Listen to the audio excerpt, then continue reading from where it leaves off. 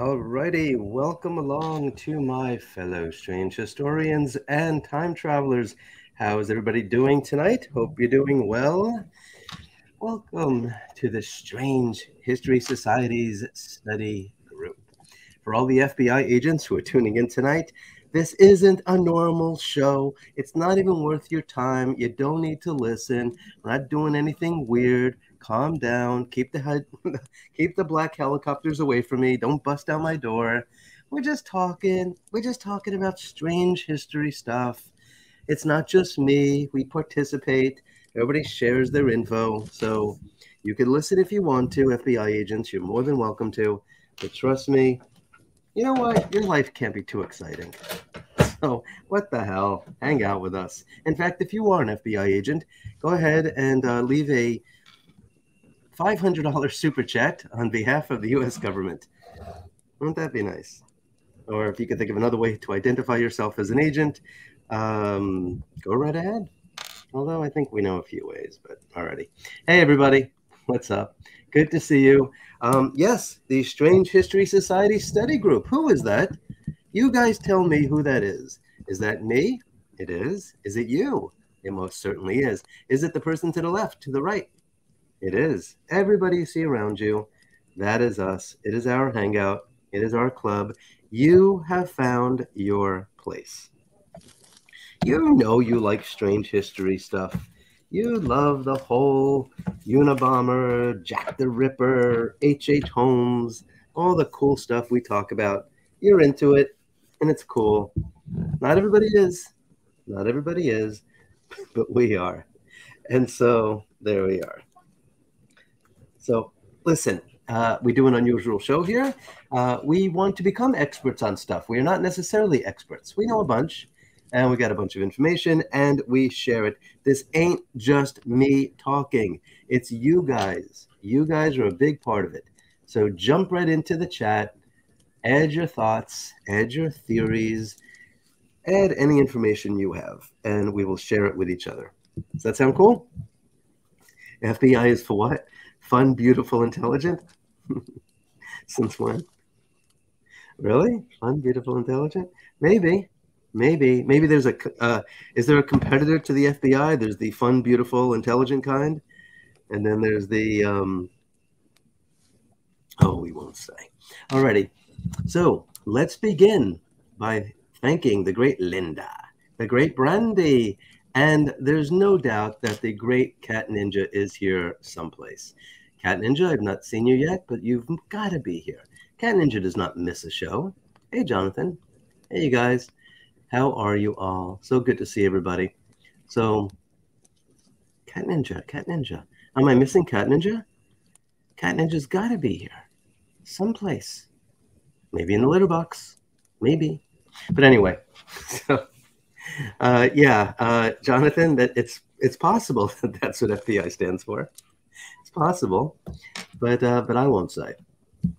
Anyway, listen. Uh, last night we had fun. Yesterday I announced my goal of getting a hundred one dollar super chats in a month. I know it's big. I know it's a big uh, ask for me to earn a hundred dollars in a month through super chats. It's never happened yet. Some of my friends earn like fifteen hundred to $3,000 a night. Can you believe that in super chats? And some of you give them money. You're giving money to people that earn 1,500 to $3,000 because, you know, they need it. they need it. Hey, here's my $100. Oh, I wasn't acknowledged. Here's my tw- another 20. Acknowledge me. Right? I have a goal. I have a goal. It's not 1500 a night. It's not 3000. It's $100 a month I think I could pull it off. If, if the stars align, if the gods are looking down upon me, I think it could happen. But who knows? Anyway, let's um let's get rolling. We call them time travel tokens anyway. I have coffee. I do. And I don't know what you guys have, but I'm waiting for you to reveal because now is the time when you, my fellow time travelers, my fellow strange historians, should most certainly sit back and pour yourself a cup of coffee or a tankard of tea or a mug of mead. If you enjoy mead, certainly grab a mug. There's plenty of ways to drink mead. There's plenty of ways. In fact, when you drink your tea, do you enjoy your tea out of a mug, Do you enjoy it out of a glass? What is the proper vessel in your mind to drink tea? Coffee goes in a mug. There's no way around that, right? If you go somewhere and they give you a plastic cup, right, or a cardboard cup, carry your own cup with you. Carry your own cup. In fact, soon we will have a strange historian society mug for you to be able to pour your coffee in. Oh, oh, that would be cool. Yeah, we got to work on that. Anyway, pour yourself a cup of coffee or a tankard of tea or a mug of mead or a chalice of cider or a flagon. Most certainly a flagon. Grab your flagon. Do not grab somebody else's flagon without their permission, especially these days. You get in a lot of trouble. So make sure you have it in writing that you can grab somebody else's flagon and fill it with any beverage of your choice and join all of us around the campfire. Tea in a porcelain cup. Yes, I agree with that, MJ. Most certainly. A Klein bottle. I don't even know what the hell that is. What's a Klein bottle? You know what I never add? A Stein. What should I what should we put in a Stein? It has to have an S sound, right? Because you know you got the cup of coffee, tankard of tea, mug of mead, chalice of cider. You guys know I have an unhealthy obsession with alliteration and assonance and consonants and that sort of thing. So yes, if we do have a stein, what kind of sounding stuff can we put in it? You guys have to decide. This is a collective decision. I will not make this decision by, on my own. Hey Zen, thank you for inviting into the. Oh yes, it's a magical place. You are most certainly welcome everybody's welcome here. It is magical. It is fun. You know what's fun? You guys ever take the time? Thank you, by the, by the way, for the time travel tokens. You ever read the comments in our shows? You ever read them? And everybody else's, it's like they're bitching about the subject matter, right? They're bitching about whatever the hell it is, right? And ours is always like, this is a cool show. This is fun. Love the chat. This is great. So exciting. Hi from the future it's so cool. I'm so glad that everybody's in a good mood and that we're hanging out and that, you know, we have just the type of show where we could be very cash. I mean, you guys hear me making all kinds of noises. You know why I do that? I don't want this to be overly, you know, you know, hi everybody. This is Ken. Welcome to Strange History Society. In this episode, we're going to be talking about the Unabomber. So join me for another episode of Strange History. Come on. we don't do that. We don't do that. Anyway, hey Terry, you look you work very hard for your tokens. Thank you very much. I appreciate that. Very kind of you. Yes, tokens are not so easy to come by in my world. No one seems to know why. They seem to hide from me. Nobody wants to give uh, Scott Cardinal time travel tokens. He thinks that time travel is that people think, oh, time travel, that snap your fingers. What does that cost? No, you got a machine. You got to keep it clean you got to wipe stuff down. You got to have a little bit of a staff, a little bit. They don't don't worry. Nobody will reveal anything, but you know you got to have a little staff to help you out, keep the thing you know clean of dust, that sort of stuff. Hey, Lori. Above, I had written what I knew about the Unabomber. Just thought I'd let you know I'm 80 miles from where he lived. Really? He had me over for cookies. Wait, what? I got to look up and see what Lori wrote. You mean when he was living in the in the um in the cabin? Really? That's pretty cool. Had you over for cookies. Imagine, imagine if he said, um, "Hi, Lori, come on in. Uh, sit back, pour yourself a cup of coffee or a tankard of tea. That would have been a problem. All right, I got to see what Lori wrote. I got to find it. Hold on, this might take me a second. Give me 10 seconds. Hey, Diane, thank you for the time traveler tokens. Much appreciated. All right, let me see if I could find what you wrote. How long ago did you write it, Lori? Let me look up, up, up, up, up, up, up, up. She had cookies with a Unabomber. That's pretty cool. Has anybody ever had cookies with a murderer? Or, or it doesn't have to be cookies. When I say cu- cu- uh, cookies, it's all encompassing. It could be muffins, it could be a cannoli, you name it. Which, what about those cookies that are three colors? What are those called? Tricolored, right? you know, they sound like in Italian bakeries. You guys like that? You guys, who likes a black and white cookie? When you eat a black and white cookie, this is a serious question. I should I should make this a poll. Do you like one side versus the other? Do you like okay? I'll eat the vanilla side first, and then I'll eat the chocolate, or do you eat like right down the middle? So you get half chocolate, half vanilla while you're zooming through the cookie. All right, here we go. I found it. Um, anyway, thanks again, Diane. Appreciate it. All right, Lore. Unabomber Ted Kaczynski eventually moved to Lincoln, Montana, living in a cabin. Cabin. Cabin. Did we get a cabin. Hi, come on over. Have to come to my cabin. Have some cookies. No electricity or water. Lincoln is a tiny town in the Lewis and Clark Forest. Lewis and Clark were pretty freaking amazing. My God, what those guys did, with of course assistance, at the behest, at the behest of the genius Thomas Jefferson. Thomas Jefferson, that racist. The genius Thomas Jefferson. I said it. Freaking genius. My God. What the world would be like today if had uh, Thomas Jefferson not existed, I shudder to think about it. So Lewis and Clark have their own forest. Pretty cool. All right, next. I'm 80 miles from there. Didn't hear much about him till the killing started. When the FBI bought the cabin uh, during its move, we saw it pass through our interstate. That's all I know. You know what's interesting? I'm going to read from the uh, from the FBI's website. I came across it today, and they rebuilt the damn thing. I guess they. I, I could actually play that video. Hopefully, the FBI. In fact, if there are any FBI agents, do me a favor. Don't don't give me a copyright strike. All right, I pay taxes like everybody else. All right, fellow American here calm down. Don't give me a damn copyright strike because I play your freaking video. All right, but it's pretty cool. It's a. You know what? I should play it. Should I play it right now? We can get started. That may be a fun way to get started.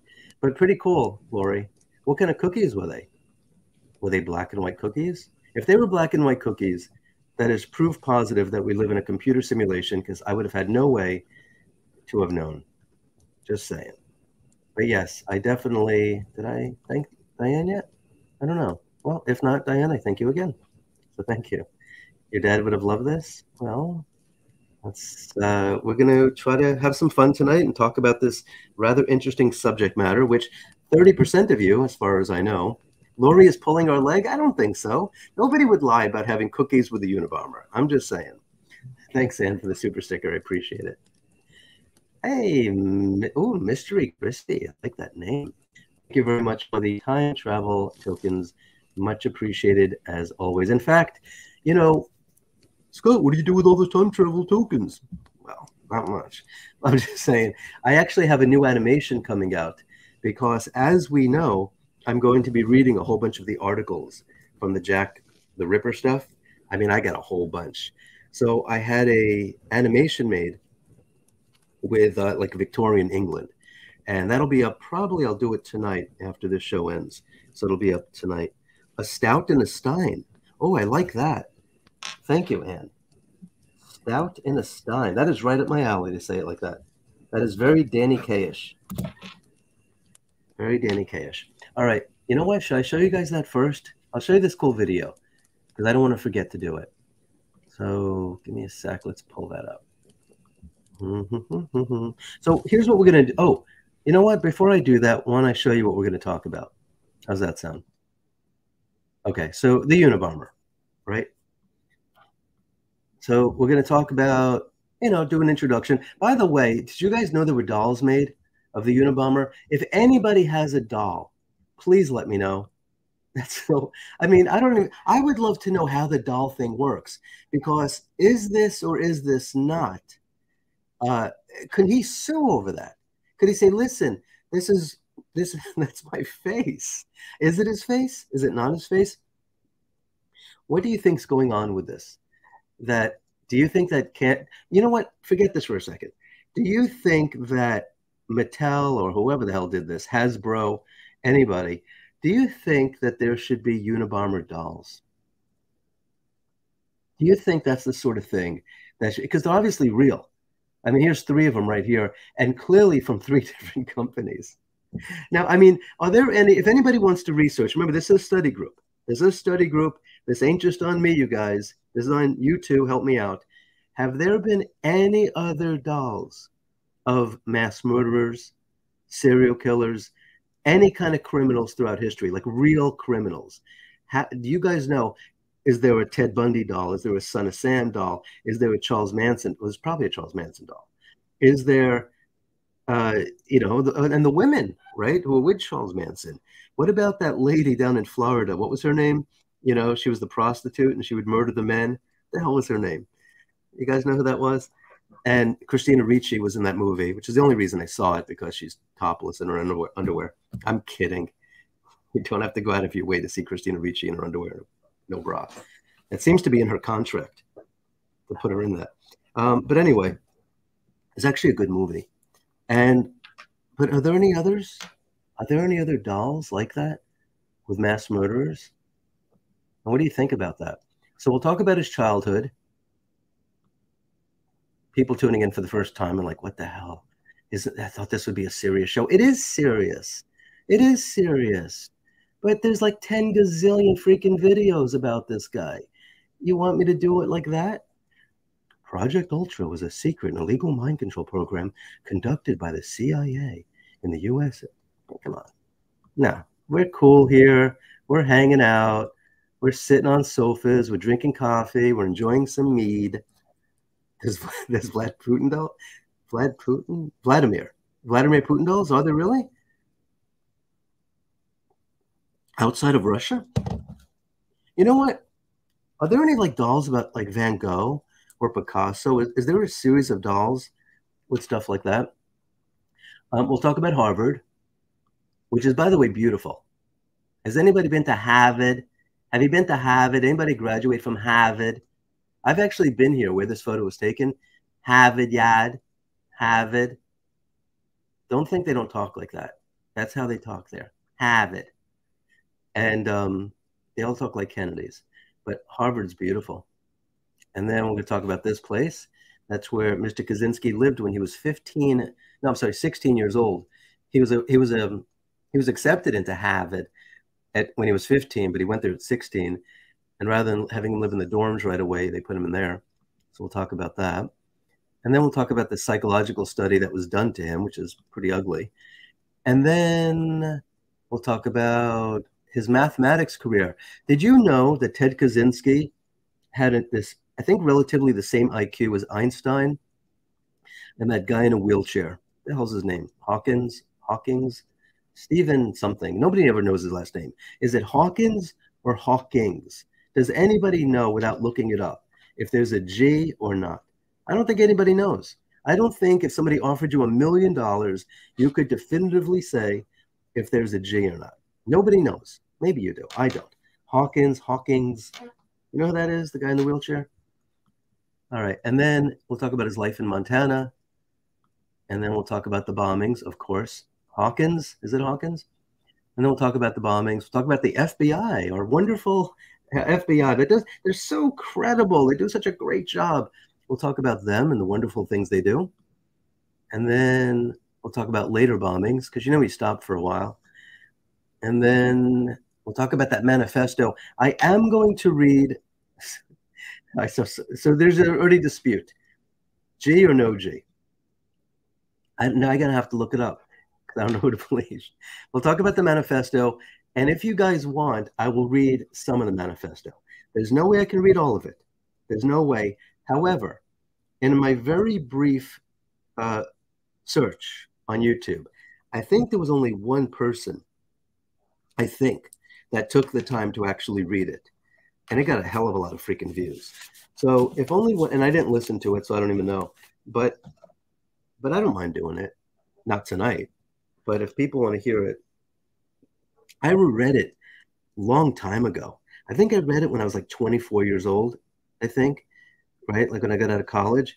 And are you like me? Did you ever read it and you're like, yeah, yeah, I agree. Yeah, mm-hmm, mm-hmm yeah, yeah, yeah, I agree with that too. Uh, uh-huh, uh-huh. Yep, yep, yep, yep. Mm-hmm. Yep, Ted. Yep, yep, definitely Ted. Got it. Yep, yep, you got it, Ted. Uh, yeah, yeah, yeah. Wait a minute. Who who wrote this? Hold on a second. This is good stuff here. This guy's a killer. But anyway, um, we'll read some of that. We'll talk about the investigations, talk about his arrest, and we'll talk. He's got good hair. Listen, if if there was ever a top 10 list okay and i say this in all sincerity this is serious this isn't me joking around if you made a list of the top 10 great best hair right? Like you know, the best hair in rock and roll is like usually David Bowie, right? That guy had great hair. But if you made a list of the top 10 serial killers, most of them had really good hair, right? And notice that's never in FBI profiles, right? That I ever see, or FBI. They're not like, yeah, okay, it's dyed. But either way, it's like, it's a nice thick hair. That's like a nice, that's a good set of hair, right? And I don't know what, you know, once you're in prison, there's no way you're using good hair anymore, right? They're using, you know, all the Prell that the government bought, you know, in 1974 and they they still have it. But it's good hair. It's good hair. And then we'll talk about his guilty plea and why he did that. And then we'll talk about his incarceration, which I thought was interesting. In fact, that'll be an interesting conversation because I he had some interesting friends, which I didn't think you could have when you're in your cell for 23 hours a day. But we'll talk about that. I think that's it. Okay. Too scary for you? What is hair? The hair is too scary? Genetics for full hair. Yeah. So I don't know. Who else would you, if we were going to make a list, top 10 best hair of mass murderers and serial killers, you could limit it to serial killers if you want. But I say mass murderers, serial killers. You could throw some other people in there if you want. But talking about some good hair. All right, let's get going, shall we? So, what we're going to do is I'm going to walk you through this dude's life. And then, is there anything to show you? Yeah, we got the dolls. Did anybody find out yet if there are other dolls of serial killers? Just go on Google. Some of you can do it. Type up serial killer dolls and let us know. Bundy and Ramirez, is there really? Oh my God. All right. There's got to be more. There's got to be more than them. So, yes, go ahead and put that in the chat, even if I don't see it. Remember, the information you share is for each other, not just me. Lon Chaney Jr., what about him? He wasn't a serial killer. He was a werewolf. Werewolves aren't necessarily serial killers, though. All right, so the Unabomber, that was not his name. Just in case you thought, oh my God, what a weird name. You know, what is he, one of, uh, you know, is he related to Kanye West? Isn't Kanye's kids like, you know, north, south, east, and west or something like that? So the Unabomber, whose real name is Theodore. It's not even Ted. We're going to call him Ted. Wait a minute. Should we call him Ted? Because if we ever do a show on Ted Bundy, nah, because we'll, when we do a show on Ted Bundy, we'll, t- we'll call him Ted too. But at that time, we'll be talking about Ted. So his name is Theodore John Kaczynski. He is considered to be, well, he's definitely American, a domestic terrorist who conducted a bombing campaign that lasted from the late 1970s to the mid 1990s. And his targets were universities, airlines, and computer stores, and some other stuff too. TED Talks. By the way, he's still alive. He never got put to death. He's 80 years old. Did you guys know that? Uh, Kaczynski was born in 1942 in Chicago. All good things come out of Chicago. We know that. And he was a mathematics prodigy. This dude earned, I'm just giving you an overview right now. We'll get more detailed in a second. But he earned a PhD in mathematics from the University of Michigan, which, for those who don't know, that's no easy feat, right? I know it sounds like Michigan. Who wants to go there? Nah, that's a good school. That's a good freaking school. University of Michigan. I'm not sure why. Does anybody know why University of Michigan is such a good school? I'd be actually I'd be very interested to know if anybody could answer that. Because you say to yourself, "What's well, Michigan? Is it because you had so many wealthy people that live there or near there, and they just funneled a ton of money into that school in order for them to hire great professors? Because it seems like an unusual place, right?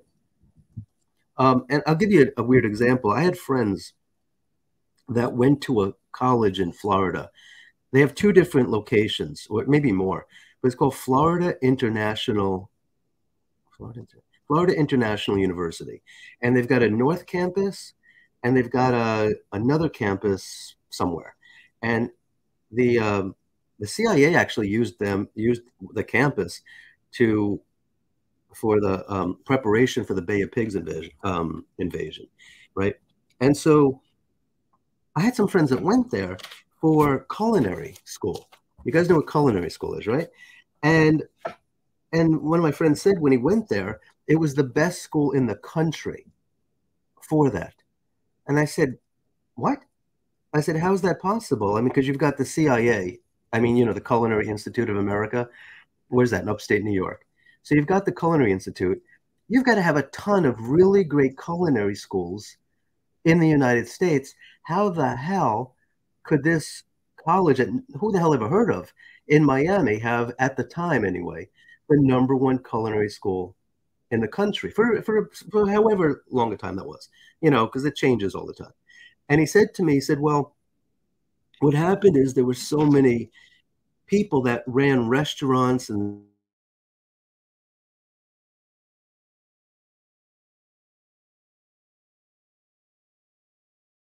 you know, just like, all right, well, this is fine, but you know, how long can I sit at the beach? And they actually started going to the college and said, you know, I ran, you know, 90 restaurants or whatever, and uh, you know, I'm a chef or whatever. And so they, I guess, they just started working, and so this school just had all these great people that, under normal circumstances.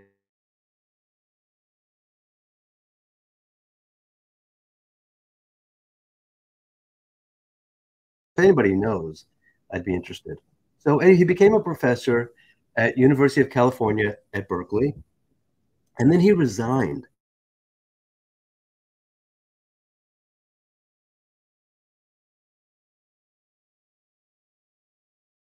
Efficient. He wanted to be isolated, and so that's you know, that's why. Let's go Gators. Uh, I don't know if that was their mascot. I think Gators are Gainesville, right? University, what is that called? I mean, of course, there are Gators still down in Miami, but either way, I'm cutting out. Am I really? Testing, testing. Okay. No, there's no reason why. Oh, wait a minute. Okay, hold on. Hold on. Okay. That should fix that. All right, sorry about that. Okay. I'm back. Yeah. You know, I told you guys why this happens. I have something called Backblaze, which backs up my ex my external hard drive. Wait, yeah, backs up my hard drive into the cloud, as they say, the cloud. And I have to turn it off because it takes up so much bandwidth. So I turn it off. All right. Okay. So where do we leave off? Uh, target, uh, move to Okay. So in 1978, he started mailing bombs to people, uh, individuals, organizations, and he did it for 20 years, right? Uh, he didn't kill as many people as I thought. How many, how many people do you think he killed? He only, I don't want to say only, because I mean, it sucks that he killed anybody, but he killed three people. Now, he injured a hell of a lot of, a lot of freaking people. All right. So don't, let's get that straight. He injured a hell of a lot of people and scared the hell out of a lot of people. But all things considered, he killed three, right? And the FBI uh, gave the case the nickname Unabomb, right? Because he was a university and airline bomber. I don't know if it was Unabomb or Unabomber. I've seen that twice because those are, you know, who he chose to go after, you know, universities and, and airlines. So the FBI supposedly this is, you guys help me figure out what this means. They said that at the time, it was the most expensive investigation in FBI history, involving hundreds of agents and resources. Now, I want whenever I hear stuff like that, like a, uh, you know the police, right? It's like, oh, the most expensive. How is it expensive if it's the same freaking people going to work every day? They're getting paid anyway. And it's not like the FBI, especially now, has anything else to do, right? I mean, God knows, you know, what else do they have to do? So it's like, what what what is it that makes it expensive? Uh, FBI agent Fred and Bill and Stephanie and Henry are going to work, punching in, right? Like Fred Flintstone at the quarry. And it's like, okay, what do you got for me today? Oh, yeah, we're going to do the Ted Kaczynski thing. Okay, cool. Yeah. Would they not have a job if they weren't working on the Ted Kaczynski case? I mean, I don't understand that. Is it, oh, is it because of overtime? Oh, do they do that? Is that is it an overtime thing? When you work for the FBI, they, they're not working by the hour. This isn't they're not at, at Taco Bell working the uh, you know the drive-in. I assume it's a salary. It's like, look, here's your you know, $150,000 a year and get the freaking work, you know, and leave when you're done. And that's that. So I don't understand stuff like that. If you guys want to help me figure out why it's why things like that, the most expensive blah blah blah in history, you know, when it's people that are just doing their damn jobs. I don't understand it. I could be wrong. You guys help me understand what that means. So they found out that he may be suffering from paranoid schizophrenia. Uh, what do you guys think? We'll, we'll talk about that. And sentenced to life imprisonment without parole in 1998. So let's talk about his childhood, shall we? And these cool dolls. Are we? Can we move on from the dolls? Inflate the numbers to exaggerate the crime? Yeah. No donuts. Do you think he could possibly have been the bank robber that jumped out of the plane and escaped? What was that guy's name? That was uh he had initials or something. I, I don't even I don't really know too much about that. I don't know the name of that. Werewolves of London. Jonathan, you're on a different thing today. We will we will do Werewolves of London. Uh, that story, maybe in Halloween, but we shall see. DB Cooper, exactly. Thanks, you guys. All right, so Unabomber dolls. If anybody has one, please let us know.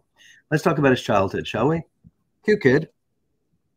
Like I mentioned, born in Chicago on May 22nd, 1942. Parents were working class.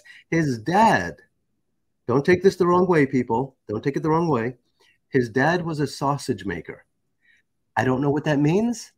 I don't want to know what it means. I will say this there is a quote out there that says if you knew how sausage was made, you'd never eat a sausage, right? sausage.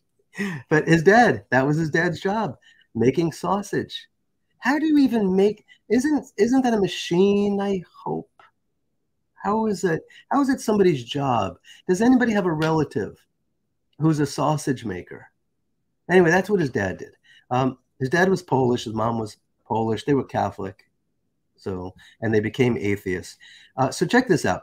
His IQ when he was in sixth grade Sixth grade, 167. What the hell is that? 167 IQ in sixth grade. Good freaking gosh. How in the world do you, what do you do with something like that? What do you do when you have a, a child in sixth grade I don't know what they call sixth grade in the UK, right? But how old is a is a kid in sixth grade? Anybody know in America? How old is that? Is that uh, six, seven years old? But 167. That's a genius. That's a genius, right? And by the way, I want to talk about that later because when it comes to things like prison reform and prisoner reform, and you have a genius like this, what do you do with somebody like that when they if they get arrested for a crime? Do you really put somebody like that in a supermax prison when he's in no danger at all to himself i mean to you know, he's not making bombs ever again. That's not happening. Do you really put somebody like that despite his crimes despite his crimes do you do you because you, you can't forget that but what do you do with somebody like that do you really put somebody like that in a jail cell for 23 hours a day. And when they come out for an hour, it's just to walk around in a courtroom, uh, in a courtyard for an hour. I, or, or do you say, well, we got this genius and he kept himself hidden from the world for so long, and now we got him. And now maybe we can get some value out of this brilliant mind. Remember, Stephen Hawkins, right? Or Hawkins, whatever the hell his name is, and Einstein. That's the genius level that this guy is at. I got to type up his name. Stephen Hawking. Okay, it's there's a G. There's a G. And everybody knows this guy was brilliant. So Stephen Hawking was a genius and Einstein were geniuses. And this guy's a genius. What do you do with that? It's kind of like reminds me, most of you have probably seen the movie Catch Me If You Can right, with Leonardo DiCaprio and that Tom Hanks dude. And if you read his book, it's even more interesting. Read the book. The movie's fine, enjoy the movie, but read the book. But what they did with him, which was really fascinating, is you know he had this great knowledge, right, on on fraud, on bank fraud, and and the FBI is like, you know, we got this guy locked in jail forever, and meanwhile he knows more about this than we do about this crime and about fraud, and, and you know because he sees it from this direction, and it's like, all right, well we can forget about him, or we can say, hey, why don't you help us out?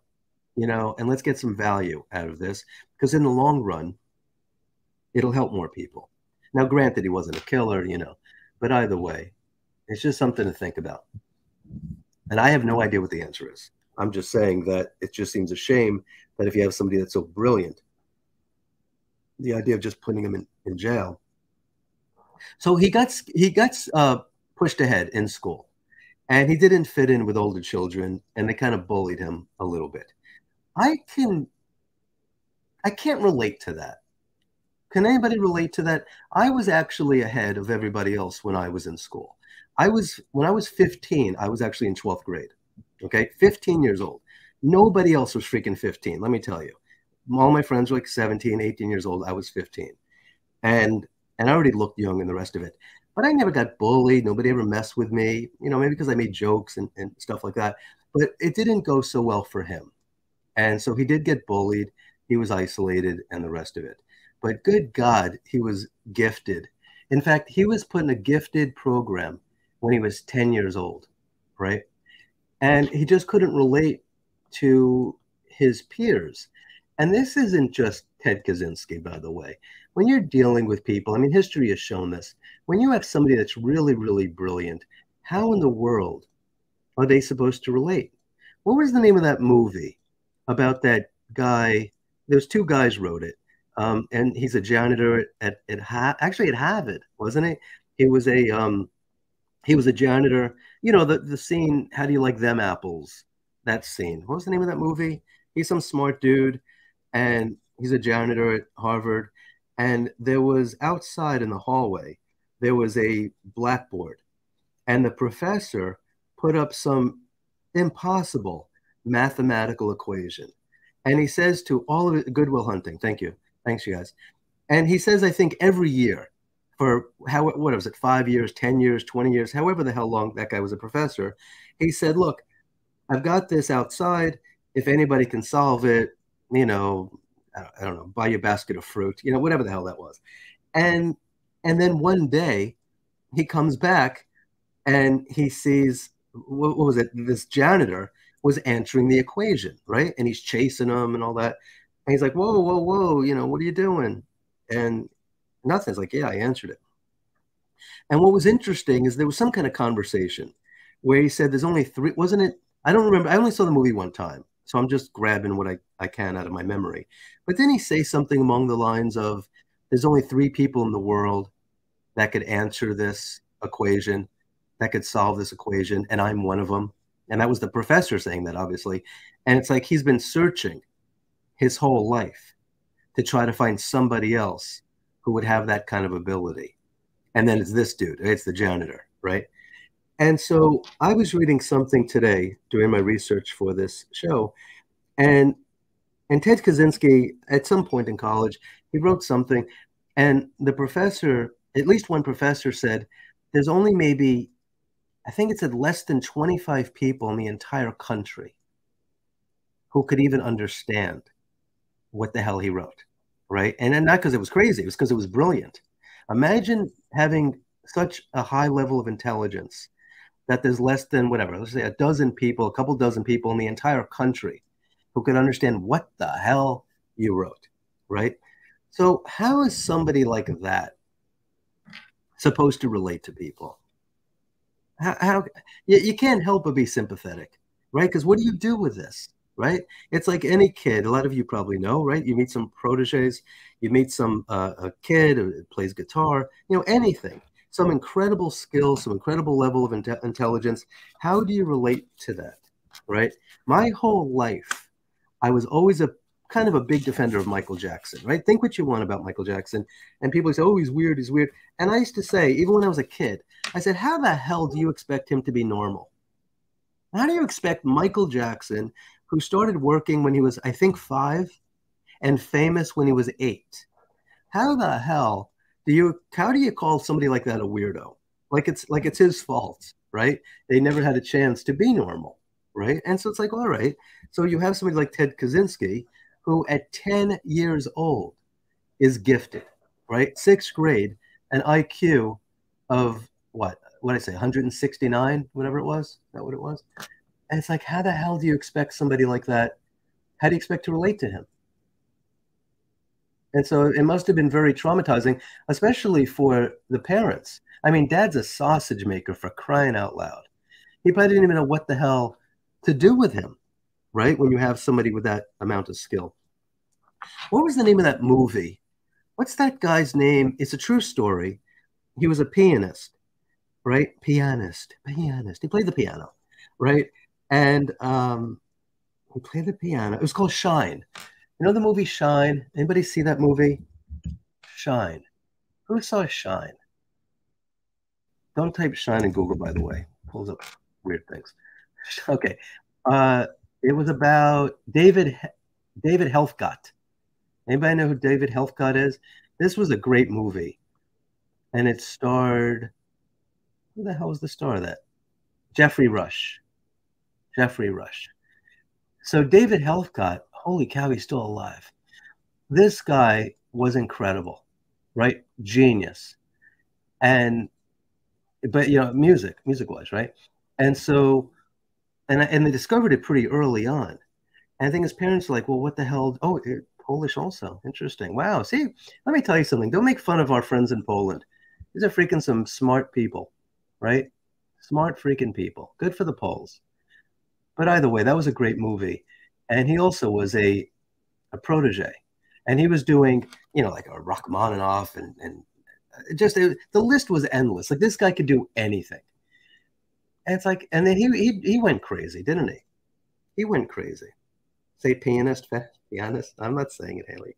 Leave me alone.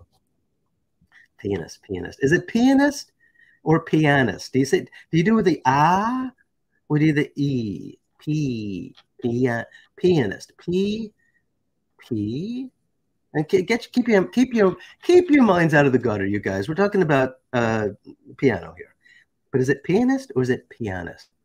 You guys tell me. Anyway, let's get going. FBI agents are like, I'm getting paid to listen to this guy. You know what, you guys say something to all the FBI agents that are listening, so that it takes the heat off of me. Tell them this is a normal show relax. Say say say hi to our friends in the FBI listening. I don't know why they have to listen. Uh, da, da, da, da, da. He wanted to spend his time alone. Anyway, his parents were worried about his social skills, and when he was like 12 years old, and so they sent him to a child psychologist. Which back then, even psychologists probably were, you know, smart people and not a bunch of weirdos. And now, you know, you'd have to be crazy to send your kid to a freaking psychologist. Who knows what they'll do? They'll come back thinking that they're a bird, and the, and then and you don't accept that they're a bird, and next thing you know, the psychologist is reporting you, and you're being arrested because you're not allowing your son to and daughter to have feathers attached to their body, or who the hell knows. All right, high school. In high school, he played the trombone. Anybody here play the trombone? Is it pianist? You know what? I can't even trust you guys. You get, are you sure? I don't know. You guys have fun with me trying to get me to say it the wrong way, I think. Pian pianist. Pianist. Pianist. Pianist. Pianist. All right. So he's uh, he's playing the trombone. He's in a marching band. He's a member of the mathematics, the biology, the coin, and the German clubs. Isn't that exciting? Don't tell me that doesn't sound exciting to you to be in high school, to be a member of the math club, the biology club, the coin club, and the German club. And for those of you who have been listening for a long time, you probably know where I'm going next, don't you? Yes. Some of you ladies, some of you ladies are expecting me to make fun of somebody who's in the mathematics, biology, coin, and German clubs. That's what you think is going to happen, don't you? Yeah. Hey, Kathy, thanks for the super sticker. Much appreciated. The time travel tokens, as we call them here, much appreciated. Well, Some of you ladies might even think that you are Claire Standish. Does anybody know who Claire Standish is? Anybody? She would say something like, You know why guys like you knock everything? Oh, this should be stunning. It's because you're afraid. Oh, God. You Richies are so smart. That's exactly why I'm not into heavy into activities. You're a big coward. I'm in the math club. That's uh, Ted Kaczynski saying he's in the math club. And then Claire says, See, you're afraid that they won't take you. You don't belong, so you have to just dump all over it. Well, it won't have anything to do with your activities, people being assholes, now would it? Well, you wouldn't know. You don't even know any of us. Well, I don't know any lepers either, but I'm going to go out and join one of their fucking clubs. Hey, let's watch the mouth, huh? I'm in the physics club too. Excuse me a second. What are you babbling about? That's Brian Johnson, by the way. Well, what I said is I'm in the math club, uh, the Latin club, and the physics the, the physics club. Come on, some of you guys have got to know where this is from by now. How you never see the Breakfast Club? Come on, guys, the Breakfast Club. Claire Standish was Molly Ringwald. John Bender, Brian Johnson. Well, what I said is I'm in the math club, uh, the Latin club, and the physics club. The, the physics club. Hey, Jerry, do you belong to the physics club? That's an academic club. So? So academic clubs aren't the same as other kinds of clubs. Ah, but to dorks like him, they are. What do you guys do in your club? Oh, well, in physics, we, we talk about physics, properties of physics. So it's sort of social, demented and sad, but social, right? All right, guys. So who back me up, you guys? There's got to be people here to saw the Breakfast Club, and there's no way you're just letting me go off on this. You got a bunch of 25 year old FBI agents saying, "What the hell is this guy talking about?" All right, fine. Let's move on. Third high school, Kaczynski was ahead of his classmates mathematically and academically. He skipped the 11th grade and he attended summer school. He graduated when he was 15 years freaking old. Kaczynski won all kinds of awards, and they said, You know what, dude? You need to go to Harvard. And he's like, Harvard? And they said, No, Harvard. You mean Harvard? He's like, No, Harvard. And he's like, All right. And so when he was 15 years old, he was accepted into Harvard. He entered the university on a scholarship when he was 16 years old. Incredible, right? So let's go ahead and jump over to the. Oh, that was him in high school. Not a bad looking dude, right? He's all right. There's Harvard, beautiful Harvard. So check this out. I thought this was pretty interesting. So he didn't even have a driver's license, right? Packed him up, sent him off to Harvard like he's ready to roll.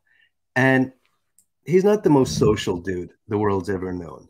And so what the people at Harvard thought is, well, he's not the only one. You got lots of young people here, lots of geniuses, and it's not fair to put him in the dorms where everybody's older than him and he's going to feel isolated. And so what they did is they have this house. It's located at 8 Prescott, uh, 8 Prescott Street. And it was the reason for it was that young students could live in there and they can kind of hang, hang out. But what do you guys think? Do you think this was a good idea or a bad idea? Because you're grabbing a bunch of what, 15, 16 year olds that are really shy, socially awkward, and you're like, you're throwing them all together. What do you think that's like? You think that you think that was Party City? You think this became Animal House at one point? No. What they say is that what they say is that uh, it just isolated them further, and that people that live there would just hide in their rooms. And so there's that. Hey, Rachel, just to say I'm 25 and watch The Breakfast Club. Rachel, you are the coolest 25 year old uh, that's alive today, just so you know. Very cool. It's a great movie, right? It sucks that you couldn't have been like, I don't know, how cool must it have been? Was anybody the age of the students when Breakfast Club came out? When was that? 84, 85? So you would have had to have been born in what, 68, 69, 70, whatever. Was anybody around that age? Because that had to have been great to have all the, because in the 80s, you had John Hughes, and he was pumping out these movies. And how cool must it have been to be able to see these movies made that kind of reflected your life as it was, you know, you know, middle middle class America, whatever. And it's like, how cool must have that have been? It's like little mini documentaries, right? And so that's kind of cool. So thank you, Rachel. I appreciate that. Great. Thank you for the time travel tokens. In fact, I will use some of the time travel tokens to take Rachel back to 1984, 1985. I will take Rachel to the movie and we will watch The Breakfast Club as teenagers. Wouldn't that be fun? So thanks, Rachel. That didn't sound too creepy, did it? That sound creepy? All right, hope not. All right, so he was in Harvard. This dude was having difficulty socializing. And so, you know, but he, listen, he was brilliant and everybody knew it. And he, uh, they put him in these dorms finally, so he was there. Now, check this out. Here's where things get really, really creepy. So he was involved in his second year at Harvard. Kaczynski participated in a study that was described as, and this is a quote, purposely brutalizing psychological experiment. And it was led by Harvard psychologists. See, these colleges get so much freaking moolah, right? And a lot of times they do horrible things, you know, uh, to experiment. They give the professors money. It's like, oh, go do this, right? You, you remember the studies about what was that one thing that they did where they took some of the students and they said, well, we're going to put them in uniforms, right? And the other ones aren't.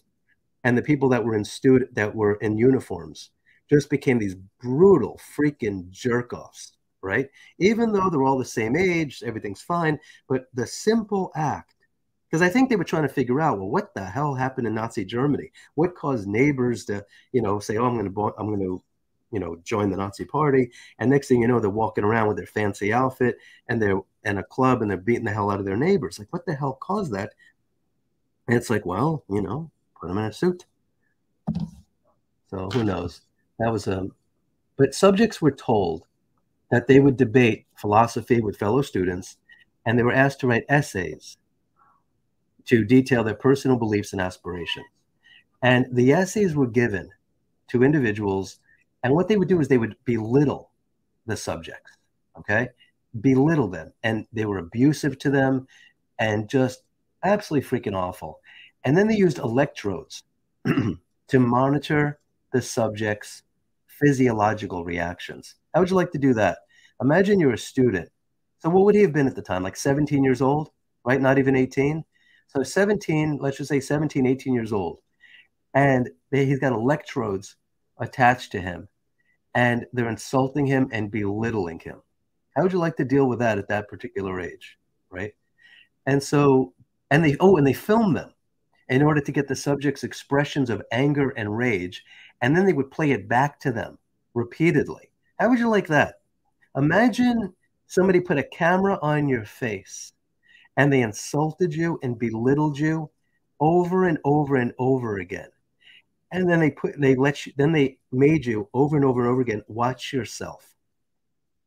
Watch your reactions to constantly being insulted. Do you think that is a good recipe for creating a healthy and happy human? You think that's good? And, and Harvard tolerated this. This is the kind of thing that goes on, not just at Harvard. I mean, this is a thing all over the place.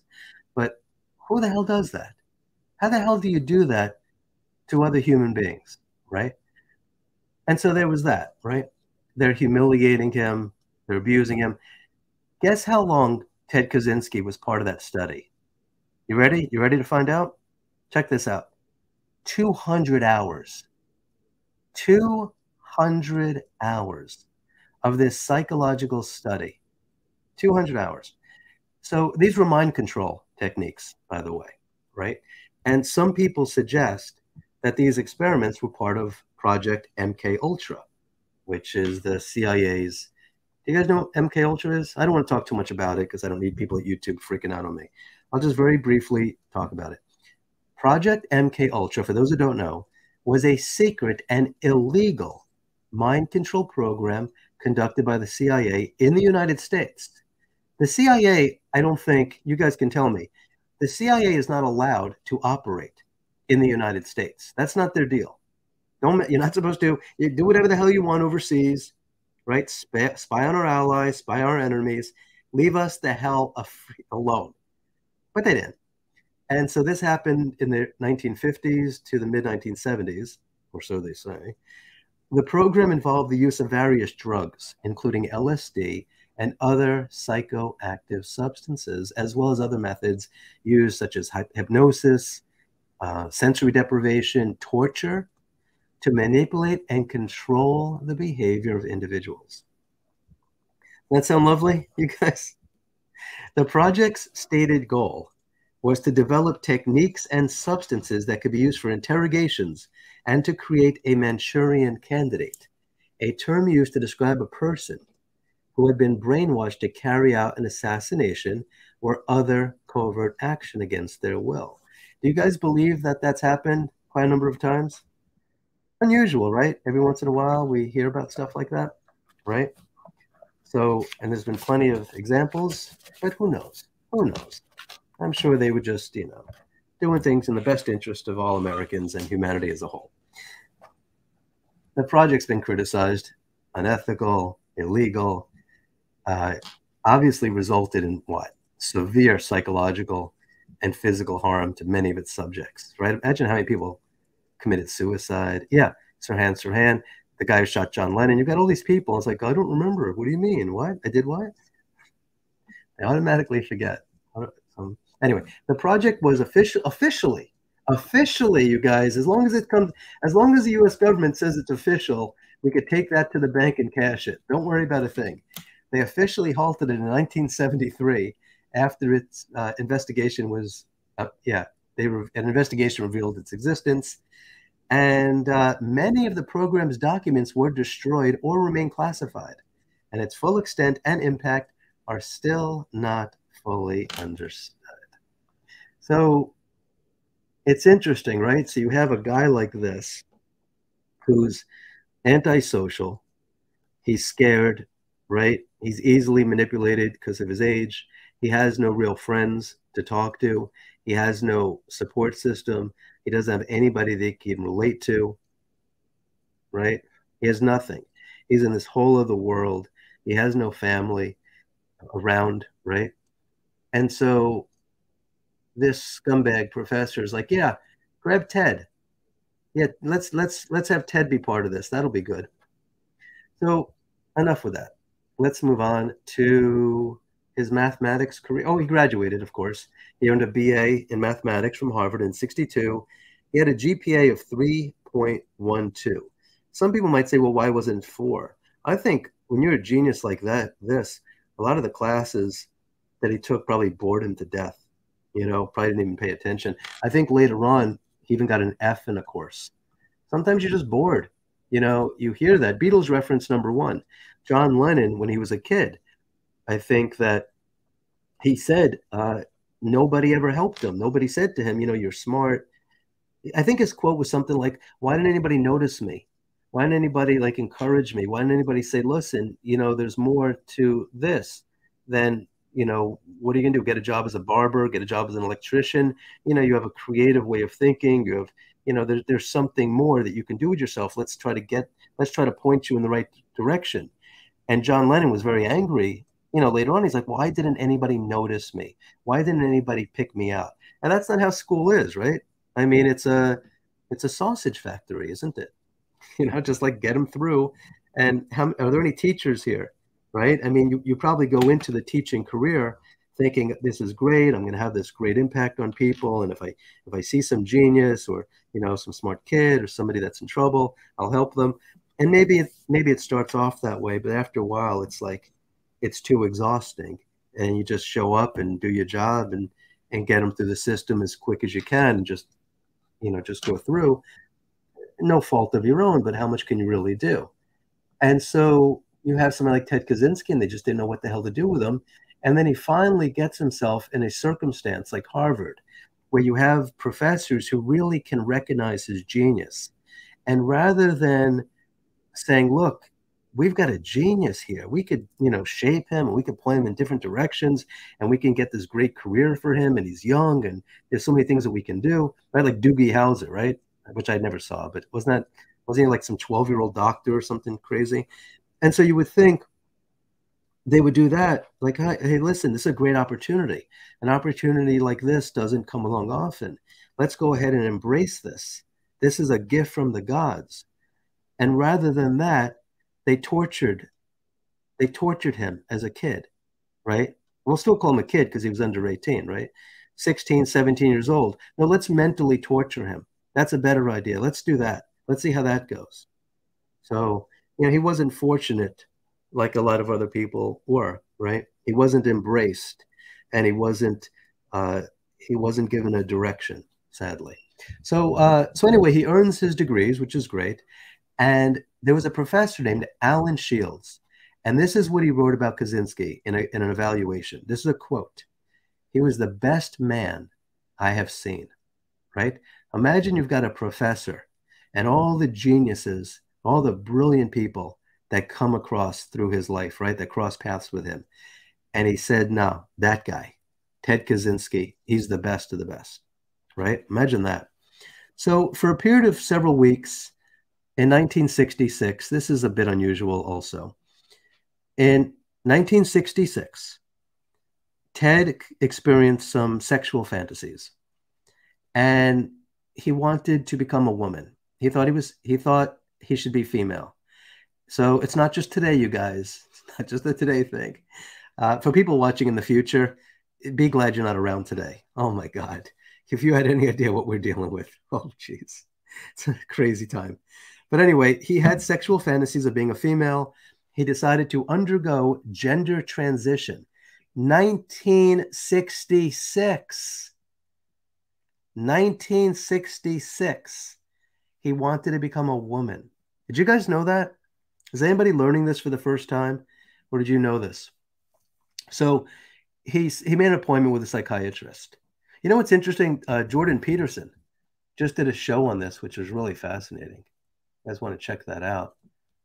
It's pretty cool. Um, so anyway, he makes an appointment with a psychiatrist, and while's in the waiting room, he's in the waiting room, and he's like, "You know what? I changed my mind. I don't think I want to undergo gender transition. I don't think I want to be a woman. Nah, leave me the hell alone." And I wonder if, when I was listening to Jordan Peterson today, he said something interesting. He said that a lot of people might be uncomfortable because they're gay and not want to deal with their family or friends, whatever it is. And that in their mind, subconsciously perhaps, they figure it actually might be more acceptable if I just became a woman. We're talking about gay men here. If I just became a woman. And then if I, you know, and now it's the trendy thing, right? Oh, I got a, my brother is a woman. Or used to be, a, he was a guy yesterday, but now he's a woman.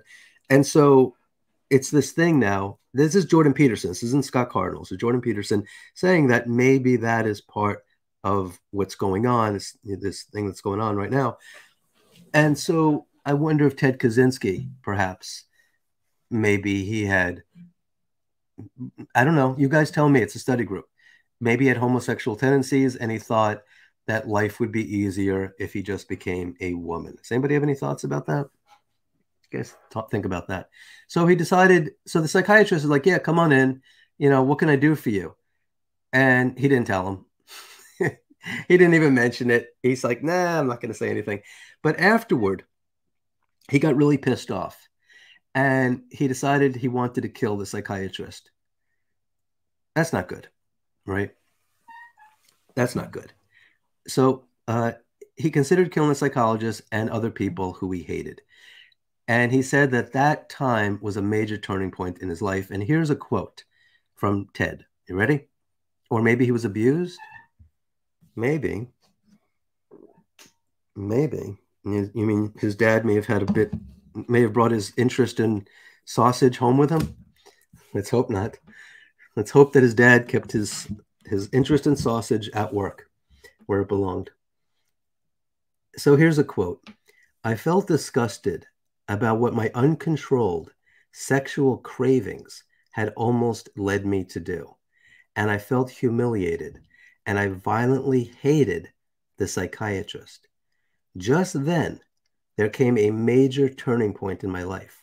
Like a phoenix, I burst from the ashes of my despair in a glorious new hope.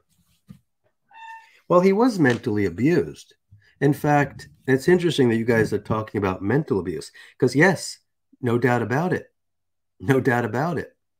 He, this guy was was um was mentally abused. He went to freaking Harvard and they mentally abused the poor dude. Mentally, emotionally, right? Maybe perhaps physically, right? Who knows what they subjected this poor kid to? Uh, at the time, we could still say that, right? He didn't kill anybody. We're just talking about what was done to this kid. And then people are surprised when, you know, 10 years later, whatever, uh, people do horrible things. Well, you know what? You know what? Maybe, maybe if this was part of some campaign, maybe this is what they wanted, right? If it was MK Ultra, it's like, well, yeah, hey, hey, worked out great. Worked out, hey, it works. It works, right? Um, yeah, um, Dog Day Afternoon, 1975. That was quite a story. Dog Day Afternoon. We could actually do a show on Dog Day Afternoon since that was based on a true story. So he wanted to kill the psychiatrist, and that gave him a whole new role in life. He's like, ah, I know what I'm going to do. So uh, it didn't really stop him, though, from being a genius. Obviously, this guy was brilliant. And his mathematics uh, dissertation won some big time award in 67. And so at 25 years old, Ted became an acting assistant professor at the University of California at Berkeley, where he taught mathematics. You know, even stuff like this, when you talk about how young he is, imagine he's 25 years old and he's an assistant professor at the university. And even in a situation like that, now he's surrounded by people who he's a little bit older than them right? So you have students there that are 21, 22, 23, but he's still much younger than all the professors. So he's really thrust into an environment once again where he has almost no opportunity to socialize with people because anybody who's younger than him is a student and he's just so way above them uh, intellectually and other professors are you know older than him to whatever degree and once again he's the smartest dude in the room right? It's like being it's like being Elvis, right? I know it's a bad example, but how the hell can Elvis relate to anybody? And it's kind of like this is Beatles reference number two. Uh, John Lennon, I think all of them said this. Paul, George, they said, I think even Ringo said it, was that the reason none of them went crazy, and John Lennon, you know, but the reason none of them really went crazy is because they had each other. You know, where whereas Elvis was it was only him, and nobody can relate to what he was going through. Whereas the four of them, they had each other and they could keep each other from going crazy because they, they all could they could relate to what was happening to all of them at the same time. Who does Ted Kaczynski at 25 years old relate to? Who's he? Yeah, beaten dog is gonna bite. Exactly. So this he just nowhere to turn. Now, this is also the time, right? And so we're, we're talking about 66, 67. The whole world's changing. Imagine the types of students that are at Berkeley for crying out loud in 67, right? And so we're getting into 68, we're getting into 69, we're getting into the whole hippie thing. Everybody's running around naked and having sex and doing drugs and smoking pot and doing all kinds of things and wearing beads and and dancing around in circles. And here's Ted, who at 25, 26 years old is like an old man already, right? He's like an old man. I mean, think about it. At that point, he had been accepted into Harvard 10 years ago, right? And clearly no no girlfriend, no children. I'm not trying to make you feel sorry for him, by the way. I mean, we know this he did horrible things. But but as part of our study group, don't we want to try to understand people like this? Because maybe it'll be helpful in the future, right? Let's try to like right. And look, if the FBI can profile people, we sure as hell can too. And we could probably do a better job of it. In fact, when I tell you later how they profiled the dude, I think we could do a better job. In fact, for all the FBI agents listening right now, ask the Strange History Society. We know all kinds of cool stuff. We could help. You never know. Yeah, Venice Beach is a whole vibe. Yeah. And so, yeah, Summer of Love. And so, once again, this guy just does not fit in. He's he's Michael Jackson, right? He's he's he's anybody else like that. That when did he ever have a chance to be normal? When he was what? What did we say? Sixth grade. He had an IQ of 169. Now that's when he was tested. Obviously, he had that freaking IQ when he was younger. It wasn't like, oh, sixth grade, you know, turn that switch on, all of a sudden one, 169 IQ. No, he was brilliant his entire life. This is a guy who's doing mathematics. Here's a for fun. For fun, right? He's doing mathematics. He plays instruments. Uh, he he can compose. There isn't anything that he couldn't do.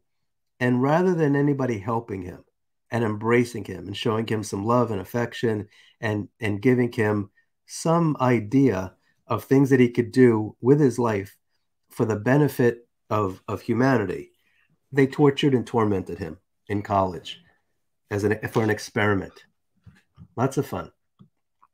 So anyway, he uh, he said, "Look, I don't like this world I'm living in. And in 1967, he was teaching mathematics and he stuck around, but without explanation. At the end of June in 1969, he said, screw this. And he just left. He got the hell out of that place. And there was a quote somebody said that he was pathologically shy. Isn't that freaking awful? Imagine this poor dude, right? Pathologically shy. That it's like can we can we pile on any more problems onto this guy right at this point? So he lives with his parents for a couple of years. Let me see what i got next. So that's him right? Good looking dude right? Strong face good hair. We've already established the hair. We've already established. Good looking dude good hair. And 1971 he gets a remote cabin outside lincoln montana wherever the hell that is I'm sure it's lovely. And here's the description of the cabin, by the way. It had a bed, it had two chairs, it had storage trunks, it had a gas stove, and it had lots of books. He just wanted a simple life, right? He didn't care about having a lot of money, didn't care about having electricity or running water. And he figured, well, just, you know, I'll work some odd jobs here and there. And and his family, you know, supported him a little bit as well. Now, some people probably think this sounds crazy, right? You probably think, my God, that's uh, insane, right? But is it? Is it insane? I mean, how many of you were like me that all you want, not it's not all you want in life, but one of you, one of the main things you want in life is to have no emails in your inbox, right? How many times have you sat down in front of your email and you're like, I just, I just want zero. I just want none. Let me just sit here and go through my freaking emails as quick as I can. Spam, spam, spam, spam. Oh, oh, oh, okay, that, okay, got it. Right. And it's like, please just get me down to zero. And then you do. And you sit back and you have a cup of coffee or a tankard of tea or a mug of mead or a chalice of cider or a flagon, and you fill your flagon with any beverage of your choice, and you sit by the campfire uh, or your fireplace, So you just sit on your sofa and you're like, thank God. And then you go to sleep. And then in the morning, you check your email. And you're like, oh my God. Oh my God. Please. No more freaking emails. I can't stand. Right? It's like you finally reached a point in your life where you're not getting mail anymore, right? Like very how often have you don't get mail? I like I get no freaking mail. I don't want it. I don't want to look at it. Don't have any I don't have it goes to my cousin by the way. I wouldn't even look at mail. I have a cousin that lives 10 hours from me. She gets my freaking mail because I can't I don't want to look at it. I don't want to see it. I don't care. Don't tell me. I don't I I I won the uh whatever the hell that thing is award, right? With the stamps, whatever the hell that thing's called. I, don't just leave me alone. And now it's like, okay, well, I got no mail. It's kind of like sex lies and videotape. You see sex lies and videotape? And they're like, why don't you have a car? He's like, well, because I don't want to carry any keys.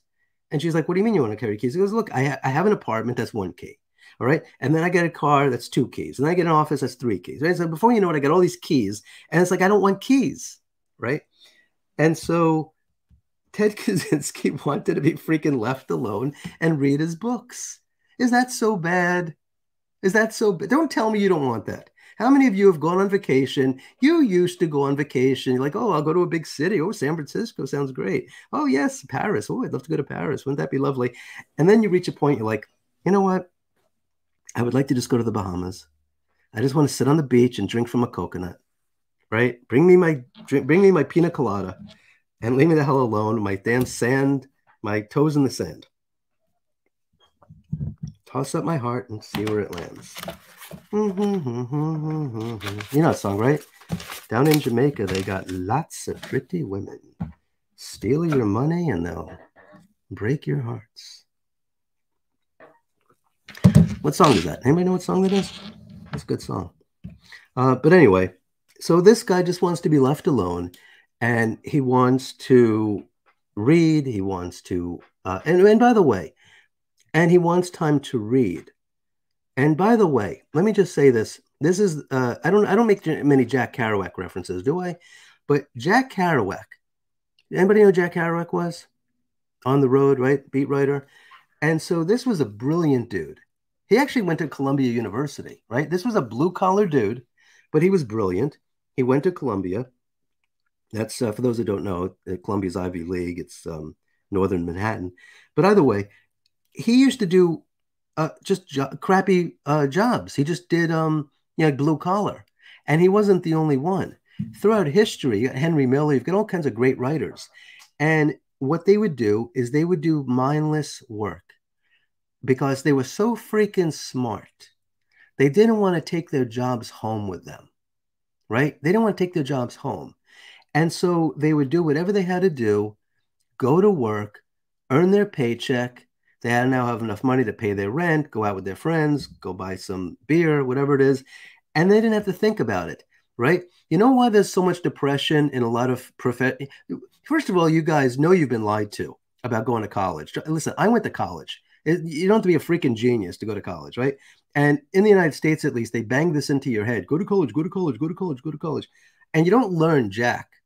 Okay, you don't really learn anything, especially now that you couldn't learn on your own right? And they beat this into your mind that you should be white collar, white collar, white collar. And then you get a people become white collar and they're miserable. They're freaking miserable. I have five lawyers in my family. They're the worst human beings the world has ever known. They're dumb, they're evil, they're bad people, right? But and and you have all this depression with lawyers because it's like you can't just leave your job. You can't just like at I'm sorry at five o'clock. All right, see ya uh, good night. Then you got homework, you know, you got to read stuff, and you're dragging home your life with you, and you've got this this misery, this poison stirring inside of you all the time. And so when I read stuff like this about Ted Kaczynski, and I'm not trying to show him in a positive light, I'm trying to compare him to other geniuses throughout history who simply are like, leave me the hell of hell alone. You know, with with being a mathematics professor, with doing that. You know what it is? It's like that movie what the hell was that movie we were talking about? The uh, how do you like them apples? What was that called? Uh, hunting, hunting somebody, hunting the man, hunting the dog, hunting something. And it's like, what did he want? He's like, screw this. I don't want to be a professor. Leave me the hell alone. Let me go work at a bagel shop or whatever the hell he would have done. And so you see stuff like that. And the reason I'm talking about this is you know, I don't like when I read about this guy, some weirdo, right? Because he wants uh, he wants to live a quiet life and he just wants to read and do different things. Now, on one hand, it sounds kind of hypocritical of me, doesn't it? Because I was saying earlier, hey, listen, why don't we get something out of the dude? We've got him in prison, uh, you know, and he's sitting there. Well, yeah, when he had a choice, when he had a freaking choice, he chose to be the hell left alone. But now sitting in a cell and you know and being able to go out and ride a bike and, and go to the stream and go hiking, but he doesn't have that anymore. Now he's 23 hours in a cell. Why not at least approach the guy? Maybe it did happen. We don't know. And said, listen, you know, we can get you out of this freaking cell, but here's what we need in return.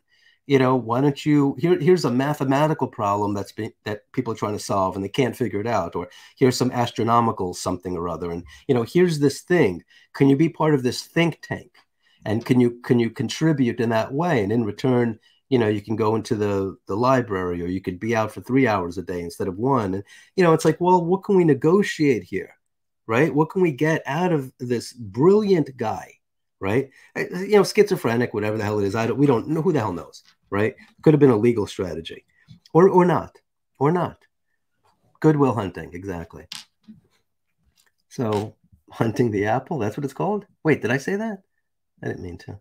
Uh, so anyway, this guy. So he listen. He wants to live without electricity, without running water. He wasn't the only one.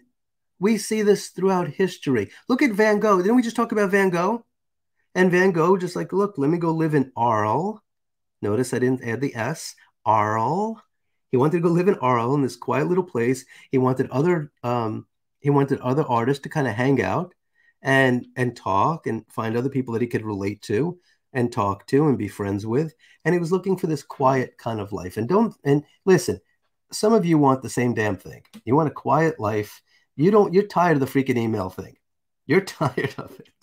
How many freaking times? That's why I don't go on TikTok. I don't I barely know what it is. I don't want to know. But I go on Instagram and it's like, if I have to see one more 23 year old girl changing her outfit, what is that? This is this is what you do? Let me change my outfit and put a video up on Instagram. That'll make my grandparents proud of me. Anyway, he had an old bicycle going in and out of town, went to the library. Um, he read classic works in their original languages, right? So, this smart dude. So, 1978, uh, he's just angry at the world and he starts hand delivering a series of bombs. This is how he was living, by the way. And I don't want to beat up on it. It's like, well, you know, it's a freaking shed. What do you want to look like? You, you want him to go to IKEA? I mean, by the way, let's be honest. If IKEA would have uh, started selling like their old their own Unabomber kit, right? And by that I mean like a a nice uh, the IKEA cabin, the Unabomber. Can you? Can I be? Listen, I've been in an IKEA. You know how they do that? They like create these like little rooms, and you're like, wow, I could live in a 400 square foot space. Look at all the shelving. This is fantastic. And an actual size kitchen. They're not cutting corners on the kitchen. I could actually live in a 400 square foot space and have a full size refrigerator. Yeah, I can go for this. Right. So at, actually, at this point, before we go any further, why don't I show you that FBI website? Let's do that. Do I have it? Do I have it? I thought I had it. Uh, maybe I don't. Wait, yes, I do. Wait, hold on. Okay. We will watch this. FBI, if you're listening, don't copyright strike me. I will tell everybody. I'll tell the whole freaking world that the FBI gave me a copyright strike for playing a damn video. You don't want that. Trust me, FBI, you don't want any heat from me and the Strange History Club. Don't get on our bad side, I'm telling you. Oh, man. If you guys never hear from me ever again, just joking. All right, here we go. I don't know if there's any audio. Yeah, there is. Okay. I don't know what audio there would be. Let's watch this together. Let us enjoy. I will even turn my mic I turn my mic off to tell you that I'm turning my mic off. I'm turning my mic off. Give me a second, you guys. Hang tight.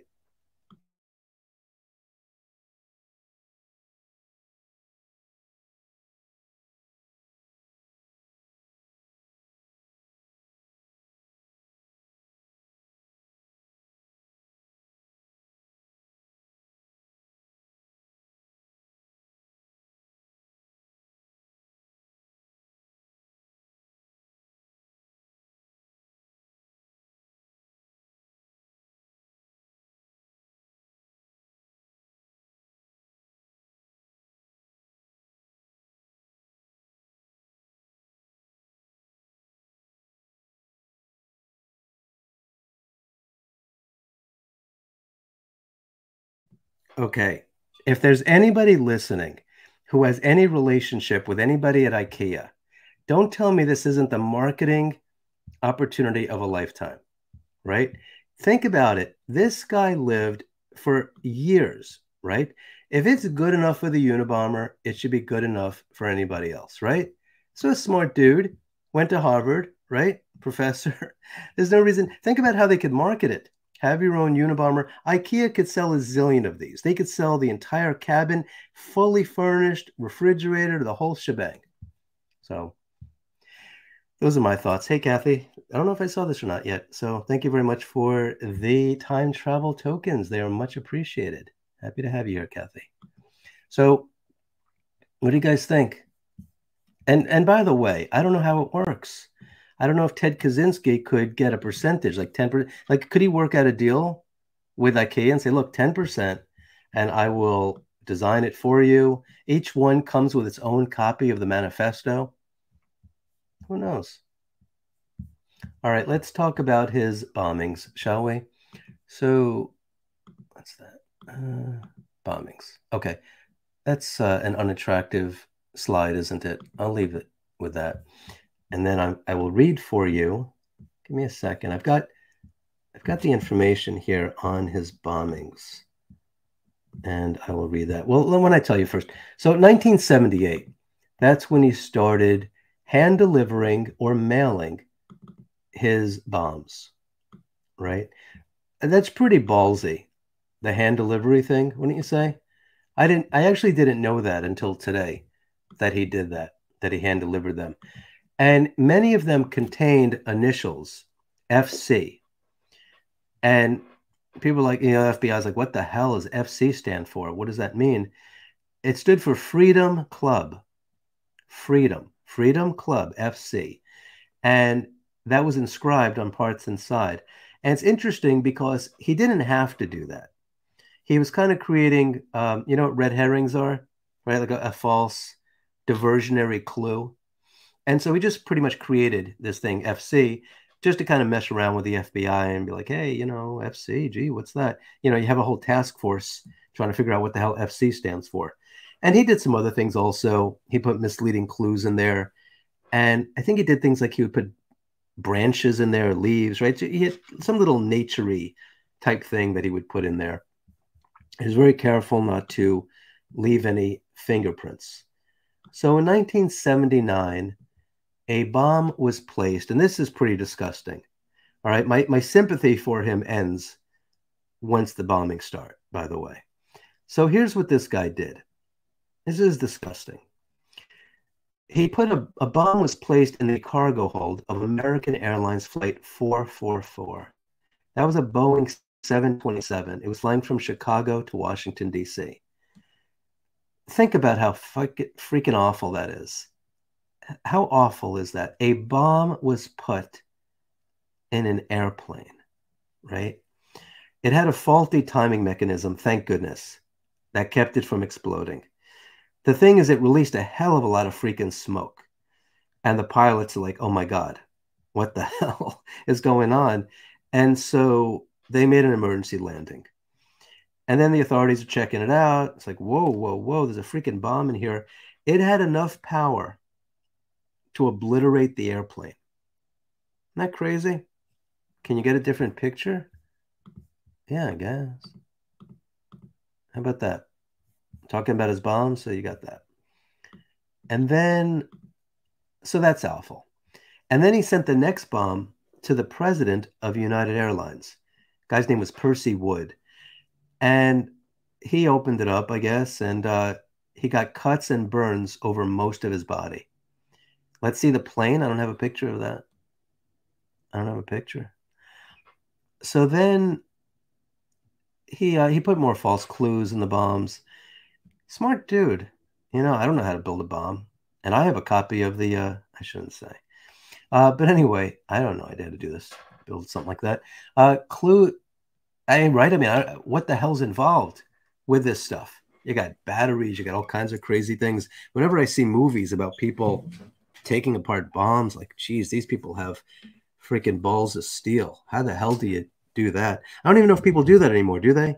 They just have those um those kind of little golf carty things that go over there and pick them up and and then they just blow it up inside of itself, right? His bum, which is probably which is great, right? God knows how many lives things like that save. So what else? Uh, he sent um, the FBI figured, well, okay, there's a theme here. Because you've got nature and trees and wood. He's putting little pieces of of that stuff in the there, little uh, like bark, tree branches, in there. And they're like okay well there's some kind of theme here. The guy has an obsession with wood right? He's got some kind of obsession. What could that what could that be? So i'm going to jump to 1983 in a second because that was a big turning point. But let me just tell you about some of his bombs that they know of, right? So 1978 and 79, he sent two bombs to Northwestern University. And then 1979, later that year, was American Airlines Flight 444.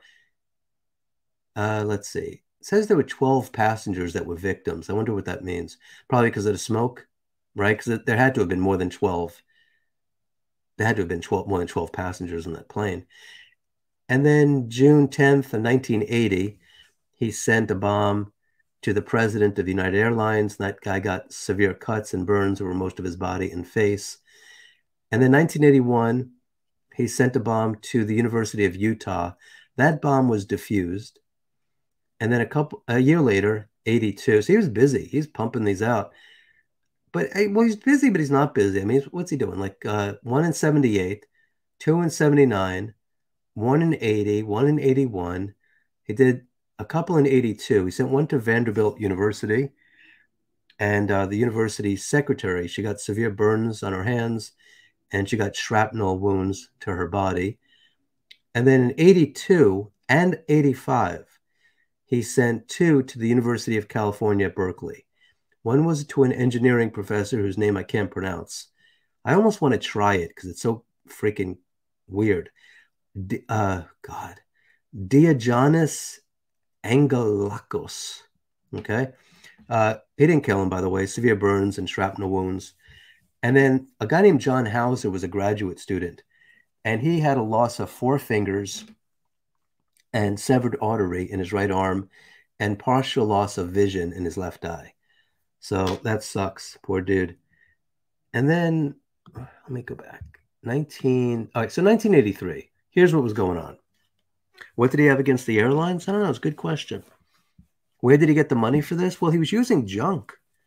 He was using stuff that really, I think that's the problem with the Postal Service. Couldn't even really figure out whether, I mean, they, they couldn't even do anything about it. It's like, well, where the hell is he getting this from? You know, it's not like it's coming from a specific place, like, you know, where they could do something about it. So that was a that was a big problem also. He was smart enough to just put together bombs with junk. So, in his first interview after his arrest, he said that he was on a hike in one of his favorite spots. And I'm going to read a quote. This is what he said. This is this is Ted. This is what Ted said. It's kind of rolling country, not flat. And when you get to the edge of it, you find these ravines that cut very steeply into cliff like drop offs and there was even a waterfall there. It was about a two days hike from my cabin. That was the best spot until the summer of 1983. That summer, there were too many people around my cabin, so I decided I, need, I needed some space.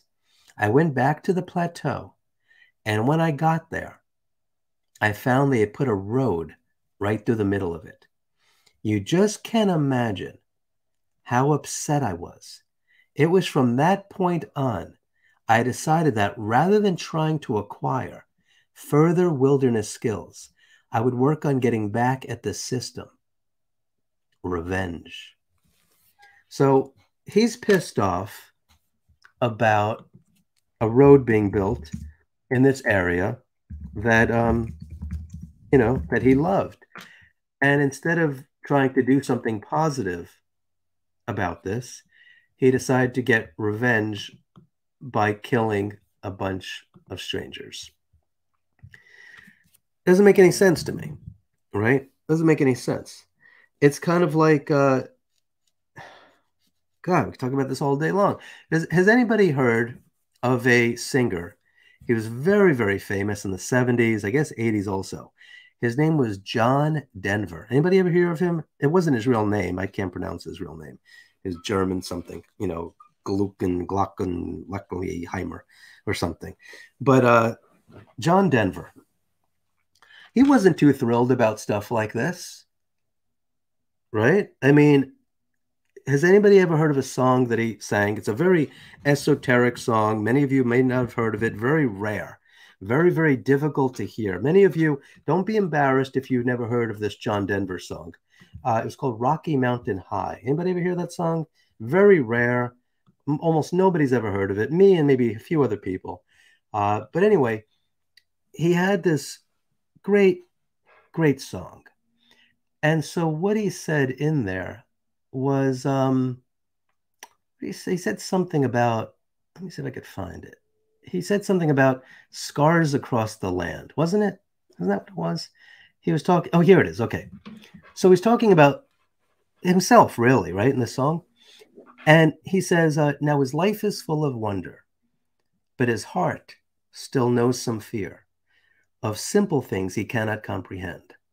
While they try to tear the mountains down to bring in a couple more, more people, more scars upon the land, right? So here's John Denver, who's a great environmentalist, great environmentalist, right? Loved nature, sang about Colorado, sang about, you know, West Virginia, all sorts of beautiful places. But he didn't go around doing horrible things. He didn't go around start killing people. He's like, no, you know what I'm going to do? I'm going to write songs. I'm going to write songs that people are going to want to listen to, right? And so I'll be able to have my impact by being a positive force, right? And that's what John Denver was, by all accounts. This guy was a positive force in his life. Nothing but beauty John Denver left behind, right? Incredible life. And so Ted Kaczynski is this brilliant guy, and he could have made any decision he wanted. And with his great, great brain, right? Incredible. The best thing he could think of to do was to kill complete strangers and destroy their lives.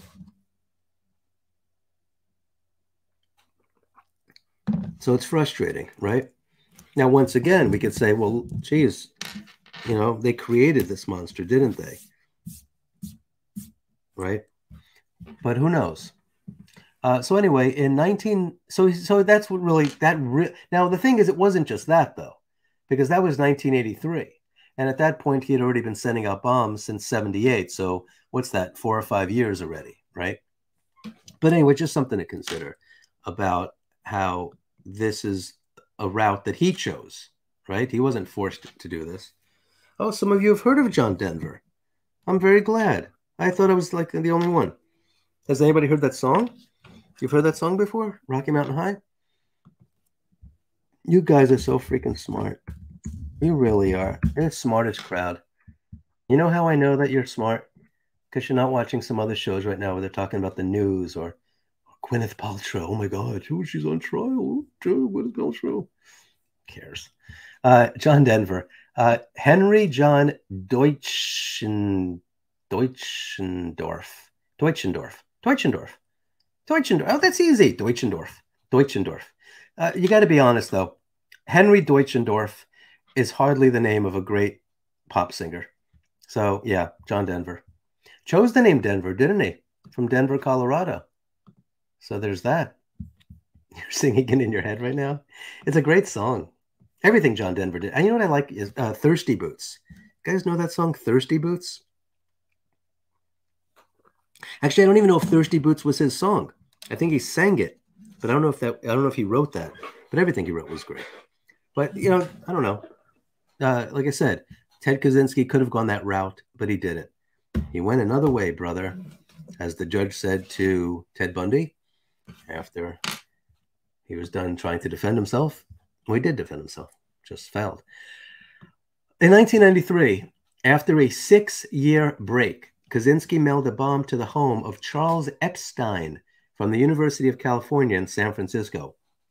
Epstein lost several fingers upon opening the package, and in the same weekend, Kaczynski mailed a bomb to David Gelernter, who was a computer science professor at Yale University. Gelernter, poor dude, poor dude, lost sight in one eye. He lost hearing in one ear, and he lost a portion of his right hand. I don't get it. I just don't. I don't get it. You know, what are you doing this for? What do you guys think? You guys could start talking about it early if you want.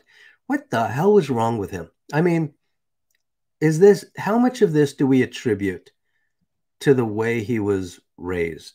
I, eh, you know, and the way he was how much do we attribute this to the way he was molded, the way he was created, to the torment that he went through? How much do we attribute that to?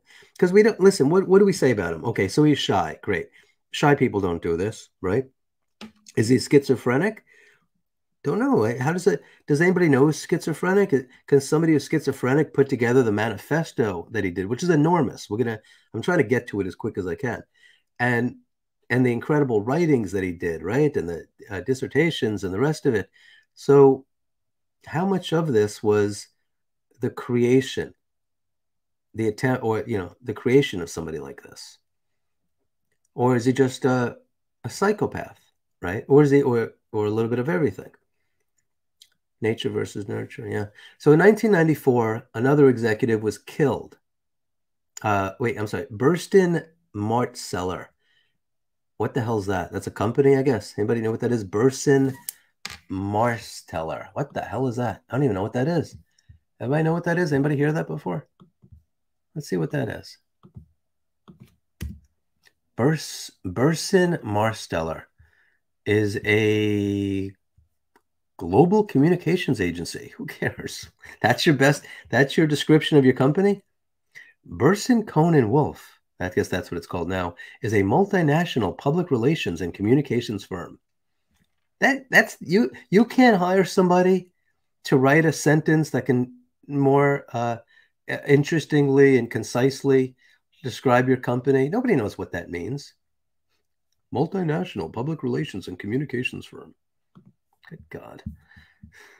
Many schizophrenics are geniuses. Yeah. Yeah, it was already antisocial. They they made him worse. Let's put it that way. Right. All right. So this guy opened. This guy was killed. Poor dude. Uh, Thomas Mosser, I think that's his name. Uh, or Moser. He was killed after opening a, a, a mail bomb sent to his home in New Jersey. And then in a letter to the New York Times, Kaczynski wrote that he had sent the bomb because of Mosser's work repairing the public image of Exxon after the Exxon Valdez Valdez or Valdez? Exxon Valdez? Oil spill. Well, I don't. Well, listen, Ted, if you're listening, I don't think he did a very good job repairing the image of Exxon after that. I think people still think Exxon sucks, but okay. I don't think so, Ted, but all right. Uh, anyway, in 1995, he murdered Gilbert Brent Murray, president of the Tim- Timber Industry Lobbying Group uh, California Forestry Association by a mail bomb. So that sucks. And then, yeah, he just kept on doing this. So there's a whole bunch. I'm going to get to his manifesto in a second, you guys. But yeah, it's it looks like um,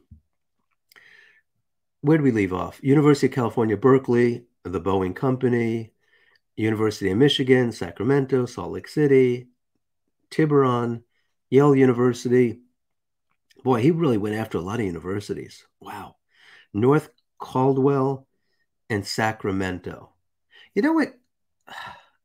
I'm not going to say this. Should I say this? I hate to say this. You know,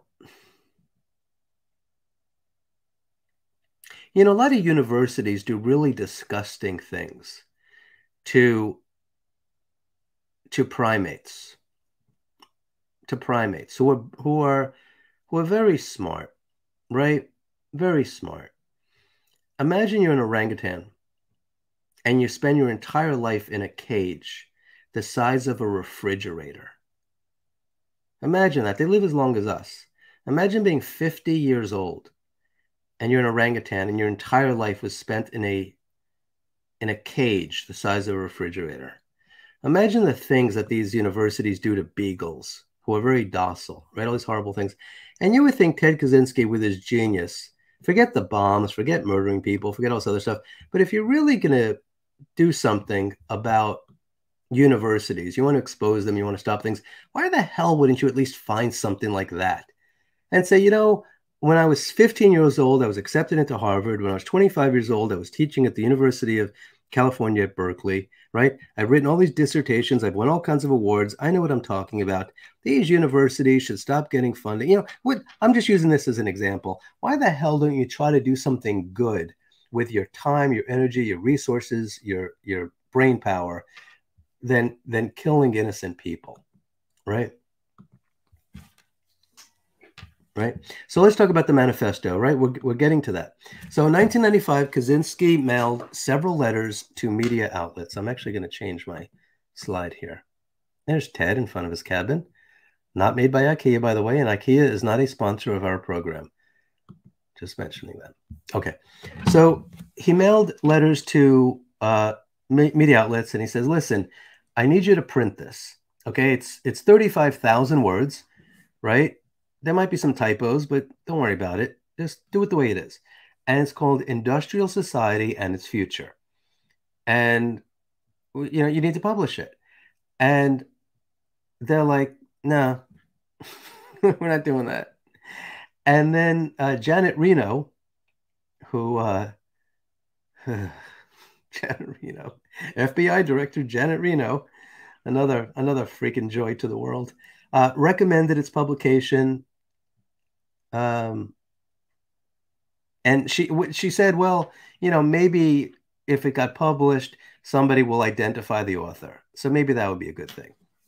So uh, a guy named Bob Guccione, I think is that his name, Guccione, Guccione. He owned a publication that, and I know that many of you, if not most of you, are very sheltered individuals.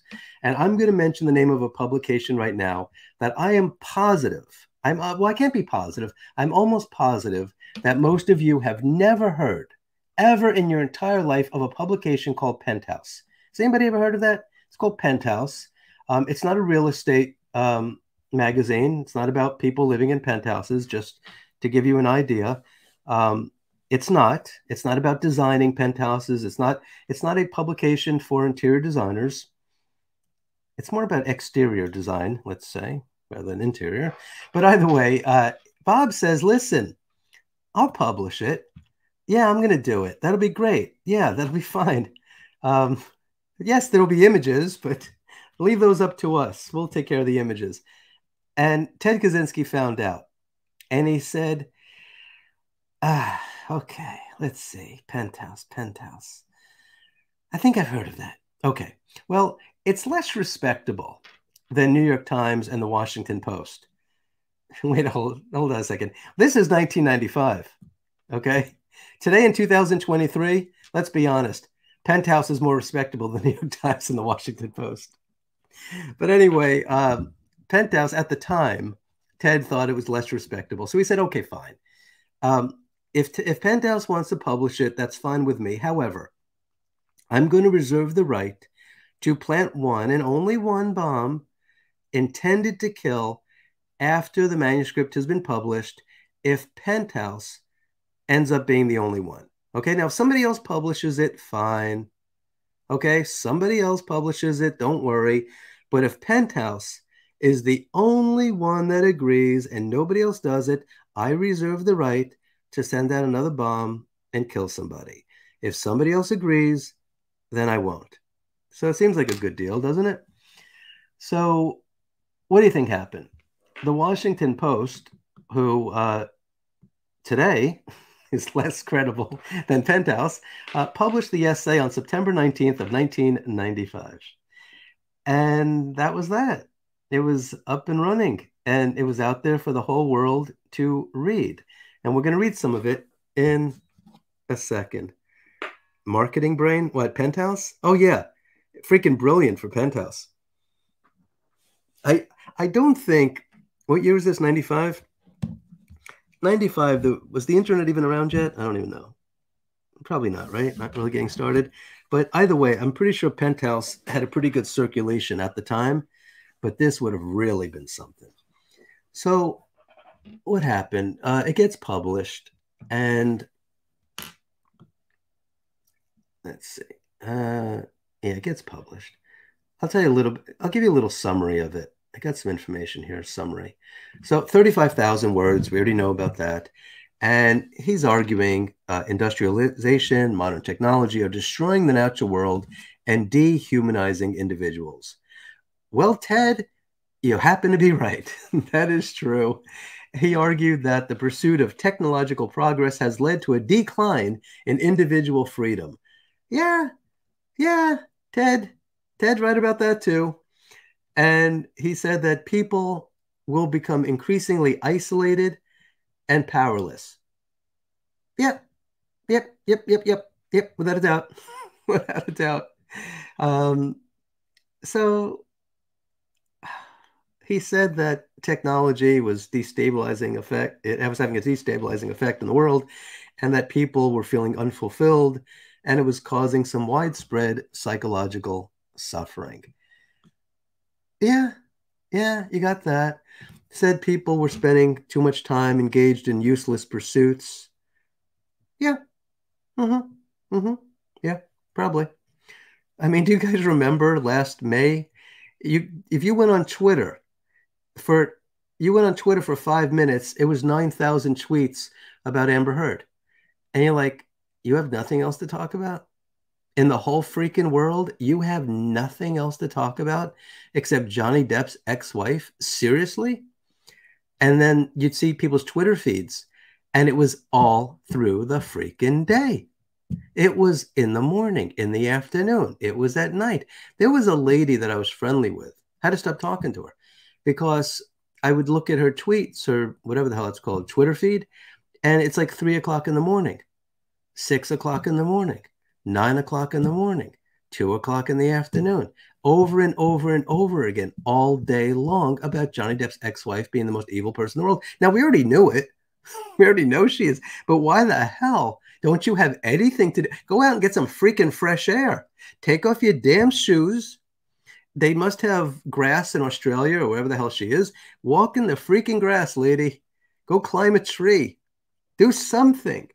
But your whole life can't be being on Twitter bitching about Johnny Depp's ex wife. There's got to be more to life. And if it wasn't for, you know, this uh, technology and Twitter, whatever, and, and, look, there's good things too. Um, not like there isn't. We all, we already know there is. Like, you know, hey, this show, right? Um, and then so there was that. And so he's just kind of like, look, there's all these things that are It was interesting. It's because it's this think tank stuff, right? And it's predicting the future. The problem is, and I haven't read it in a long time, but in life, you want to have solutions to stuff. You can't just say, well, this is a problem, this is a problem, this is a problem, this is a problem, this is a problem. You want to be able to say, well, okay, here's a problem, and here's something you can do about it, right? Have you never been mellow? uh, what's her name? The Grease chick, Olivia Newton John. I never understood that song. Have you never been mellow? Who's going to say that to a guy? What kind of man was, was Olivia Newton John appealing to at the time? And she's asking some guy that in like what, 1978, 79? When men had hair on their chests? I don't know if men have hair on their chests anymore, do they? Um, but anyway, then he started doing political type stuff, Ted. And he said that this is a quote. Uh, he defined leftists as mainly socialists, collectivists, politically correct types, feminists, gay and disability activists, animal rights activists. Hey, I take that personally, and the like. Um, he believes that over socialization and feelings of inferiority are primary drivers of leftism and derides it as, and this is a quote, one of the most widespread manifestations of the craziness of our world. Isn't that incredible? He wrote this in the 90s, right? Actually, who knows when he wrote it? It just happened to have been that's when it was published. I mean, this thing's enormous, so he'd probably been working on it for a pretty long time. Um, he adds that the type of movement he envisions must be anti leftist and refrain from collaboration with leftists, as in his view, this is a quote leftism is in the long run inconsistent. Leftism is in the long run inconsistent with wild nature, with human freedom, and with the elimination of modern technology. Now, by the way, just in case you think, well, he's, you know, MAGA, know, he also criticized conservatives he described them as, and this is a quote, fools who whine about the decay of traditional values, yet uh, da, da, da, enthusiastically support technological progress and economic growth, things that he argues have led to the decay. So he wasn't choosing one political side over the other. He's pissed off about all kinds of stuff. Uh, so anyway, the FBI gets involved. They've been involved for a long time. They called it Unabomb, as we mentioned earlier, University and Airline Bomber. And so in 1979, they put together a task force of 125 agents from the FBI, the Bureau of Alcohol, Tobacco, and Firearms, that would be the ATF, and the U.S. Postal Inspection Service. Ooh, I'm sure their contribution was uh, was stellar. Uh, but anyway, they eventually had more than 150 full-time personnel, and they started trying to analyze the recovered components of the bombs. They're trying to figure out, okay, is there any connection between the people? Do they all know the same person? You know, what's going on here? And they're just trying to figure stuff out. So in 1980, there was a psychological profile, and that the FBI did. And let's see what they came up with. They said the Unabomber had above average intelligence and connections to academia. Ooh, FBI really earning their money. That's pretty brilliant, you guys. FBI guys listening right now, let me tell you something. That's pretty good stuff there. Hold on a second. Above average intelligence and connections to academia. Whoo, that's genius stuff there. That's Ted Kaczynski level brilliance to come up with that one. But then, to show you that they didn't uh, limit their brilliance to just that one, they also came up with another profile. And they said he was a blue collar airplane mecha- blue collar airplane mechanic. Oh boy, our tax dollars at work. Hey, Brandy. Thank you very much for the time travel token, reminding me that it's 10 o'clock and I better freaking speed things up. I'm doing my best. Thank you, though. I appreciate it. Like always, what would we do without Brandy? Anybody? Anybody want to tell me? I don't know. Without the great Brandy, without the great Linda, without the great Cat Ninja, we would be spiraling down into a horrible abyss as we speak. So, the FBI, what do you guys think about either one of those? Would you say that if you were working at the FBI at the time, would you say, hmm, above average intelligence, or would you say blue collar airplane mechanic? This is this is where they're going. Right. And so you probably like half of them like, damn straight, freaking blue collar airplane mechanic. The other half like, no, above average intelligence. By the way, how insulting is that to blue collar airplane mechanics? So so a blue collar airplane mechanic is not above average intelligence. Let me tell you guys this. Okay. And, and I think you can agree with me. I hope more than anything in the world that every single blue collar airplane mechanic is above average intelligence. Please let that be the case.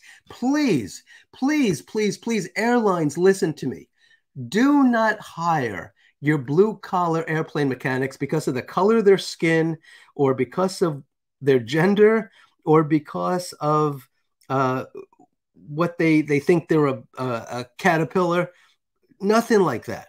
Please, for the love of God, please, please, please, please, do not hire your blue collar airplane mechanics based on some freaking checklist of things like, well, you know, we could use some more of these in our, or no, please, please, please, please, let them be above average intelligence. Okay, I don't ask for much. Please. I don't just because they're a lesbian, just because they're they were Native American, just because they have orange hair and they have a, a, a, ring through their vagina and in their nose, um, and they, they think that they're a butterfly. Give them a job somewhere else. Keep them away from the planes. Keep them away. I'm just not, not listen. I'm not being judgmental. Give them a job. Please give them a job somewhere else, please. The Unabomb Task Force set up a toll free telephone hotline to take calls relating to the investigation with a $1 million reward for anyone who could provide some information leading to his capture. So here's where things kind of get interesting. You ready, you guys? Ted Kaczynski. Remember he had a brother? You guys remember that? He had a brother? David. And his wife is like, you know, this kind of sounds like Ted. And David's like, what? And his wife's like, yeah. Kind of reminds me of Ted. I wonder if that's Ted. I think Ted's the Unabomber. And David's like, nah. Really? You think? And she's like, remember those letters he used to send to you in the 70s? And he's like, yeah, we still got them up in the attic, right? And he's like, yeah, go grab them. Because there's some things that he said in there that it looks like was said in the manifesto. And so let's see if we can compare them. And so David's like going through some papers, right? Some letters from the 70s. And he's like, uh oh, uh oh, this kind of sounds like my brother. And that's what happened. Now, here's the thing the FBI is getting a zillion leads, they're getting a zillion phone calls. People are claiming that uh, they're the Unabomber, their cousin is, their, you know, everybody's the freaking Unabomber. And it's like, how the hell are you going to get to the FBI? Because even if you know who the Unabomber is, what are you going to do? It's like um, Beatles reference number three or four. When John Lennon said he saw an, uh, a UFO over New York, and some journalist is like, "Well, why didn't you? Did you call the police?" He's like, "No. What? What am I going to do? Call the police and say, "Hi, this is John Lennon. I just saw a UFO flying over the East River." It's like they're not going to pay attention. And so, even if you know who the Unabomber is, how the hell do you call the FBI? Because it'll just get put at the bottom of a pile. And it's like, okay, another lead to follow. Because you can't say, no, no, no. No. Listen, this time we really know. We know who it is. This is the guy.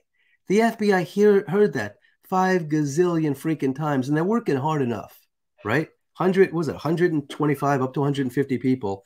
And they, it's a lot of freaking work. And they're following up on every lead, right? Or, you know, every reasonable lead. So it's like, what the hell do you do? And so David, this is what he did, which is I, it wouldn't even occur to me to do something like this, but it's pretty smart. So he hired an attorney in Washington D.C. Uh, his name was Tony Bisceglie or something like that, and he's like, "Listen, gather all this evidence together." And you contact the FBI. You're a lawyer; they'll, you know, pay more attention to you, maybe. And so he's like, "All right." And also, David was trying to stay uh, anonymous so he figured, all right, well, you know, I'll have a lawyer do it. Leave me the hell out of this nightmare. Because I don't want my brother, I don't want the Unabomber finding out anything. And and so look, they're trying to protect their name, but you can't do it. The FBI, they probably, and by the way, this is not a bad thing about the FBI. I mean, they probably just said, look, this lawyer's communicating with somebody. It could be, for all we know, it could be the Unabomber himself, right? And he's trying to pin it on somebody else.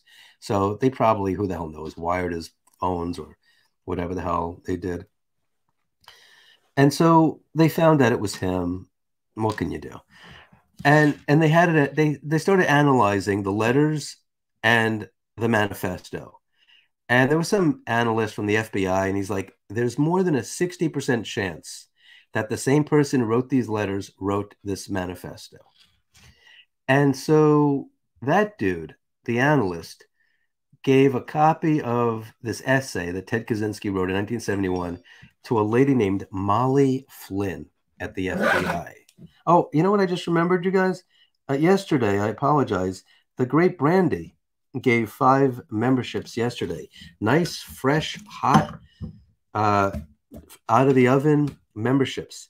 So Thank you very much, Brandy, for doing that. And I see that the great Linda and the great Brandy and the great Chris Mullen all gave memberships today to our fellow strange historians. So, for all of those who have been fortunate enough to get memberships that were gifted by the great Linda, the great Brandy, and the great Chris, you are so fortunate. You have no idea. They will last for 30 days and you will enjoy all of the wonders of being a member. Believe me, it's uh, so exciting. You'll be barely be able to contain yourself. Uh, you'll wake up every morning and you'll say, My God, I cannot believe I'm a member of the Strange History Society. This is great. I never knew the, what was missing from my life. I knew there was something out there that I needed to make me whole. I didn't know what it was, though. What could it be? Could it be emeralds and jewels and diamonds? Could it be a pearl necklace? Could it be a lifetime supply of scones? Could it be a flagon filled with a beverage of my choice? Could it be meeting a tall, handsome stranger? Could it be meeting a small, uh, pale stranger? Who knows? But then you get a membership from Linda or Brandy or Chris.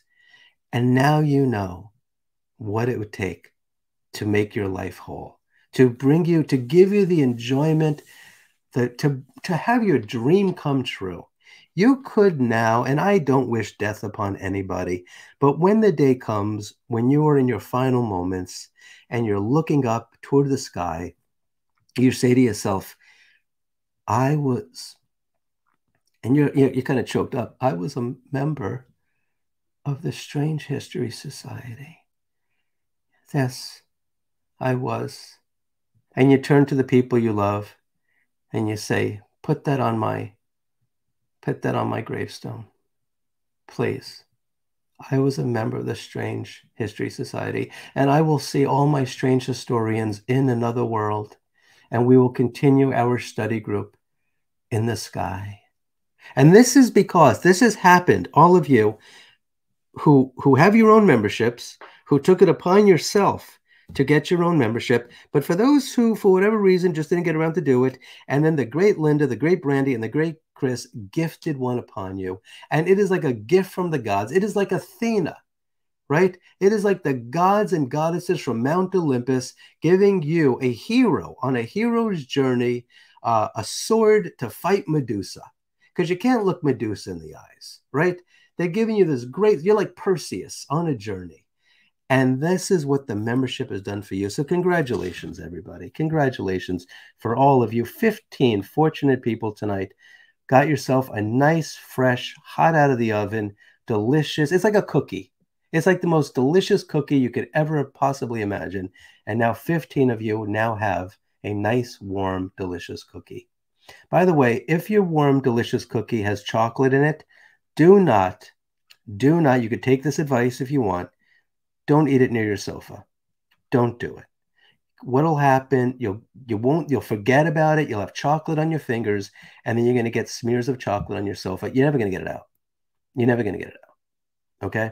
So eat your cookies, chocolate, melted, delicious chocolate chunk cookies. Eat them on the floor, standing up somewhere, nowhere near your sofa. That seem reasonable? All right, I'm going to end this um, poll. So 33% of you know a lot, and 57% know not much, and 9% of you are here for the tea and scones. So, yes, I hope you enjoyed the tea and scones. There are more. Is that my way of lasting longer, Scott? Uh, no, my way of lasting longer is actually to do mathematical problems in my mind, if you must know. Wait a minute, what are we talking about? Uh, by the way, that works. Uh, in case anybody's wondering. All right, uh, ask Ted Kaczynski. I learned it from him. Where did we leave off? Where did we leave? Oh, David. So David gives these letters to the FBI, the FBI, FBI, and essays and all kinds of other stuff. And the FBI is like, huh, pretty sure this is him.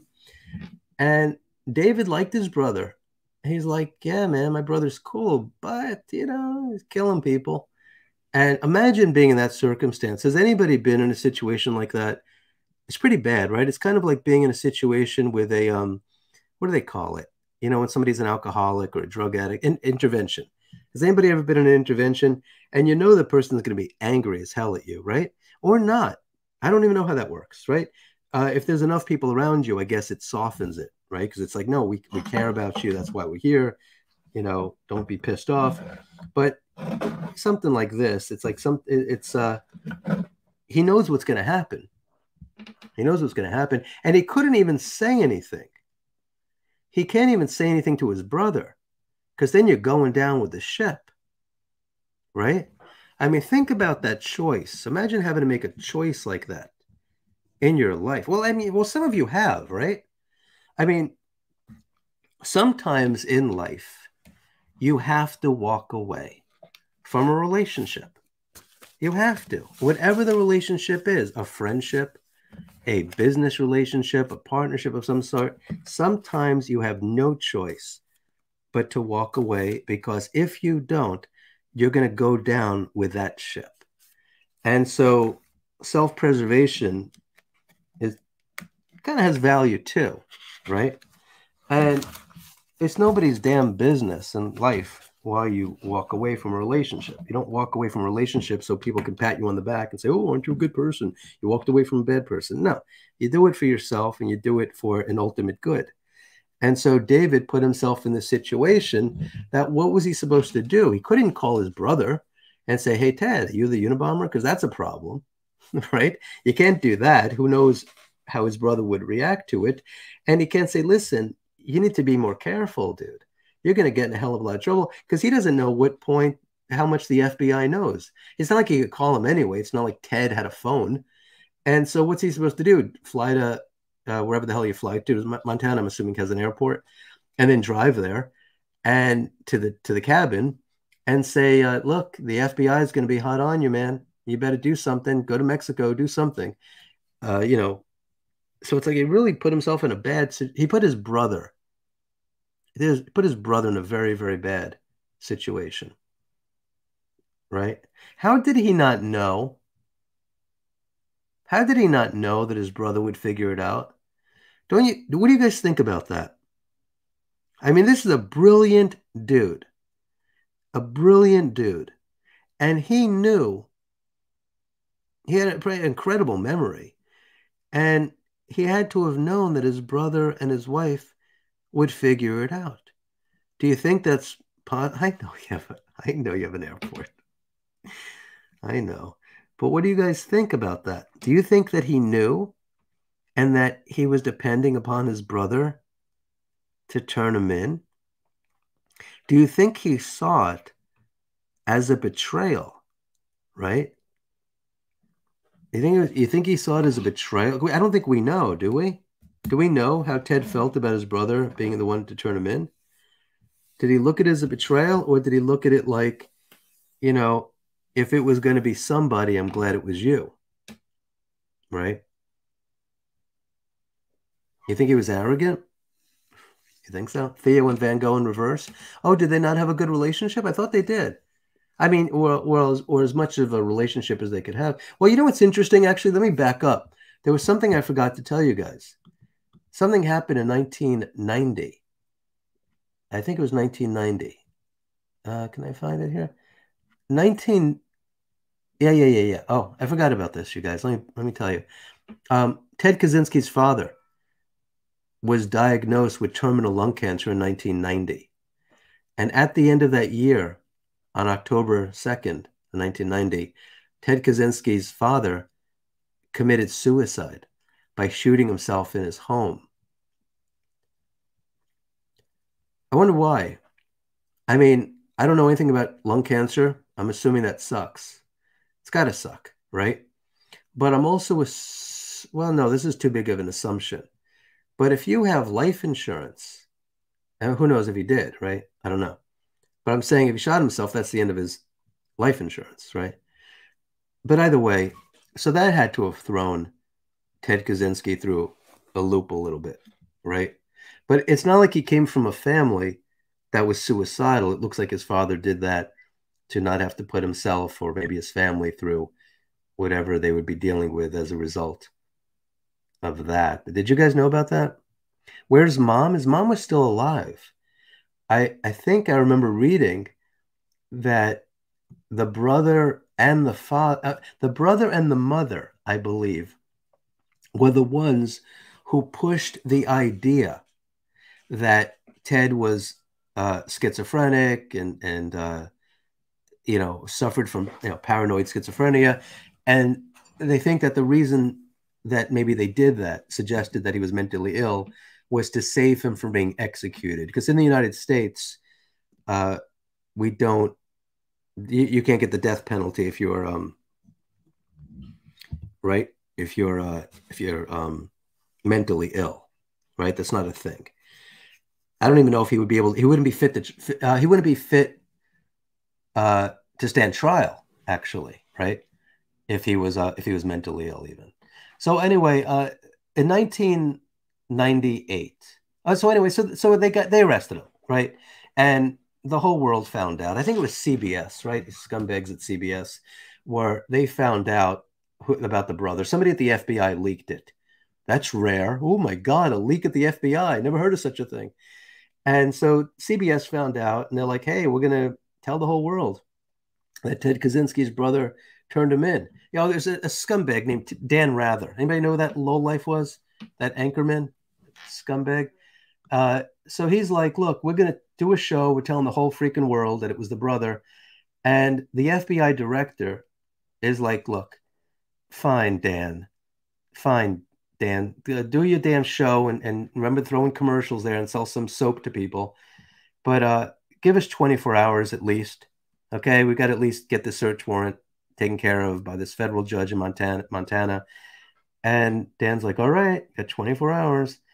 And so the FBI, they did a they did a uh, internal leak investigation. Surprise, they never found out who did it. And and so the FBI everybody found out that it was Ted's brother. That's, that's gotta suck, right? Does that have to happen? Right? I mean, how's this guy supposed to live the rest of his life? I mean, he already had to turn in his brother, right? And hero or not, right? You can look at it any way you want. But if he wanted to be anonymous, why don't you give the guy some freaking anonymity and get off his damn back, right?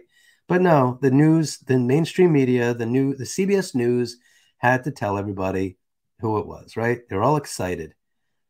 Wow, people, more people will watch our show tonight than they did yesterday. La di da.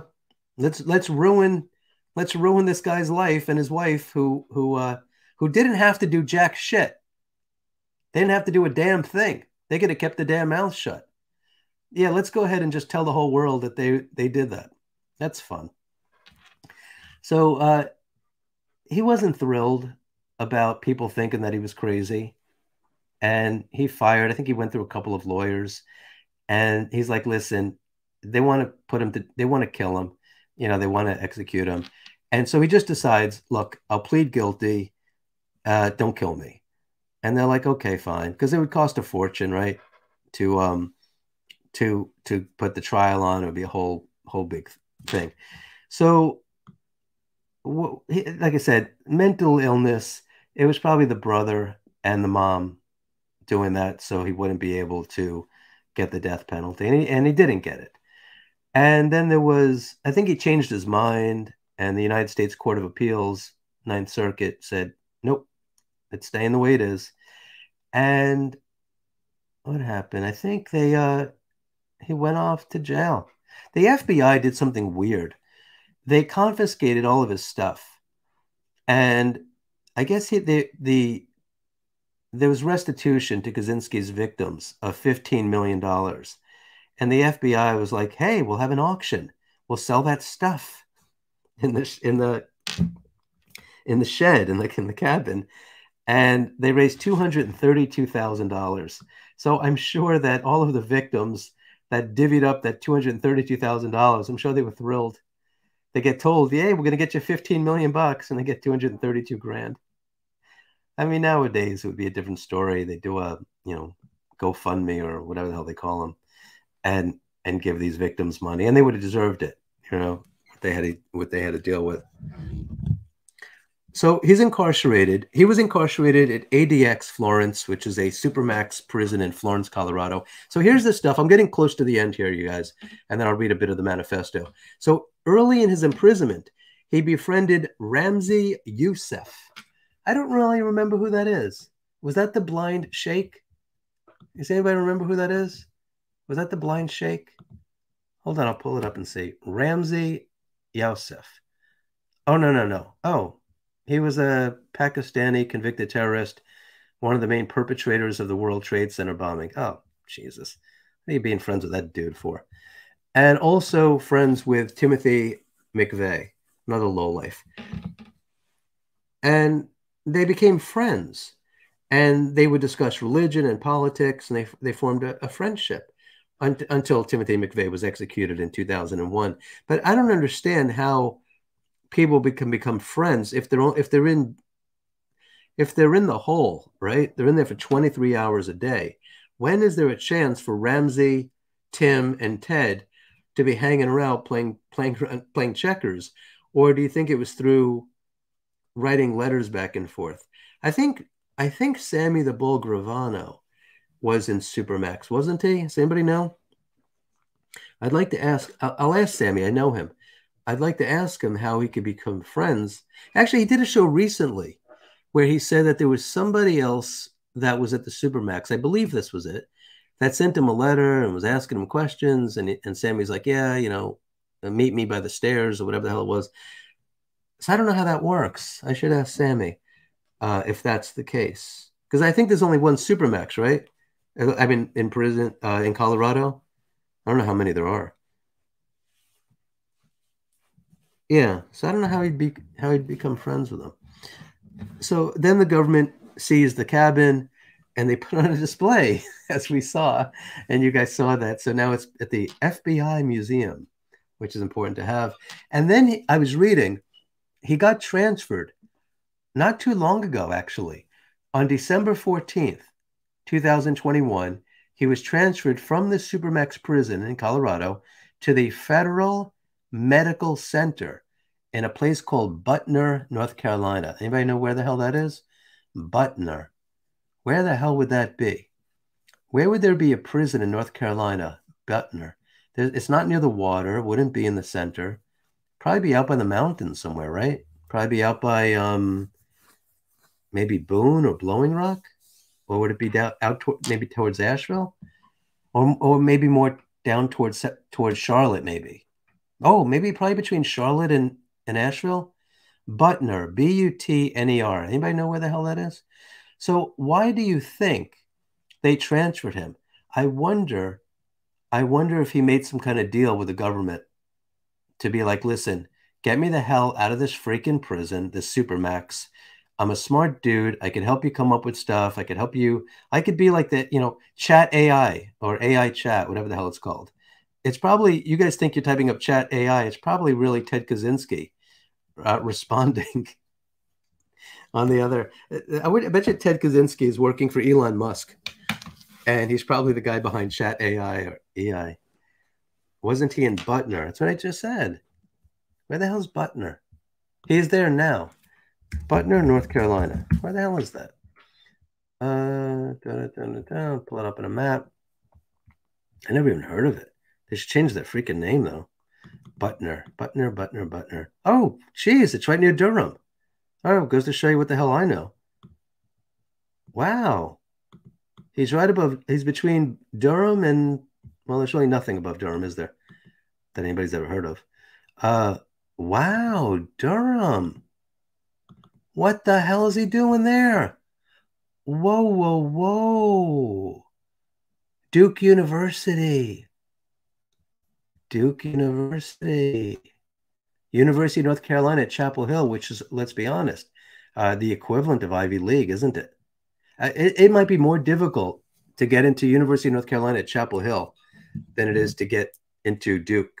I know it sounds weird, but it, it might be true. Wow. I thought it'd be like out in the mountains or something. Holy cow. What's that all about? What's he doing there? I'm going to write to him. I write to him? You know, I wrote a letter to Phil Spector, and he died just when he got the letter. I'm like, oh God, what's that all about? I had good questions for him too. All right, I'm going to write a letter to him.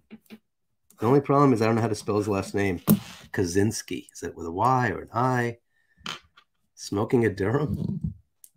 Um, anyway, let's. Uh, uh, prison staff have not disclosed the precise reason for this transfer. Well, Duke University seems to be the only prison, seems to be one of the few universities he didn't try to blow somebody up. So they're probably like, you know, and, and who the hell knows? Wow. Above Durham. Oh, it's a mental institution? Yeah, but why suddenly? Why suddenly would he have mental problems? Right? I mean, look, he's friends with Timothy McVeigh, right? And the other dude, and they're writing letters back and forth this guy's not crazy. I mean, you know, he's crazy in a different way, but he's not frothing at the mouth and and thinking he's a duck. I don't think. Used to think he was a woman though, or wanted to be. So let me see what I got here. I think I have his manifesto, don't I? Yeah. I'm supposed to end the stream in like one minute. What do I do about this? Why don't I read a little bit of his? Why don't I read? I, I think I think that a lot of people would enjoy listening it to it being read. And like I said, there's not that many people that did that, but it's freaking long. It's um let's see, it's 84 pages from what I have right now. And it's how many paragraphs? Good God, it's a lot. Couldn't shut this guy up. 232 paragraphs. I could read a little bit of it, not much. Let's just get a flavor, shall we? Let's just get a little bit. And then what I can do is maybe I can, um, you know, read it in bits and pieces, like part one, part two, part three. I'll break it up into like maybe 10 each. And then what I'll do is I'll make it available for members only for a little while. And then I will make it available to everybody else. But that might be a thing. Yeah, do a whole stream of the manifesto. My quickies are never that quick. Um, I know a few people that might disagree with that, that brandy check. Anyway, let's go on. Editor's note. This is the text of a 35,000 word manifesto as submitted to the Washington Post and the New York Times by the serial mail bomber called the Unabomber. Oh, so they're not calling him a serial killer. That's interesting. That's interesting. The whoever wrote this, which I'm assuming, oh, this is from the Washington Post. So some genius at the Washington Post seemed to have gotten something right. They didn't call him a serial killer. They called him a serial mail bomber. The manifesto appeared in the Washington Post as an eight page supplement that was not part of the news section. This document contains corrections that appeared in the Friday, September 22, 1995 editions of Washington Post. The text was sent in June 1995 to the New York Times and the Washington Post by the person who calls himself FC. Identified by the FBI as the Unabomber, whom authorities have implicated in three murders and 16 bombings. The author threatened to send a bomb to an unspecified destination with intent to kill unless one of the newspapers published this manuscript. The Attorney General and the Director of the FBI recommended publication. You know what's interesting, you guys? I don't want to sit here all day long and beat up on the New York Times and the Washington Post, even though they deserve it. But let's let's beat up on them a little bit. If the Unabomber was around today, doing his thing, and the manifesto was out there, I bet you anything, because the newspapers in the United States are such garbage now, such propaganda trash, that I wouldn't be surprised if this was today, if he actually sent it off to people with YouTube channels. Don't you think? I mean, I would send it off. Imagine sending it off to Joe Rogan, right? If, if you had a choice, if you were the Unabomber or whatever it is, and you said to yourself, I could send this to the Washington Post, I could send it to the New York Times, or I could send it to Joe Rogan, I could send it to Timothy McVeigh, I could send it off to Scott Adams, right? I'm just saying. Uh, because you could say to yourself, well, who knows what the hell they'll do to it? They'll edit it. They'll do all kinds of crazy stuff. They'll take stuff out, and, and you know, and then he'll go around killing people because it's like, hey, I didn't tell you to take that sentence out. I want it like that. And by the way, well, you know what? Even better, forget scratch some of that. Who the hell's even reading that anymore? That crap. More people. Oh, Tim Pool. More people listen to Tim Pool and Joe Rogan and and uh, Scott Adams, not really, right? I don't know, a little bit. And um, Russell Brand, more people are listening to them on a daily basis than are reading these freaking newspapers, right? And so it just goes to show you, right, how much the world has changed. That the way to reach people now, and not to mention, you know, this is interesting, right? Because this is a guy who hates technology and all this other crap. And meanwhile, Meanwhile, had he done something like now, granted, what the hell would Joe Rogan have done with it? He's going to sit here and read it? Maybe. Right? It's kind of a weird position to put him in. Hey, Joe Rogan, read this or I'm going to kill somebody. But at the same time, at least it would exist forever. Right? Steve Crowder. Yeah. I don't really watch him. I, I kind of know a little bit about that dude. I know he's popular, but I don't really know much about him. I try to watch his show. I don't really. I, you know what I feel like? I try to watch them a few times. I'm like, oh, this guy must be popular. I feel like I've mentioned this before.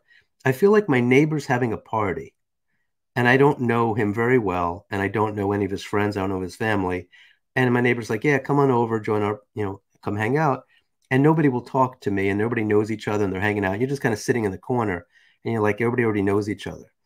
And when I try to watch that Crowder guy, and it's like they have these inside jokes and they laugh nonstop. And I'm like, I don't know who any of you are. I don't know what the hell you're laughing about. I don't know your inside joke. Can you at least introduce yourself? Can you at least do something? And it's like it just seems like a very badly produced show. I hate to say it because I know the guy's popular. I just feel like it's a very badly produced show. Tim Pool's the exact opposite. Tim Pool's like, uh, hey, uh, that's Ian, and that's uh, whoever, and that's this person, that's that person, and and here's what the show is going to be about, and here's what we're going to talk about, and it's like very well put together, right? And Joe and you know Joe Rogan's just you know everybody. I, I didn't even know who the hell he was either until I'm the only guy on earth who knows only that he's a podcast guy. I know he did other things, but I couldn't tell you what the hell any of those other things were.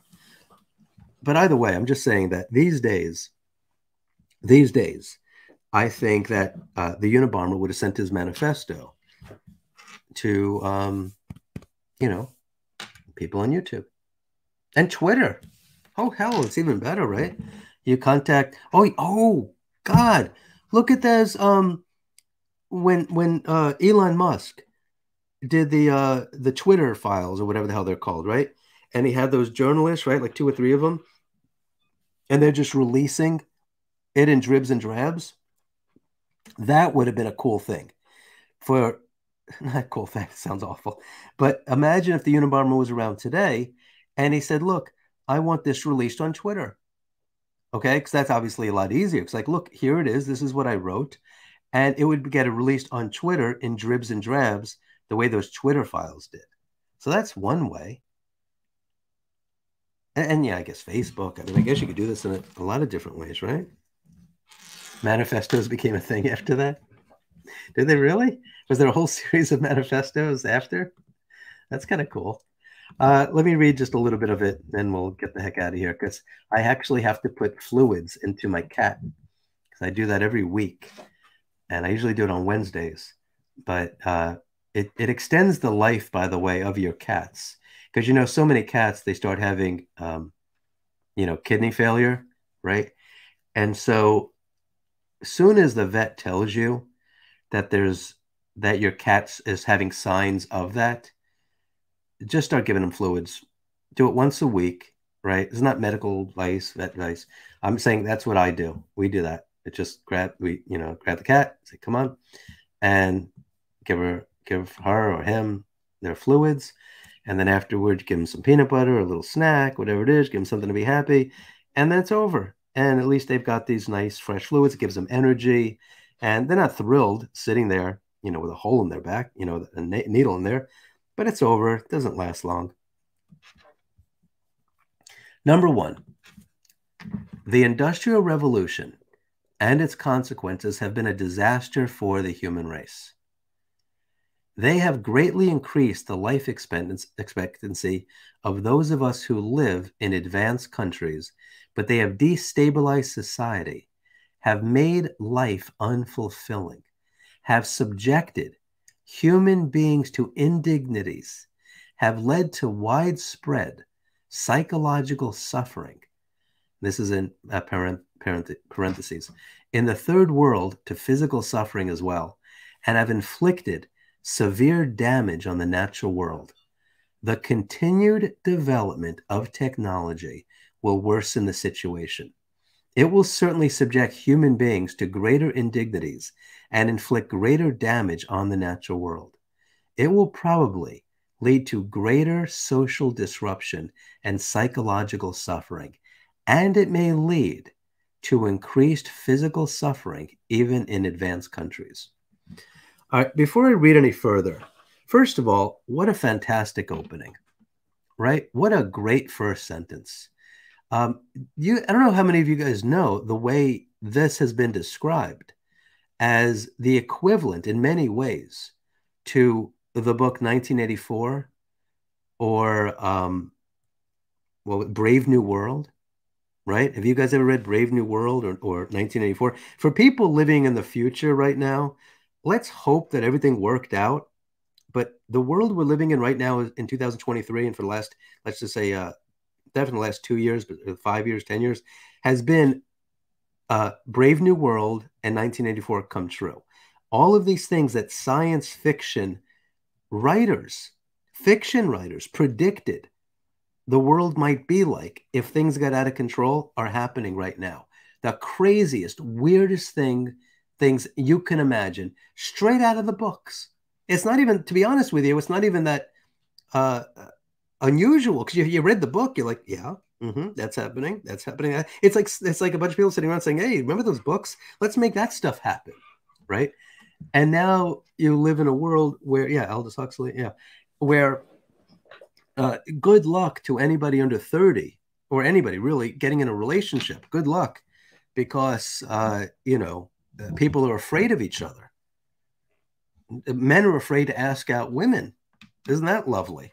And and let me tell you something. Once upon a time, one of the reasons why, you know, one of the many reasons you'd want to be in a relationship is something called sex. People in the future might not know what sex is anymore, but now there's still some people that have it and uh, porn is available. And I was reading about you know these incredible sex dolls and sex robots and how they'll talk to you. You know, like, "Hi, Jim, how are you? How was your day?" And and you'll be getting all this attention from this AI sex robot. And it's like, why the hell would you ask out a, you know, somebody who's gonna, who knows, throw a toaster at you, where you could be in a relationship with this uh, sex robot? And so it's just interesting to see the types of stuff that he was writing about. Number two, the industrial technological system may survive or it may break down. If it survives, it may eventually achieve a low level of physical and psychological suffering, but only after passing through a long and very painful period of adjustment and only at the cost of permanently reducing human beings and many other living organisms organisms yeah to engineered products and more cogs in the social machine. Furthermore if the system survives the consequences will be inevitable there is no way of reforming or modifying the system so as to prevent it from depriving people of dignity and autonomy out number three is a short one. If the system breaks down, the consequences will still be very painful. But the bigger the system grows, the more disastrous the results of its breakdown will be. So, if it is to break down, it had best break down sooner rather than later. Number four, we therefore advocate a revolution against the industrial system. This revolution may or may not make use of violence. It may be sudden or it may be a relatively gradual process spanning a few decades. We can't predict any of that. But we do outline in a very general way the measures that those who hate the industrial system should take in order to prepare the way for a revolution against that form of society. This is not to be a political revolution. Its object will be to overthrow not governments, but the economic and technological basis of the present society. Um, who's got kids? How often do you let your kids get on the phone and play video games and stuff like that? It's been a long time, right? That people have just let their let their kids' computer or phone, just like TV before that, to be the babysitter, right? And I forgot who was here, who was Amish. Who was our lovely Amish friend, right? once you're Amish, are you Amish forever, or are you just like I was Amish and I'm no longer Amish? How does the Amish thing work? I don't know how the Amish thing works. And does does being Amish work?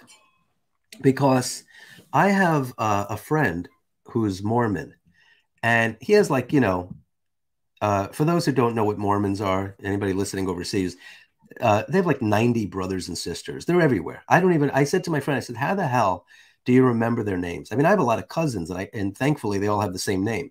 We're all about the same age, we all have the same name, which is weird. Not a very creative family. Everybody's got the same damn freaking name.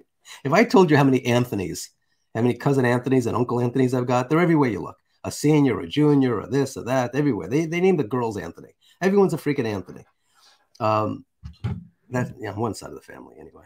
But uh, you got, but the Mormons, I don't know. This guy is pretty happy family. Just saying. I mean, who the hell knows what goes on behind the closed doors? But I'm just saying pretty happy dude. Every time I talk to him, he's traveling. He's meeting his family here. There's a wedding. There's a funeral. They're in Europe. They're traveling around, and there's a great affection, right? And they're not spending all this time on the freaking computer, right? I mean, they're still getting to know each other, and they're still physical and hugging and whatever the hell it is. You know, people. Some people still do. So, yeah, they get shunned if they leave. Is that it? You're Amish forever. Once you're Amish it's like being a jet. Once you're a jet, you're a jet all the way. Once you're a jet, how's that song go? I should know this. West Side Story. I don't think they really do the multiple wives thing, Jonathan. I don't. I mean, I think I don't know if they do. I don't think it's a thing. Is it? I don't think you can't really anymore. I think it was like hundred years ago. I could be wrong. Who the hell knows? Uh, I don't know but it sounds like a good deal to me, to be honest with you. Uh, you were born and raised Mormon. You're not active anymore, but the families are close. I think he's Mormon. What's the Utah? The Utah crowd. Yeah, the Mormons. Okay. Uh, number five. In this article, we give attention to only some of the negative developments that have grown out of the. You know what? This is the introduction. Let's just move forward. Let's get to some good stuff. Number six, the psychology of modern leftism. This so this was written at, at least in 95, but prior to that. Let me tell you something. As a guy who writes books, this took a while. It's smart or not, this took a lot. This took a while. He probably was working on this on and off for 10 years, maybe longer. Almost everyone will agree that we live in a deeply troubled society. One of the most widespread manifestations of the craziness of our world is leftism. So, a discussion of the psychology of leftism can serve as an introduction to the discussion of the problems of modern society in general. Number seven, but what is leftism? During the first half of the 20th century, leftism could have been practically identified with socialism. Today, the movement is fragmented and it is not clear who can properly, properly be called a leftist. When we speak of leftists in this article, we have in mind mainly socialists, collectivists, politically correct types, feminists, gay, and disability and disability activists, animal rights activists. Hey, watch it, Ted, and the like. I'm just kidding. Disability activists? I don't even know where that fits in. Uh, are people really a problem that say, you know, there really should be a ramp going into that building instead of some stairs? I mean, I don't know. What is a disability activist? You know, hey, you know, I know you want to put in a spiral staircase, but can you put in an elevator too? I mean, why is that a problem? Uh, but not everyone who is associated with one of these movements is a leftist. Okay, that's true. What we are trying to get at in discussing leftism is not so much movement or an ideology as a psychological type, or rather a collection of related types. Thus, what we mean by leftism will emerge more clearly in the course of our discussion of leftist psychology. Wow, I almost want to jump right to that. he actually says where it is. It's paragraphs 227 to 230. Let's read a little bit more, and if it looks boring, we'll just jump to that and see what that has to say. Because why wouldn't he continue? All right. Well, and actually, it does. Eight, you'd love a spiral staircase? Everybody would love a spiral staircase, Susan. Everybody. The problem with spiral staircases is you have to be very careful where you put them because you could lead it up to your loft. Okay, great. So you have a loft. And the main reason it's good for a loft is if you're going to be able to put furniture up there, at least you could find another way to get the furniture up there because there isn't, when you have a spiral staircase, you, you're limited on what you could bring up, right? You're not bringing up your your grandmother's I, um, Singer sewing machine built into the you know the antique table. It'll take you forever, and you're banging it into the staircase on the left and the right, and uh, nightmare. So, how much can you really carry up a spiral staircase? So, it seems like a loft is the best way to go. Does anybody have a spiral staircase? And if you have a spiral staircase, where does it lead and how can you you're not getting a mattress up there. That's not happening. You have to be slim to use a spiral staircase? Yeah that depends on the spiral staircase but yeah that's all right. Uh, number eight even so our conception of leftism will remain a good deal less clear than we would wish but there doesn't seem to be any remedy for this all we are trying to do here is indicate in a rough and approximate way the two psychological tendencies that we believe are the main driving force of modern leftism. This is pretty interesting because, like I said, when did he write this? Because, uh, you know, if he knows what's going on in the world right now, he must be going out of his mind. Uh, so, anyway, let's see. Um, we by no means claim to be telling the whole truth about leftist psychology. Also, our discussion is meant to apply to modern leftism only. We leave open the question of the extent to which our discussion could be applied to the leftists of the 19th and earlier, early 20th centuries. Number nine, the two psychological tendencies that underlie modern leftism we call, and this is uh, these are in quotes here, feelings of inferiority, and and this is another quote, over socialization. Feelings of inferiority are characteristic of modern leftism as a whole, while over socialization is characteristic only of a certain segment of modern leftism. But this segment is highly influential. What do you guys think what you, what's your definition of over over socialization? What do you guys think that means? An IKEA futon. An IKEA futon, yes, John. Thank you. Uh, John is correct. An IKEA futon could probably make its way up a spiral staircase, if that is what you're referring to. I want to know what the hell he means by over socialization. I know what it means, but let's see if we can get a proper definition. A focus on innate behavior at the expense of learning is termed under socialization, while attributing behavior to learning when it is the result of evolution is termed over socialization. So, what's an example? Uh, for example, we're not supposed to hate anyone, yet almost everyone hates somebody at some time or other. Well, yeah. Whether he admits it to himself or not. Okay, caught me. Some people are so highly socialized that the attempt to think, feel, and act morally imposes a severe burden on them. Huh.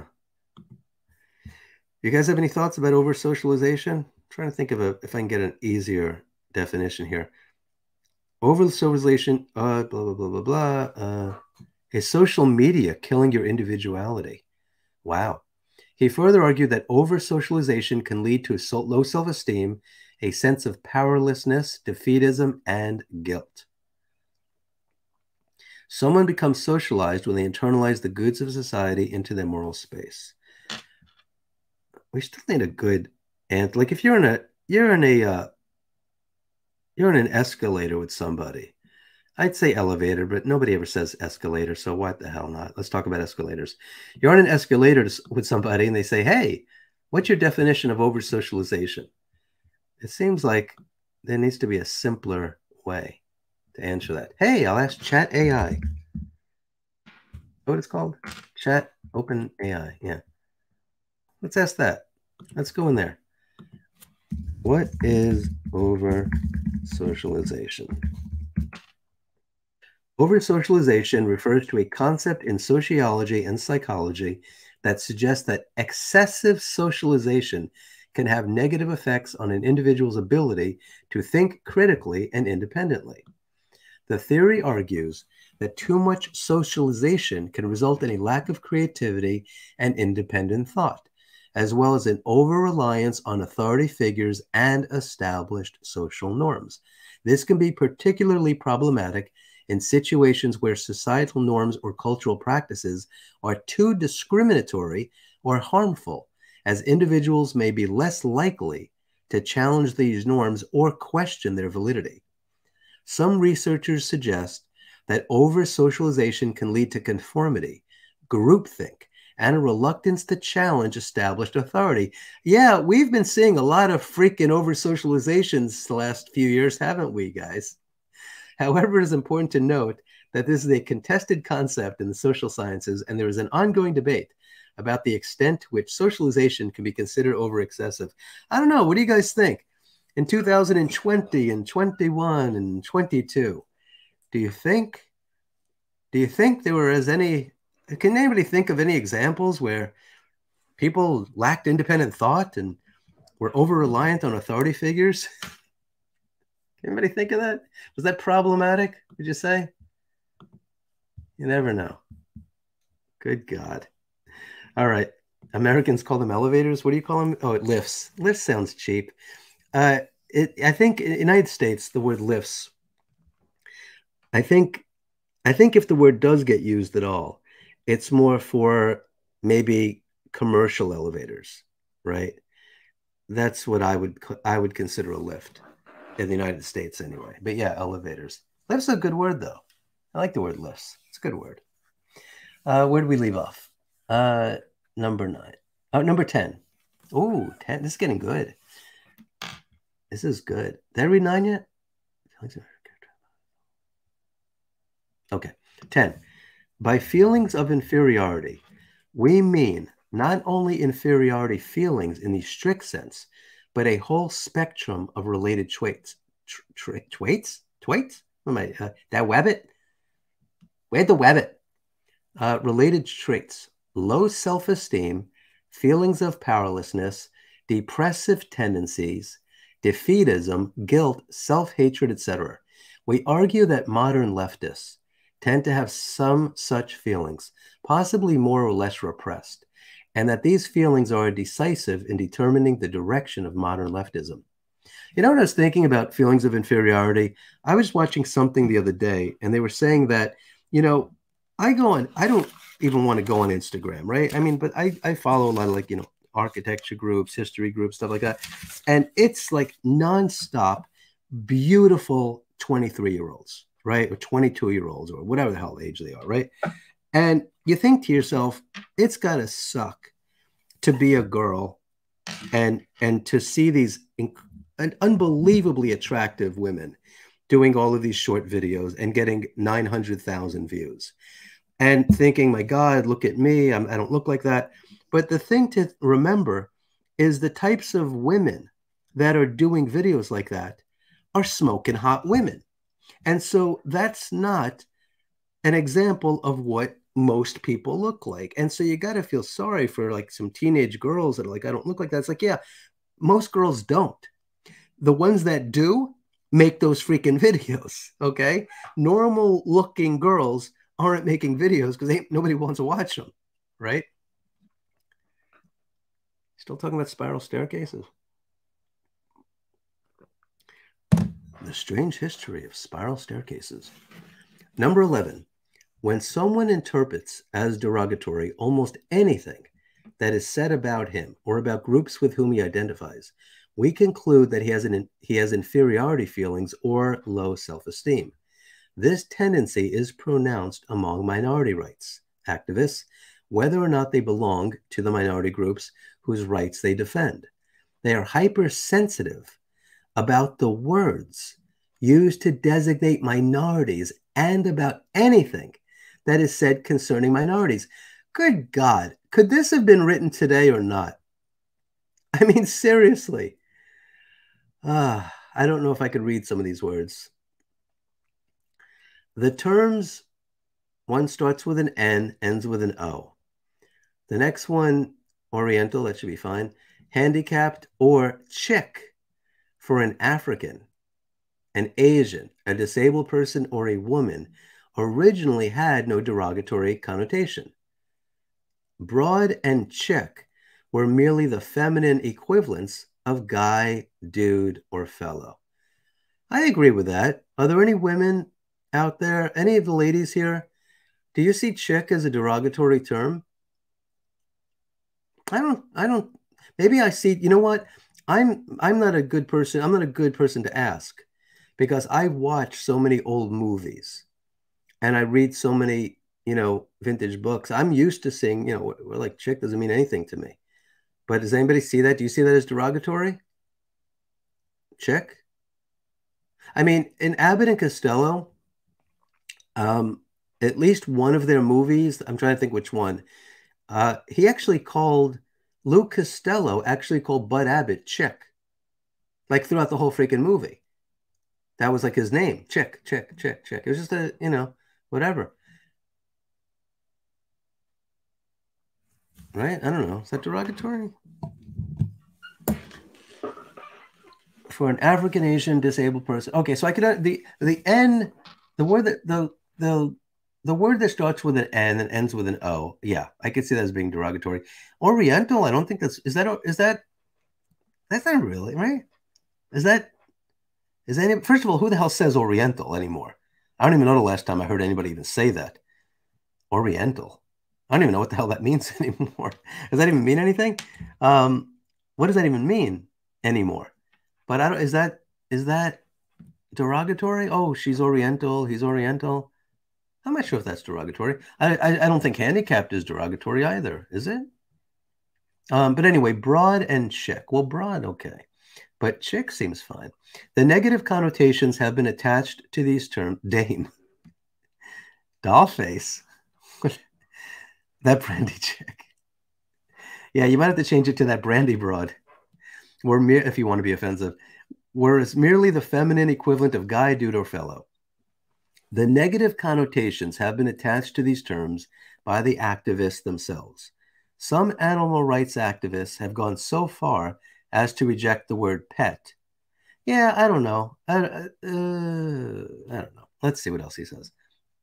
Um, and insist on its replacement by animal companion. I don't say animal companion because humans are animals.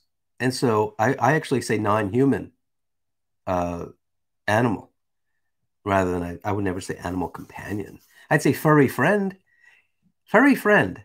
That's I think in the Strange History Society, I think we could all agree that furry friend is the best terminology for our furry friends. Wouldn't you agree? I mean, why call them a pet? Why call them an animal companion when we can say furry friend? They're furry, right? It's not like they're not. They are furry, and they are our friends. They are our furry friends. Let, I'm going to write to him.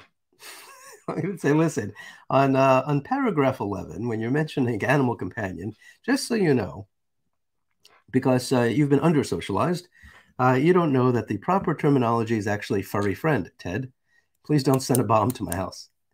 Uh, leftish, left, leftish anthropologists go to great lengths to avoid saying anything about primitive peoples that could conceivably be interpreted as negative. They want to replace the word primitive by non literate. They seem almost paranoid about anything that might suggest that any primitive culture is inferior to our own. And then in parentheses, he writes We do not mean to imply that primitive cultures are inferior to ours. We merely point out the hypersensitivity of leftish anthropologists. Um, it's interesting. Did you guys notice? You notice that he he uses the word we and ours. Did you guys notice that? It's just him. It's just him. But he's using the words we and ours to throw investigators off the scent that it's one person. Does that sound like uh, somebody who's schizophrenic to you? Does that sound like somebody who's crazy? Does that sound like somebody like that? I don't think so. Number 12. Those who are most sensitive about politically correct terminology are not the average black ghetto dweller, Asian immigrant, abused woman, or disabled persons, but a minority of activists, many of whom do not even belong to any oppressed group, but come from privileged strata of society. you guys have to watch uh, uh, Jordan Peterson's latest video. He just, well, I don't know what today's date is, but I think it came out today. But he's so right. He's talking about this. It's kind of like in the United States, for those who aren't Americans, there's always like some, a bunch of 25 year old rich white women that are bitching about the names of uh, football uh, teams that I guess are named after Native Americans or something. It's like you can't say that. That's that's offensive to Native Americans. And then they ask Native Americans, they're like, ah, what, what, what do we care? What? They're called the Warriors? No. Why? What's wrong with that? They're called the Seminoles? No, that's cool. No, it's offensive. No, it's not. Yes, it is. You should be offended. I'm not offended. Well, I'll be offended for you then. Don't don't, don't be. I'm offended on your behalf. Don't, don't be offended on my behalf. We don't care. Too damn bad. It's offensive. this is the crazy shit we're dealing with these days. I'm speaking to people in the future. God, I hope it works out for you. I hope it works out. But yeah, a bunch of 24 year old grad students driving around in their BMWs that their dad bought them, being offended on everybody else's behalf. Ah, God. This is so funny. All right, let's read this. This is great. We should just keep doing this show. Every night we should read from the you know, it wasn't uh Redskins. What was that? Let's call them the commanders. The only people that didn't get upset is uh FSU, right? Florida State University. They're the Seminoles. And I guess people bitch and they're like, screw you. With the damn Seminoles. Leave us the hell alone. Uh, da, da, da, da, da, da, da. Okay. Uh, okay. This is great. A minority of activists, many of whom do not even belong to any oppressed group, but come from privileged strata of society. Political correctness has its stronghold among university professors. Wow. Yeah. Who have secure employment with comfortable salaries, and the majority of whom are heterosexual white males from middle to upper middle class families. That's true. It's true. I went to a play once. It was like a friend of mine's a playwright, a very good playwright. And he said, "Look, there's this guy that I know and he's he's putting on a reading. You know, you know what a reading is? Before you you write a play, and then you get these actors together, and there's different types of readings. They can sit around the table, or they can just kind of like rough, you know, uh, they start memorizing their dialogue, or they could walk around with their scripts, and Eh, you know, it's just to kind of get an idea of what works, what doesn't work. And so my friend says, listen, I can't go. Uh, I'm busy that night. Can you do me a favor? Just go on my behalf, right? And, uh, you know, just tell him you're a friend of mine and you're there. So I said, I don't feel like it. But he's like, yeah, please, can you do it? I promised him I could go and I, I can't go. So I said, fine. So I went to it and it was exactly what Ted Kaczynski here said. It was a, this guy was a heterosexual white male rich dude, probably in his 60s. And he wrote a play, and it was all black characters. This freaking dick thought that he could write a whole play about with you know the men, the women, the old, young. He's writing dialogue for entire black people, and it's all about how they're all pissed off about stuff, right?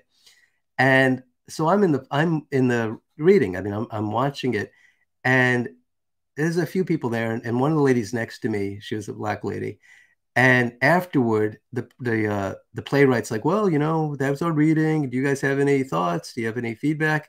And she went off on him like you wouldn't freaking believe. She said, "You, sir, you've been watching too many episodes of Good Times." Nobody talks like this. She goes, What the hell are you writing this for? Why don't you write about something that you know? Black people don't talk like this. And then she starts saying to the cast, How the hell do you agree to even be in a play like this? Nobody talks like this. We don't talk like this. What the hell is this? This is like an episode of Good Times. She went off on him, and I'm just sitting there watching. And he didn't know what the hell to say. He didn't know what the hell to say. but seriously, stay in your freaking lane, dude. Writing a play. This is how black people talk. I mean, come on.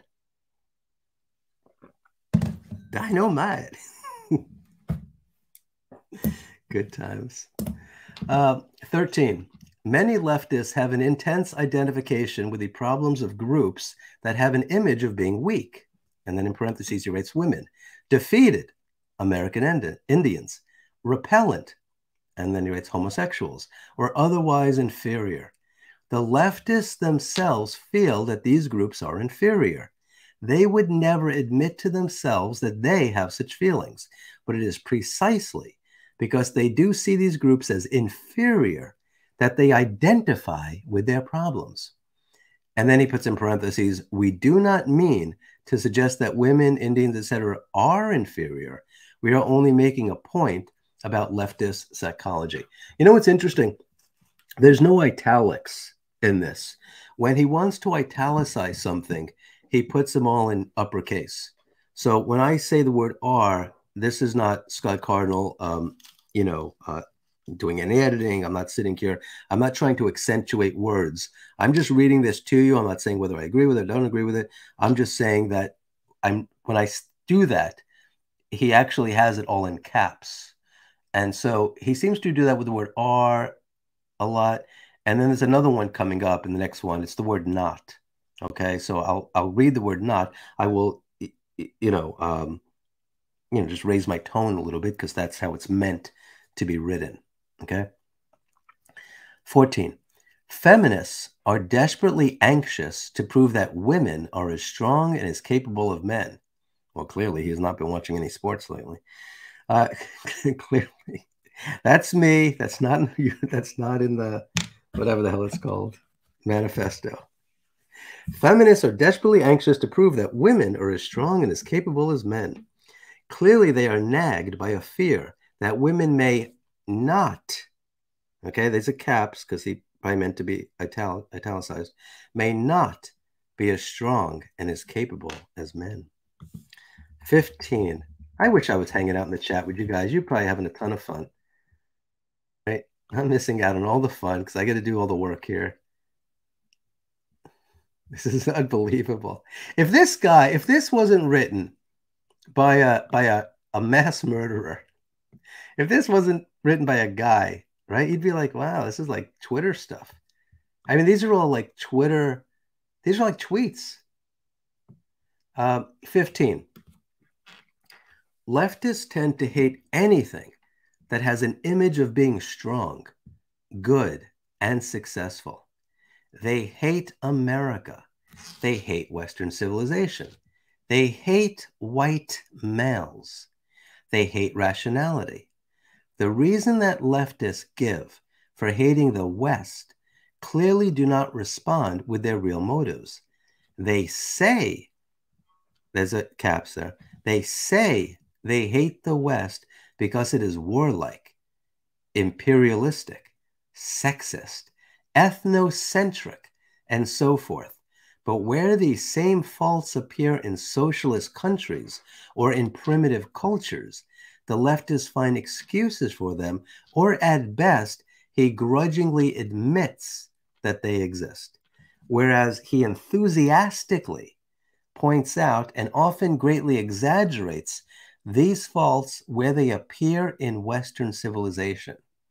Thus, it is clear that these faults are not the leftist real motive for hating America and the West.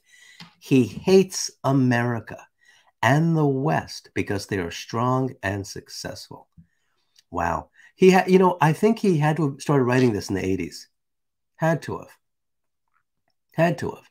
This is an enormous amount of work to write this. I'm only on number 15, and there's like what 232 of these.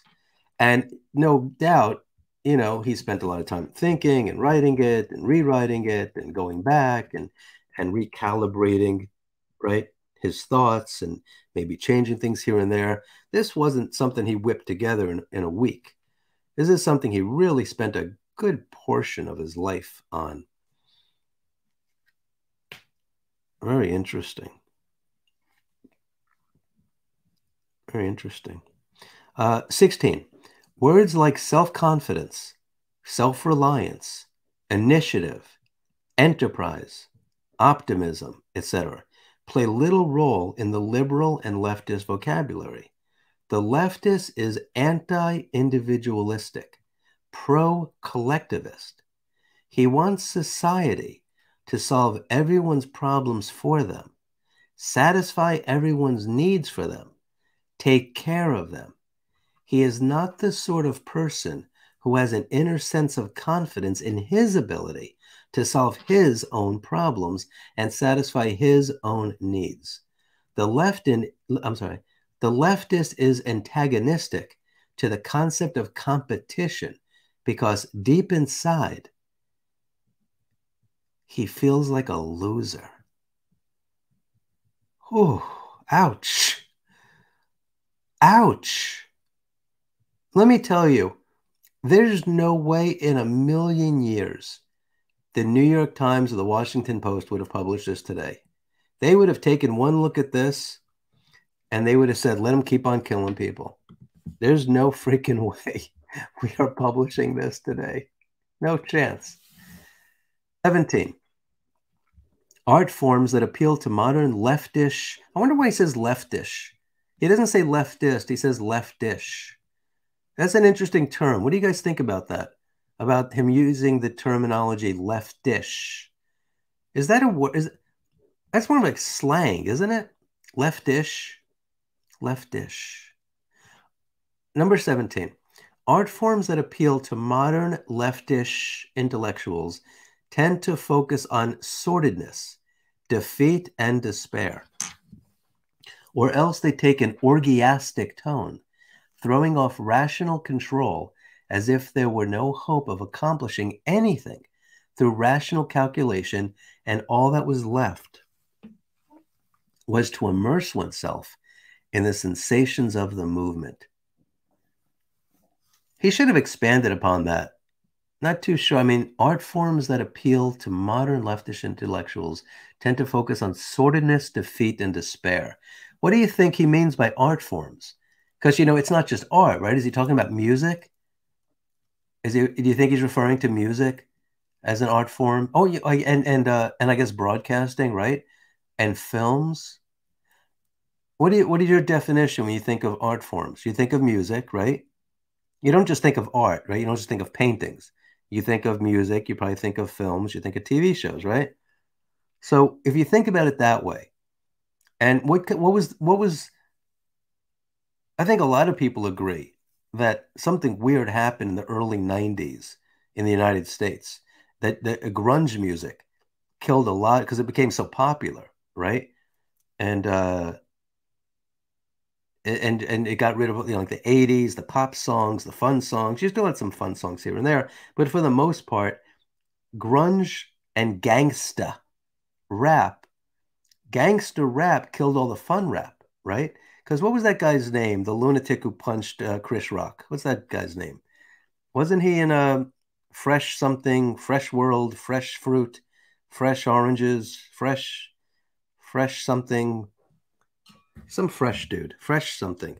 But but yeah, hip hop, right? There was like there was fun hip hop. What was that that big rap song that um Rapper's Delight, which was in the late 70s, I think, right? Rapper's Delight. And so that was fun. And then the 80s you had stuff. And then the early 90s but then I, I think the gangster rap i think drowned out a lot of the other stuff. Yeah? I mean i don't know. Fresh prince that's it. Yeah will smith. Yeah wasn't will smith like a fun rapper at one point right? He was just kind of doing some fun stuff. Yeah jazzy jeff yeah. So you had that kind of thing. But then there was that. And then you had grunge and it just killed a lot of the pop music so i wonder if that's what he's he does. Maybe there's more coming up, but I guess that might be what he's referring to. Yeah. Sugar Hill Gang. Thank you, Patricia. Sugar Hill Gang. That was a fun song. Rapper's Delight. you, you have the 12 inch vinyl of Rapper's Delight? Do you really? That's funny. Oh my God. Rapper's Delight. Number 18. For those who are just joining, this isn't Scott Cardinal talking. This isn't, this is the Unabomber's manifesto. We went through his life. We talked about what happened to this guy, really got tormented. Um, I, I wonder if a lot of this is also because of the way that professors mistreated him, right?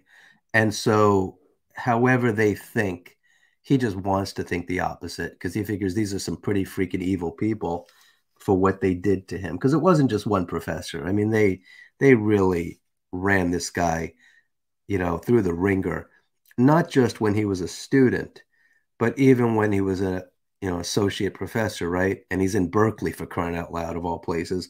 And so you can imagine the types of professors that he was with, and he probably just really hated them.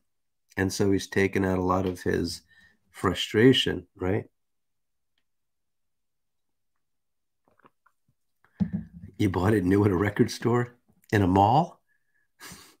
What's a record store? That's funny. 18. Modern leftish philosophers tend to dismiss reason, science, objective reality, and to insist that everything is culturally relative. It is true that one can ask serious questions about the foundations of scientific knowledge and about how, if at all, the concept of objective reality can be defined. But it is obvious that modern leftish philosophers are not simply cool headed logicians systematically analyzing the foundations of knowledge. They are deeply involved emotionally in their attack on truth and reality. They attack these concepts because of their own psychological needs. For one thing, their attack is an outlet for hostility. And to the extent that it is successful, it satisfies the drive for power. More importantly,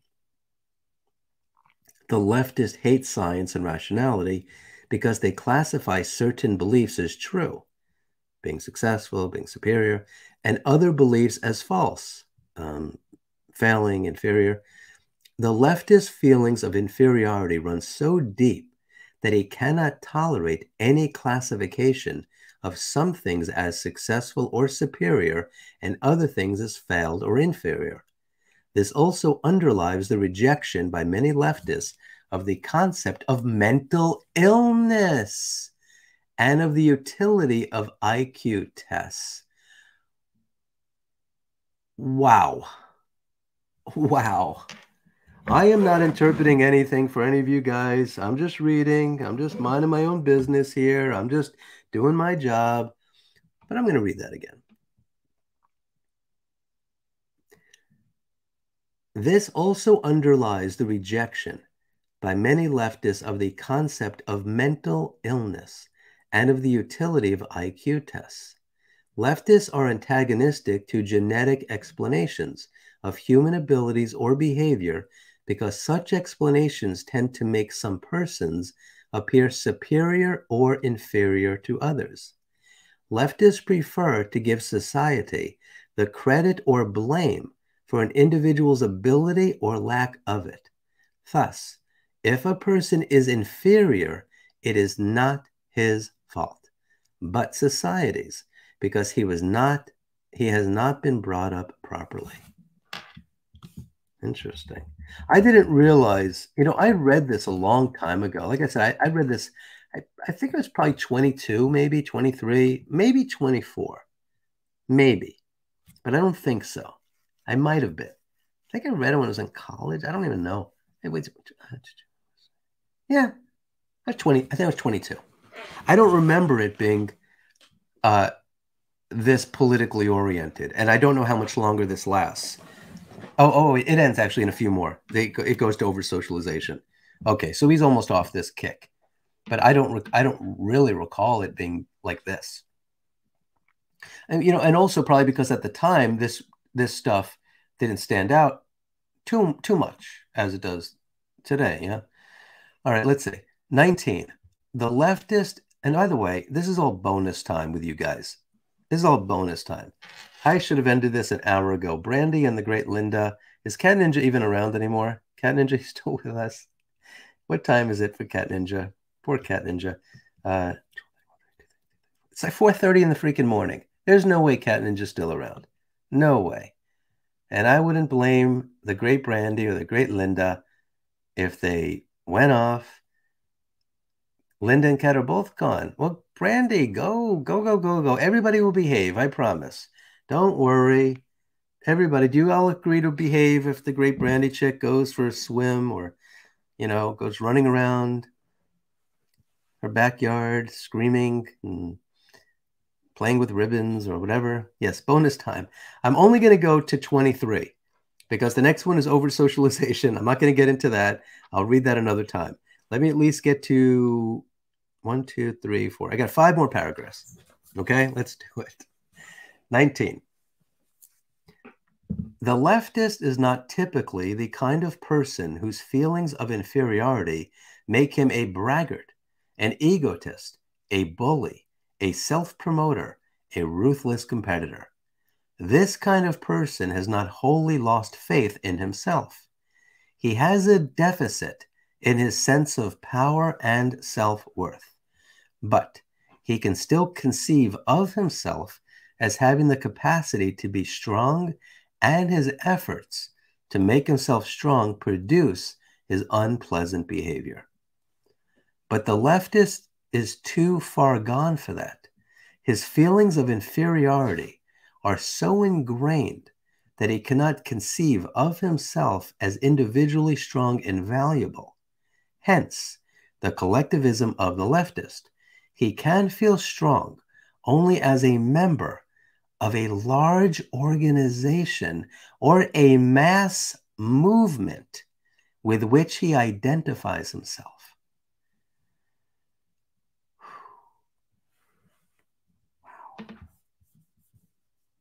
Wow. Anybody else saying wow? I mean, this guy wrote this pretty freaking long time. Uh, what year was this? I don't even. Did I say it was 95, wasn't it? Let me just double check. I wonder. I'm, I'm just trying to wonder if he, if when he started writing it, when he started, because he's been, he's been gone for 95. 95. That's a long freaking time ago, right? That's uh, it's been a while. Yeah, he's uh, he's pissed off. Number 20. Notice the masochistic tendency of leftist tactics.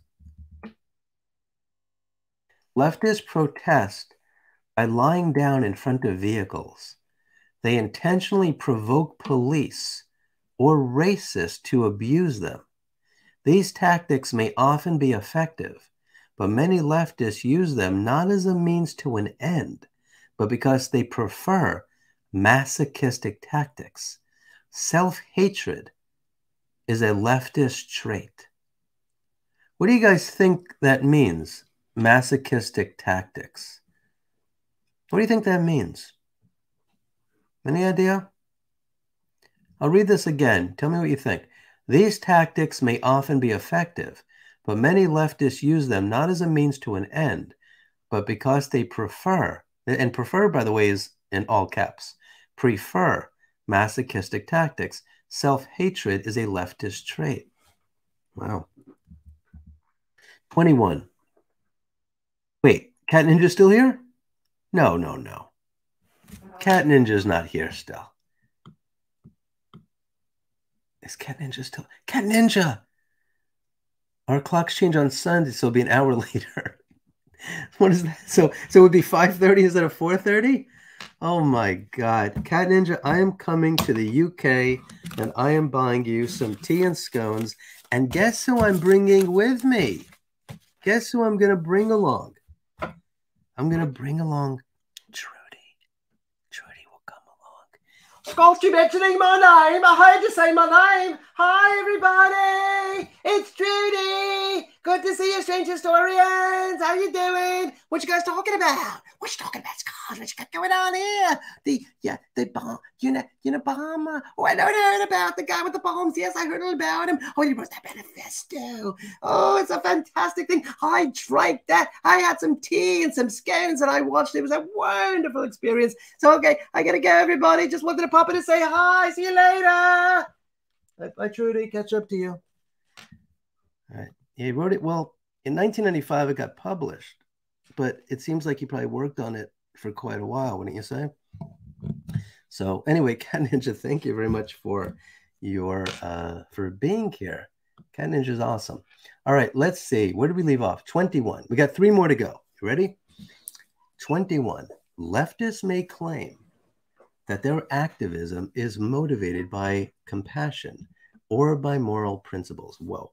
All right, I'm going to uh, mute my mic for a second, take a long uh, sip of my delicious beverage, and be right back. Hang tight, you guys.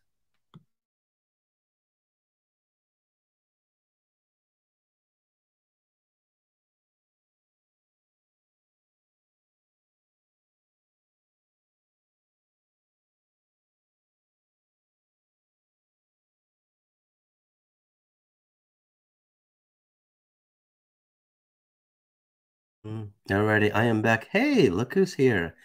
Our friend Lala HK. How are you? Good to see you.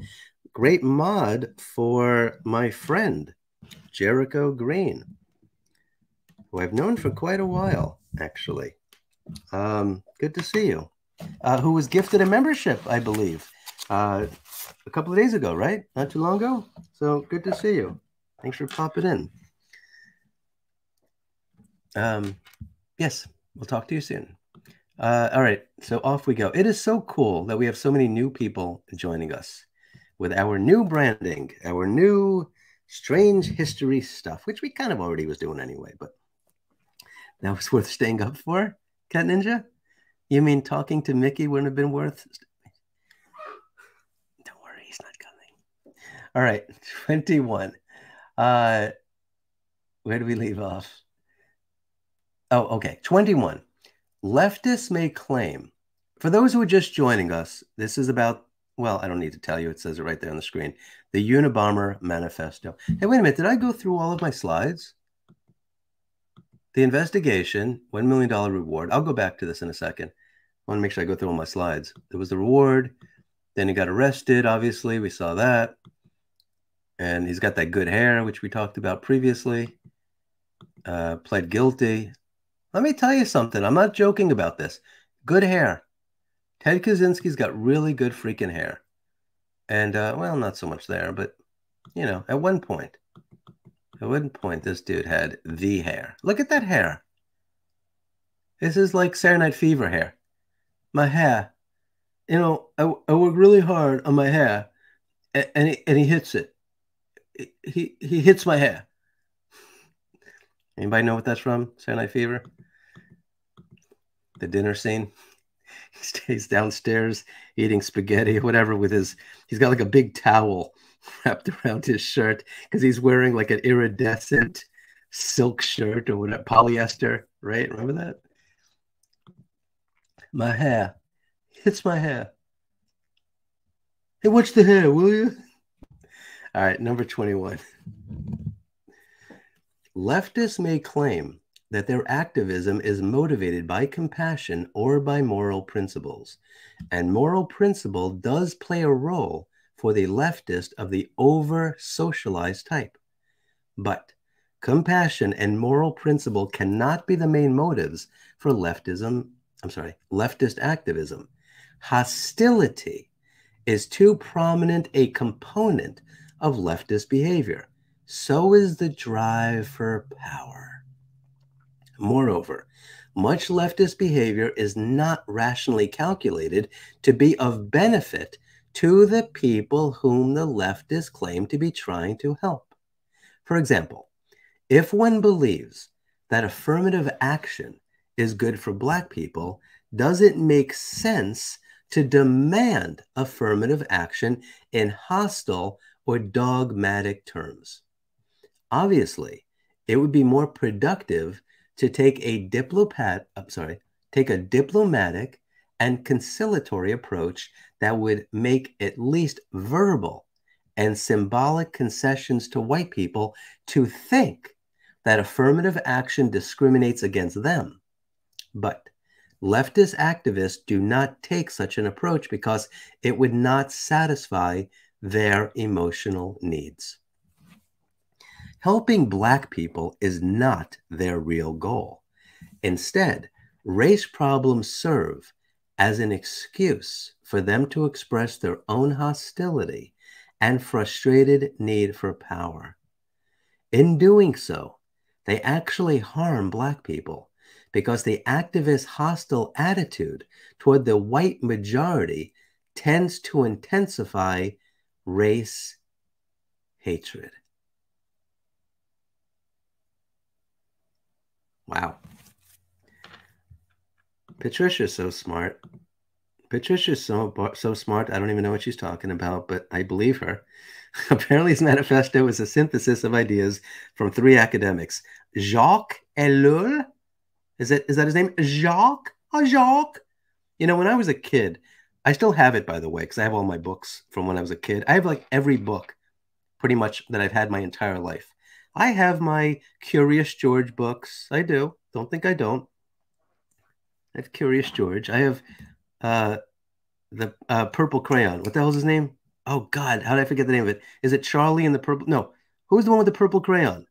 Yeah, the kid with the purple crayon. He's drawing everything. I love that book. I still have it. Um, but anyway, I had a book from Jacques Cousteau because when I was a kid, you know, I love that, you know, sharks and all kinds of stuff. And I'm like, I said to my dad, I'm like, Jacques, Jacques Yev, Jacques Yves Cousteau. What kind of name is that? Jacques, Jacques, Jacques Yves, Yves. But it's not. Any French, any of my, any strange historians here French or speak French? Isn't it Jacques? And I think it's Yves, right? Yves. Jacques Yves Cousteau. So anyway, I'm assuming this is Jacques Ellul. Desmond Morris. Wait, wait, where'd you go? Sorry, things going up. And Martin Seligman. Seligman? Yeah. So I'm assuming, Patricia, that those are some smart dudes. Yeah. So that's interesting. So, yeah, uh, uh without a doubt, like so many other people. Oh, Harold in the purple crayon. Thank you, Lori. Of course, Lori would know. Thank you, Lori.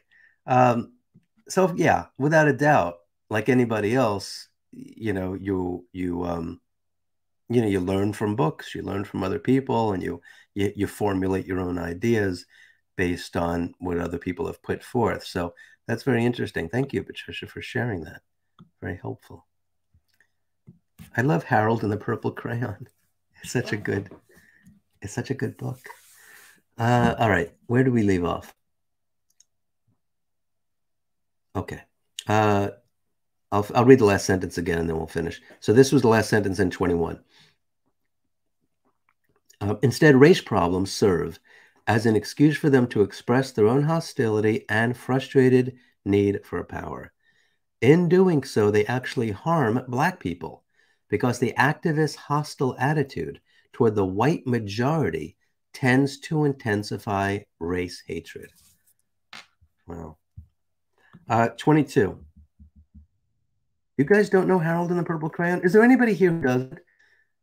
No, Harold and the Purple Crayon. It's the cutest book. It really is. I should read it sometime. Your great nan was French. Jacques Yves. Jacques. Jacques Yves. Jack. It's not Jack, right? It's Jacques because it's French. If it's British, it'd be Jack. But Jacques. Jacques. Jacques Yves. Jacques Yves. Uh, number 22. If our society had no social problems at all, the leftists would have to invent.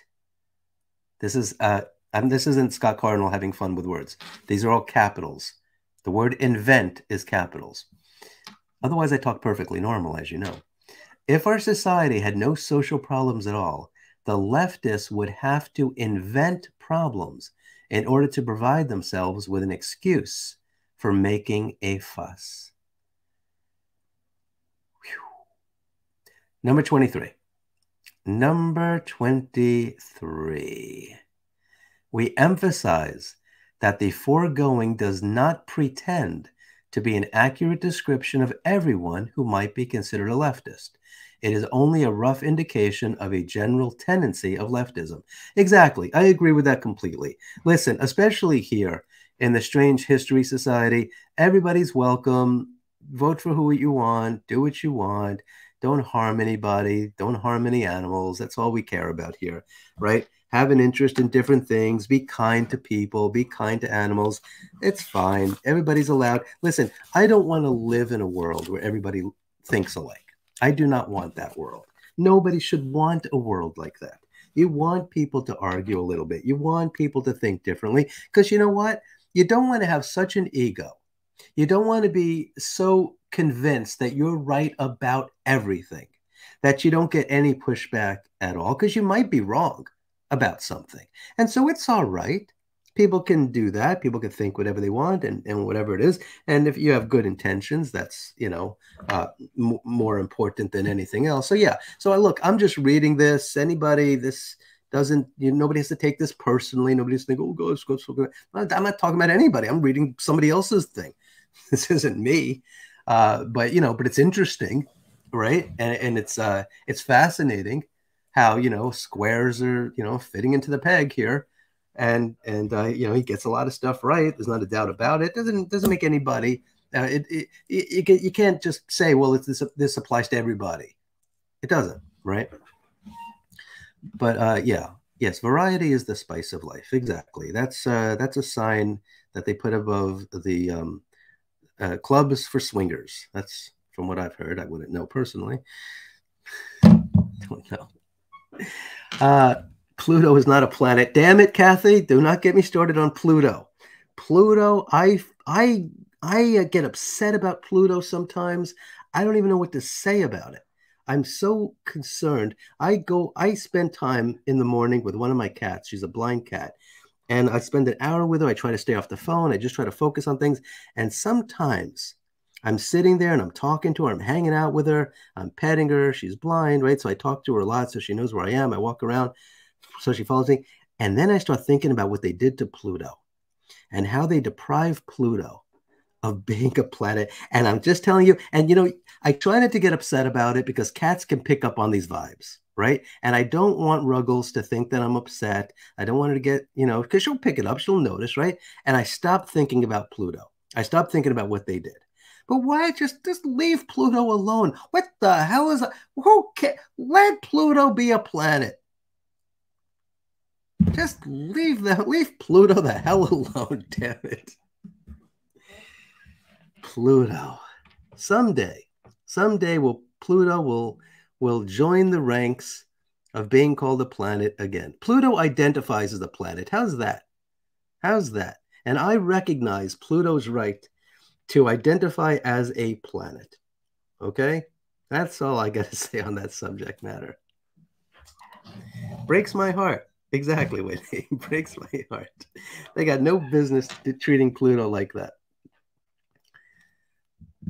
All right, let's see. So I'm not going to read the rest of it, but damn it, I was going to read this myself and just like record it as a video. And I'm like, hell no, we should just read this together. It's a lot more fun. Probably take us half a freaking year, right?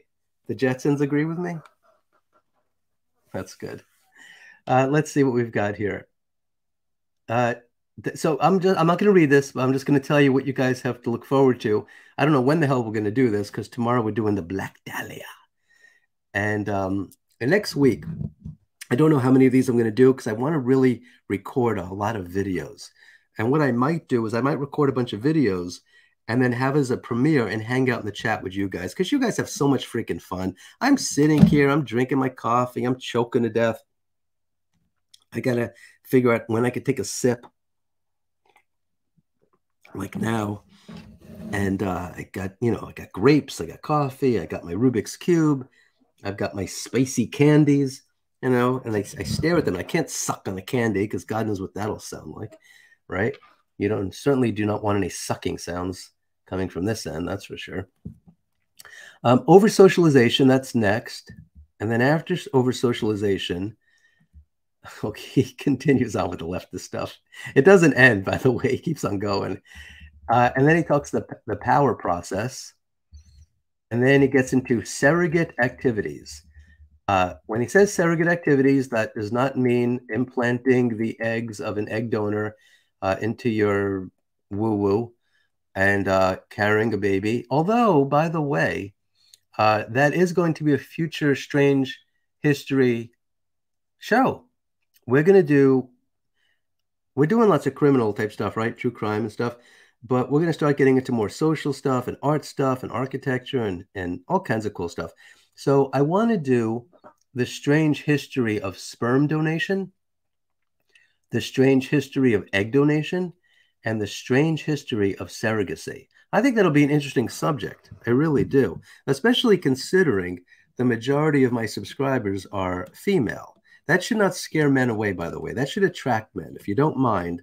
So, for all the gentlemen listening, this is the, let me tell you something. This is a cool place to be. We are surrounded by cool women, smart women, fun women, intelligent women. Trust me, we got a good crowd of chicks here, if you don't mind. Chicks. And uh, what's the equivalent for a male term of chick? So women don't uh, offended by the word chick. Guys, is guys is that all right? Dude, dude. Is that good? What do you guys? What's your favorite word?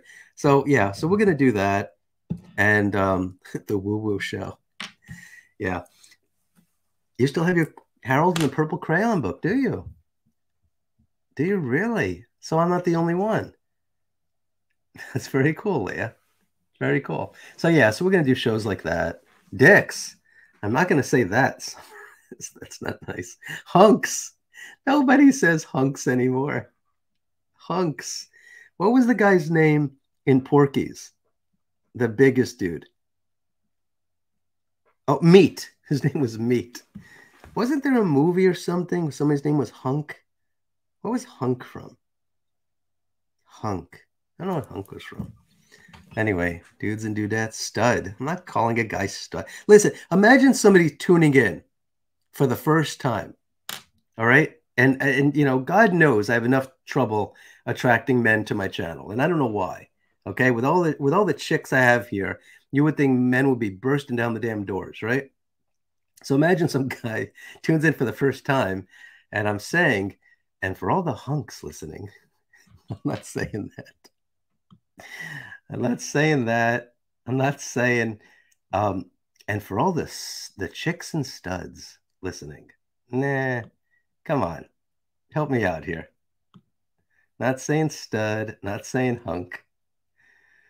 All right, bro. I say bro. I say bro. I say cat. Cool cat. Cool cat. I say cat a lot. I actually stopped saying it because I thought it's too slangy. There's a lot of slang I don't use because I'm like, no one's gonna know what the hell I'm talking about. So I toned down on the slang. You have friends who have spent over $50,000 to conceive their son. Then they paid thousands on storage fees for two years on the embryo for their daughter. Yeah, listen, honestly, all things considered, I don't see that as an unreasonable cost at all. Uh, not the slightest bit. Um, we'll talk about that though when we do the show. It's a it's an interesting sub stallions. Oh, beefcake. Oh my god. Ladies, please don't make me start writing these down. Beefcake.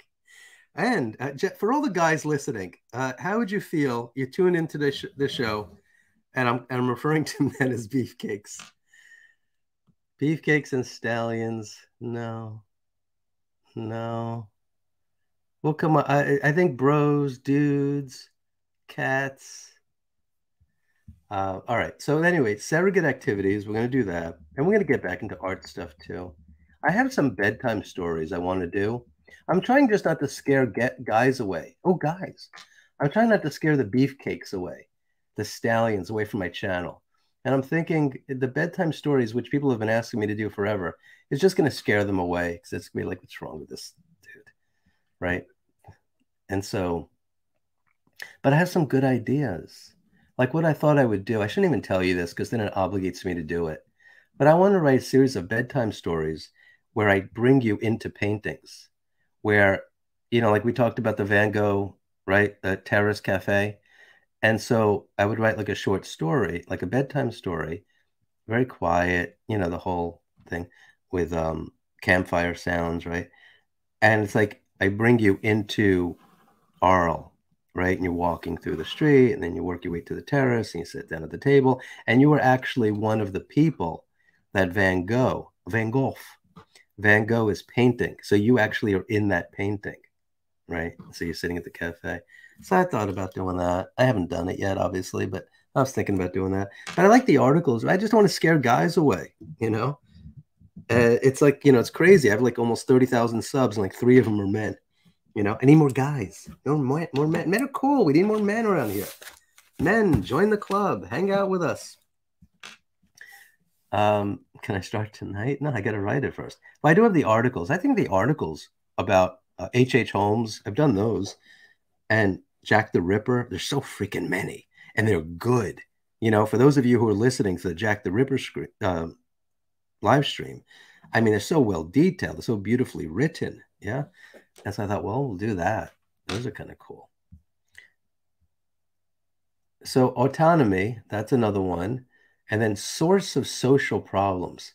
You know, I'm really glad we're reading this. I don't know if you guys like this, that I'm reading this, but this is interesting to read because, like I said, um, you know what? Let me jump over to, I want to read something really quick about this manifesto. Because the reviews like are really freaking good. I don't know how many people had anything bad to say about it, to be honest with you. Let me go, let me go to our friends at Wikipedia because that, that was the thing where I said um, what they said about it. Hold on, legacy. Uh, where is that? Manuscript. No, no, no, no, no, no. After publication, private investigator, la di da. CBS News. Leg- oh, legacy. Wait, wait, wait, wait, wait. Okay. Uh, wait, no, that's not it either. You know, it's interesting. It says that his um, this manifesto inspired online communities. Right? You have entire. Let's see, but there was one thing here I thought I read where it compared it to. Did you know that they wanted him? They considered him to be a person of interest for the Chicago Tylenol murders. I wonder if the, with the Chicago Tylenol murder, the Tylenol thing. I didn't realize that was that early. Wasn't that a long time ago? When was the whole Tylenol thing? Wasn't that in the eighties, or or it was a that was a long time ago. So I don't know what the Chicago Tylenol thing is.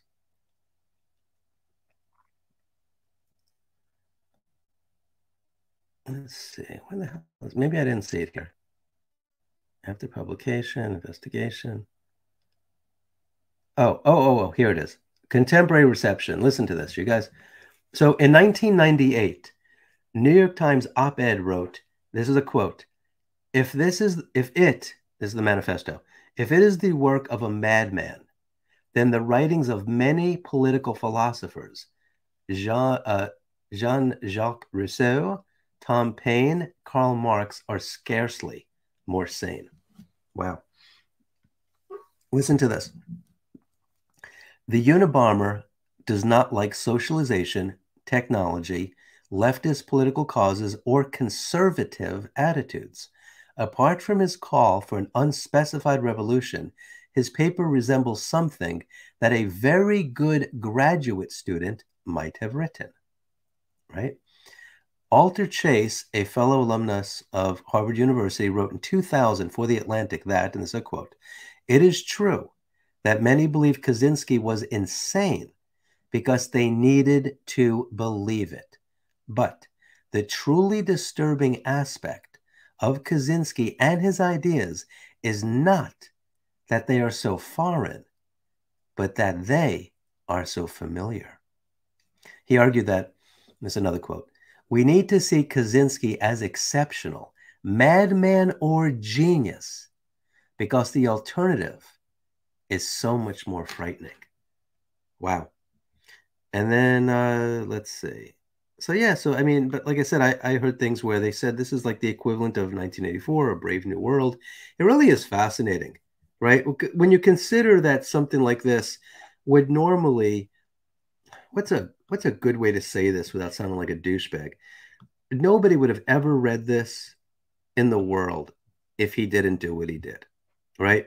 He would have been just another smart dude who published some book that almost nobody would have read, right? And so it makes you wonder if perhaps this was his ultimate goal at any time, right? It's like, okay, I'm going to get caught. I'm going to be considered to be insane. I'm going to go to prison, you know, for the rest of my life. But this work, uh, which you know it's a manifesto, right? And so he felt it was important enough for people to be able to read, and he wanted to um, to do. And it makes you wonder if somebody like Ted Kaczynski really considers prison to be much of a punishment, right?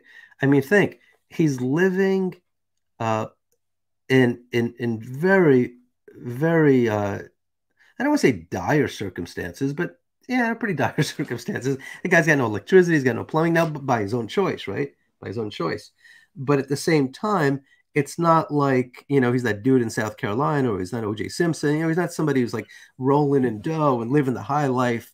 And it's such a shock to him to be able to be put in, in prison.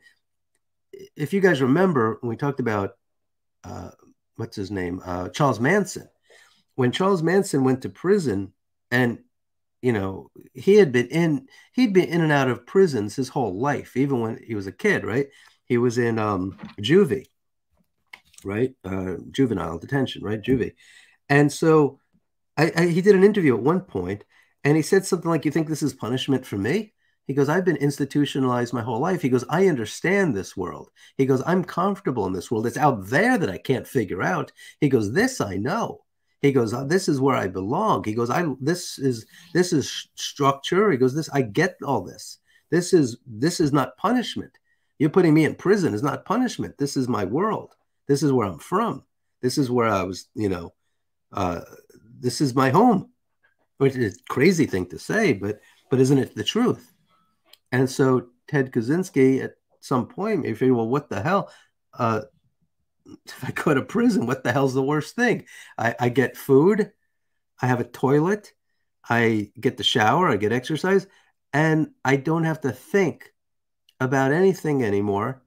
And maybe he was tormented, maybe about killing people, right? Maybe he figures, well, you know what? I killed people, I've, de- I've destroyed some lives. I don't know if he ever showed any kind of remorse, right? I don't know. But maybe he did. And maybe thought, oh, well, look, you know what? I belong in jail.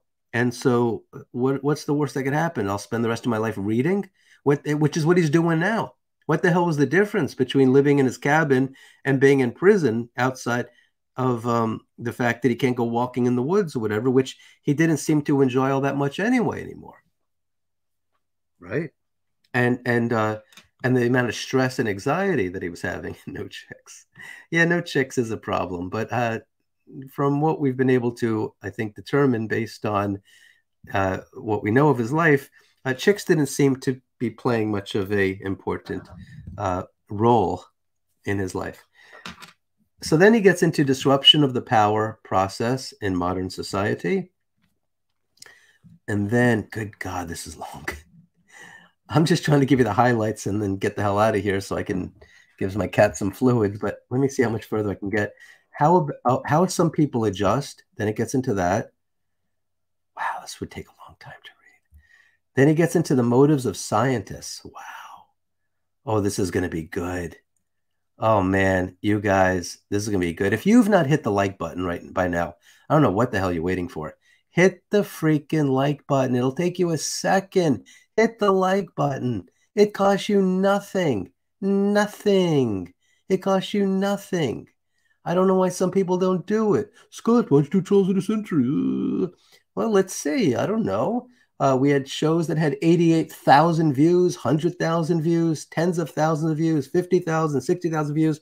People couldn't take a second to hit the damn subscribe button.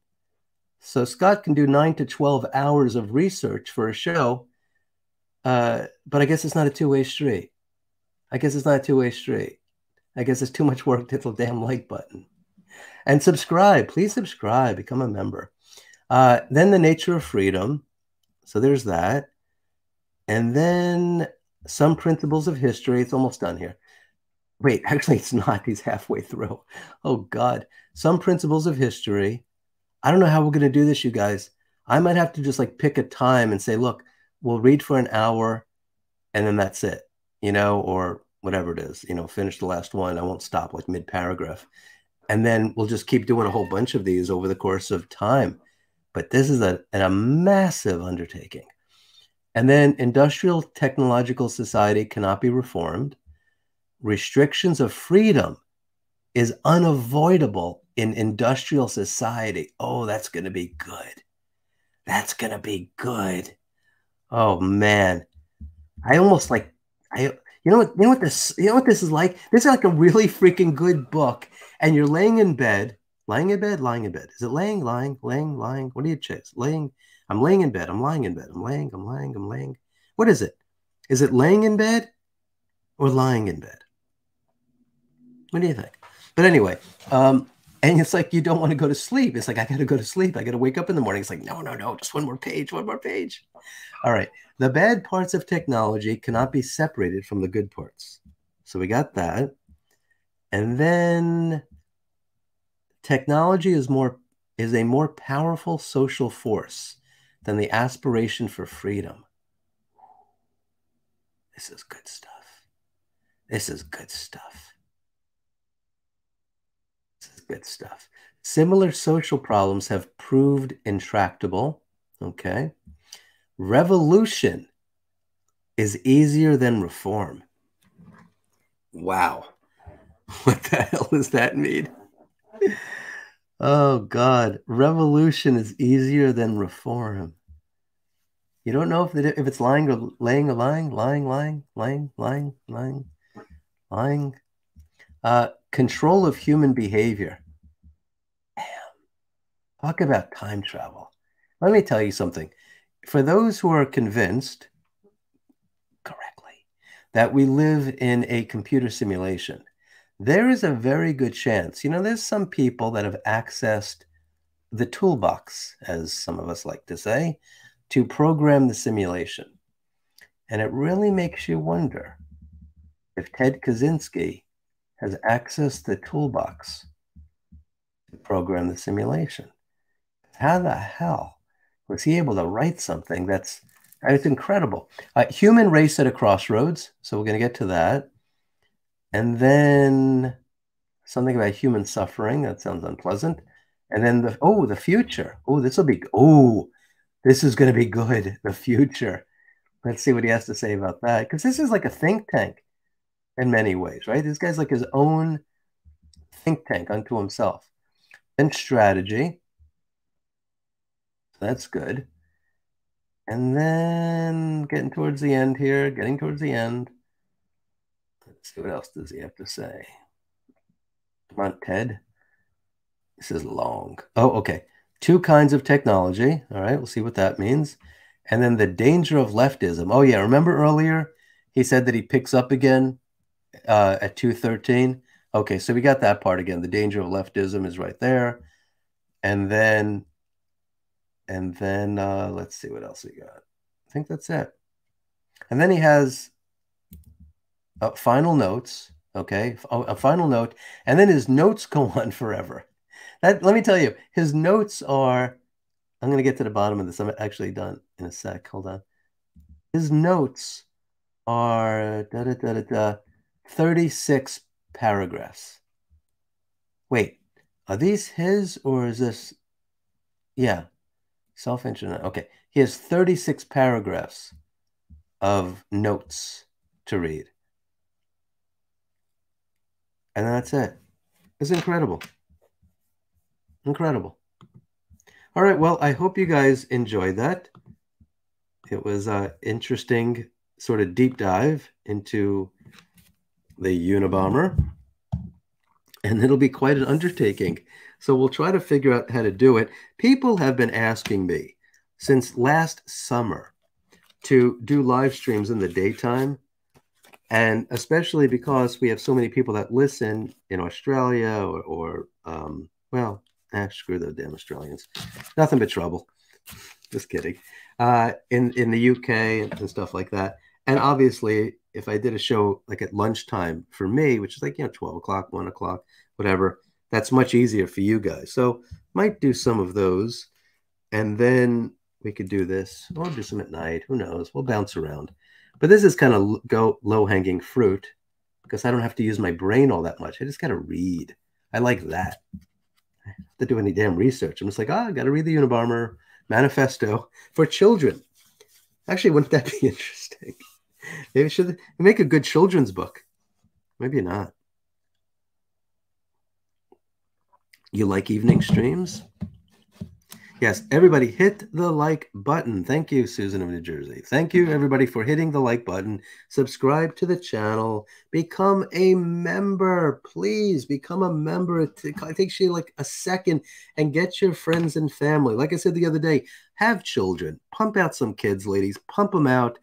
Do whatever you have to do. Guys, pump out, get some women pregnant with the main objective being so they could form YouTube channels and subscribe to my channel. You could have your own reasons for having children, have them working on the farm, have somebody to take care of you in your old age. Those are perfectly valid reasons. Perfectly valid, nothing wrong with that at all. But one of the reasons when you put together your list of pros and cons for have children, one of the pros has to be to get them to subscribe to the Strange History um, channel. Seriously, you are, they're not going to want to go to college in 10 years, 20 years. It's so expensive. But imagine over the course of 20 years, they're 20 years old and they have all this great knowledge. They'll be 18 years old. They'll be able to recite from the Unabomber Manifesto, right? They'll know, they'll be experts on Jack the Ripper. They'll be experts on Van Gogh. They'll be experts on the Eiffel Tower and, and, you know, buildings of major architectural and, and social, you know, social and historical significance. Think about all the cool things right? That these kids will learn. So definitely, that's what I would do. Pump out some kids. If you're Mormon and you have like seven kids, sign them all up. Don't do like some family YouTube channel. Each one of them, each one of them, okay? And they'll be married like in, you know, when they're 15 or something, and they'll be pumping out kids. I want a whole like Mormon army in our strange history uh, society. Is that all right? they can think. Alrighty. They can write, they can write their own manifesto one day. Yes, exactly. In fact, let me give you all homework. I don't really want to give you homework, but this is a study hall. This is a study hall. Let's not ever forget that. We are here to learn. So your homework is to write your own manifesto and share it with your fellow strange historians in the near future. Start working it on it now, and we expect it to be done by the year 2033 and then we will all meet like um we'll all meet like in Ireland or something at that that licking stone, the kissing stone, the Barney Rubble stone. What's that called? Blarney, Blarney. Let's go meet there. We will all go and lick and kiss the stone, and they don't need to wipe it after each kiss. All right, we're a family here. It's okay. And and then we just gather around a fire and everybody reads from their manifesto. Yes, the Blarney Stone. I know. So, how's that sound? Does that sound good to everybody? We meet at the Blarney Stone in 10 years. You better have your freaking manifesto done. I'm just saying, it doesn't have to be 230 something paragraphs, doesn't have to be something the equivalent of the Unabombers. You could have your own manifesto, Okay, even it's just like a, a sheet, sheet of paper. Okay but start working on it. It's very, very important. All right, you guys, I got to go give fluids to my kitty. So this concludes this strange episode of the strange history of the Unabomber. If you enjoyed the video, and we all know there's a very slight chance that you did, but if you did, uh, please hit the like button, share the video, subscribe to my channel, become a member of my channel. Kindly do yourself a favor go to a local shelter, adopt a cat or a dog or another furry friend.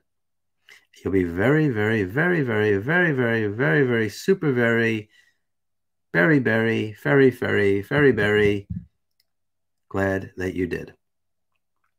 Until next time, I wish you safe travels on all your journeys. Good night, everybody.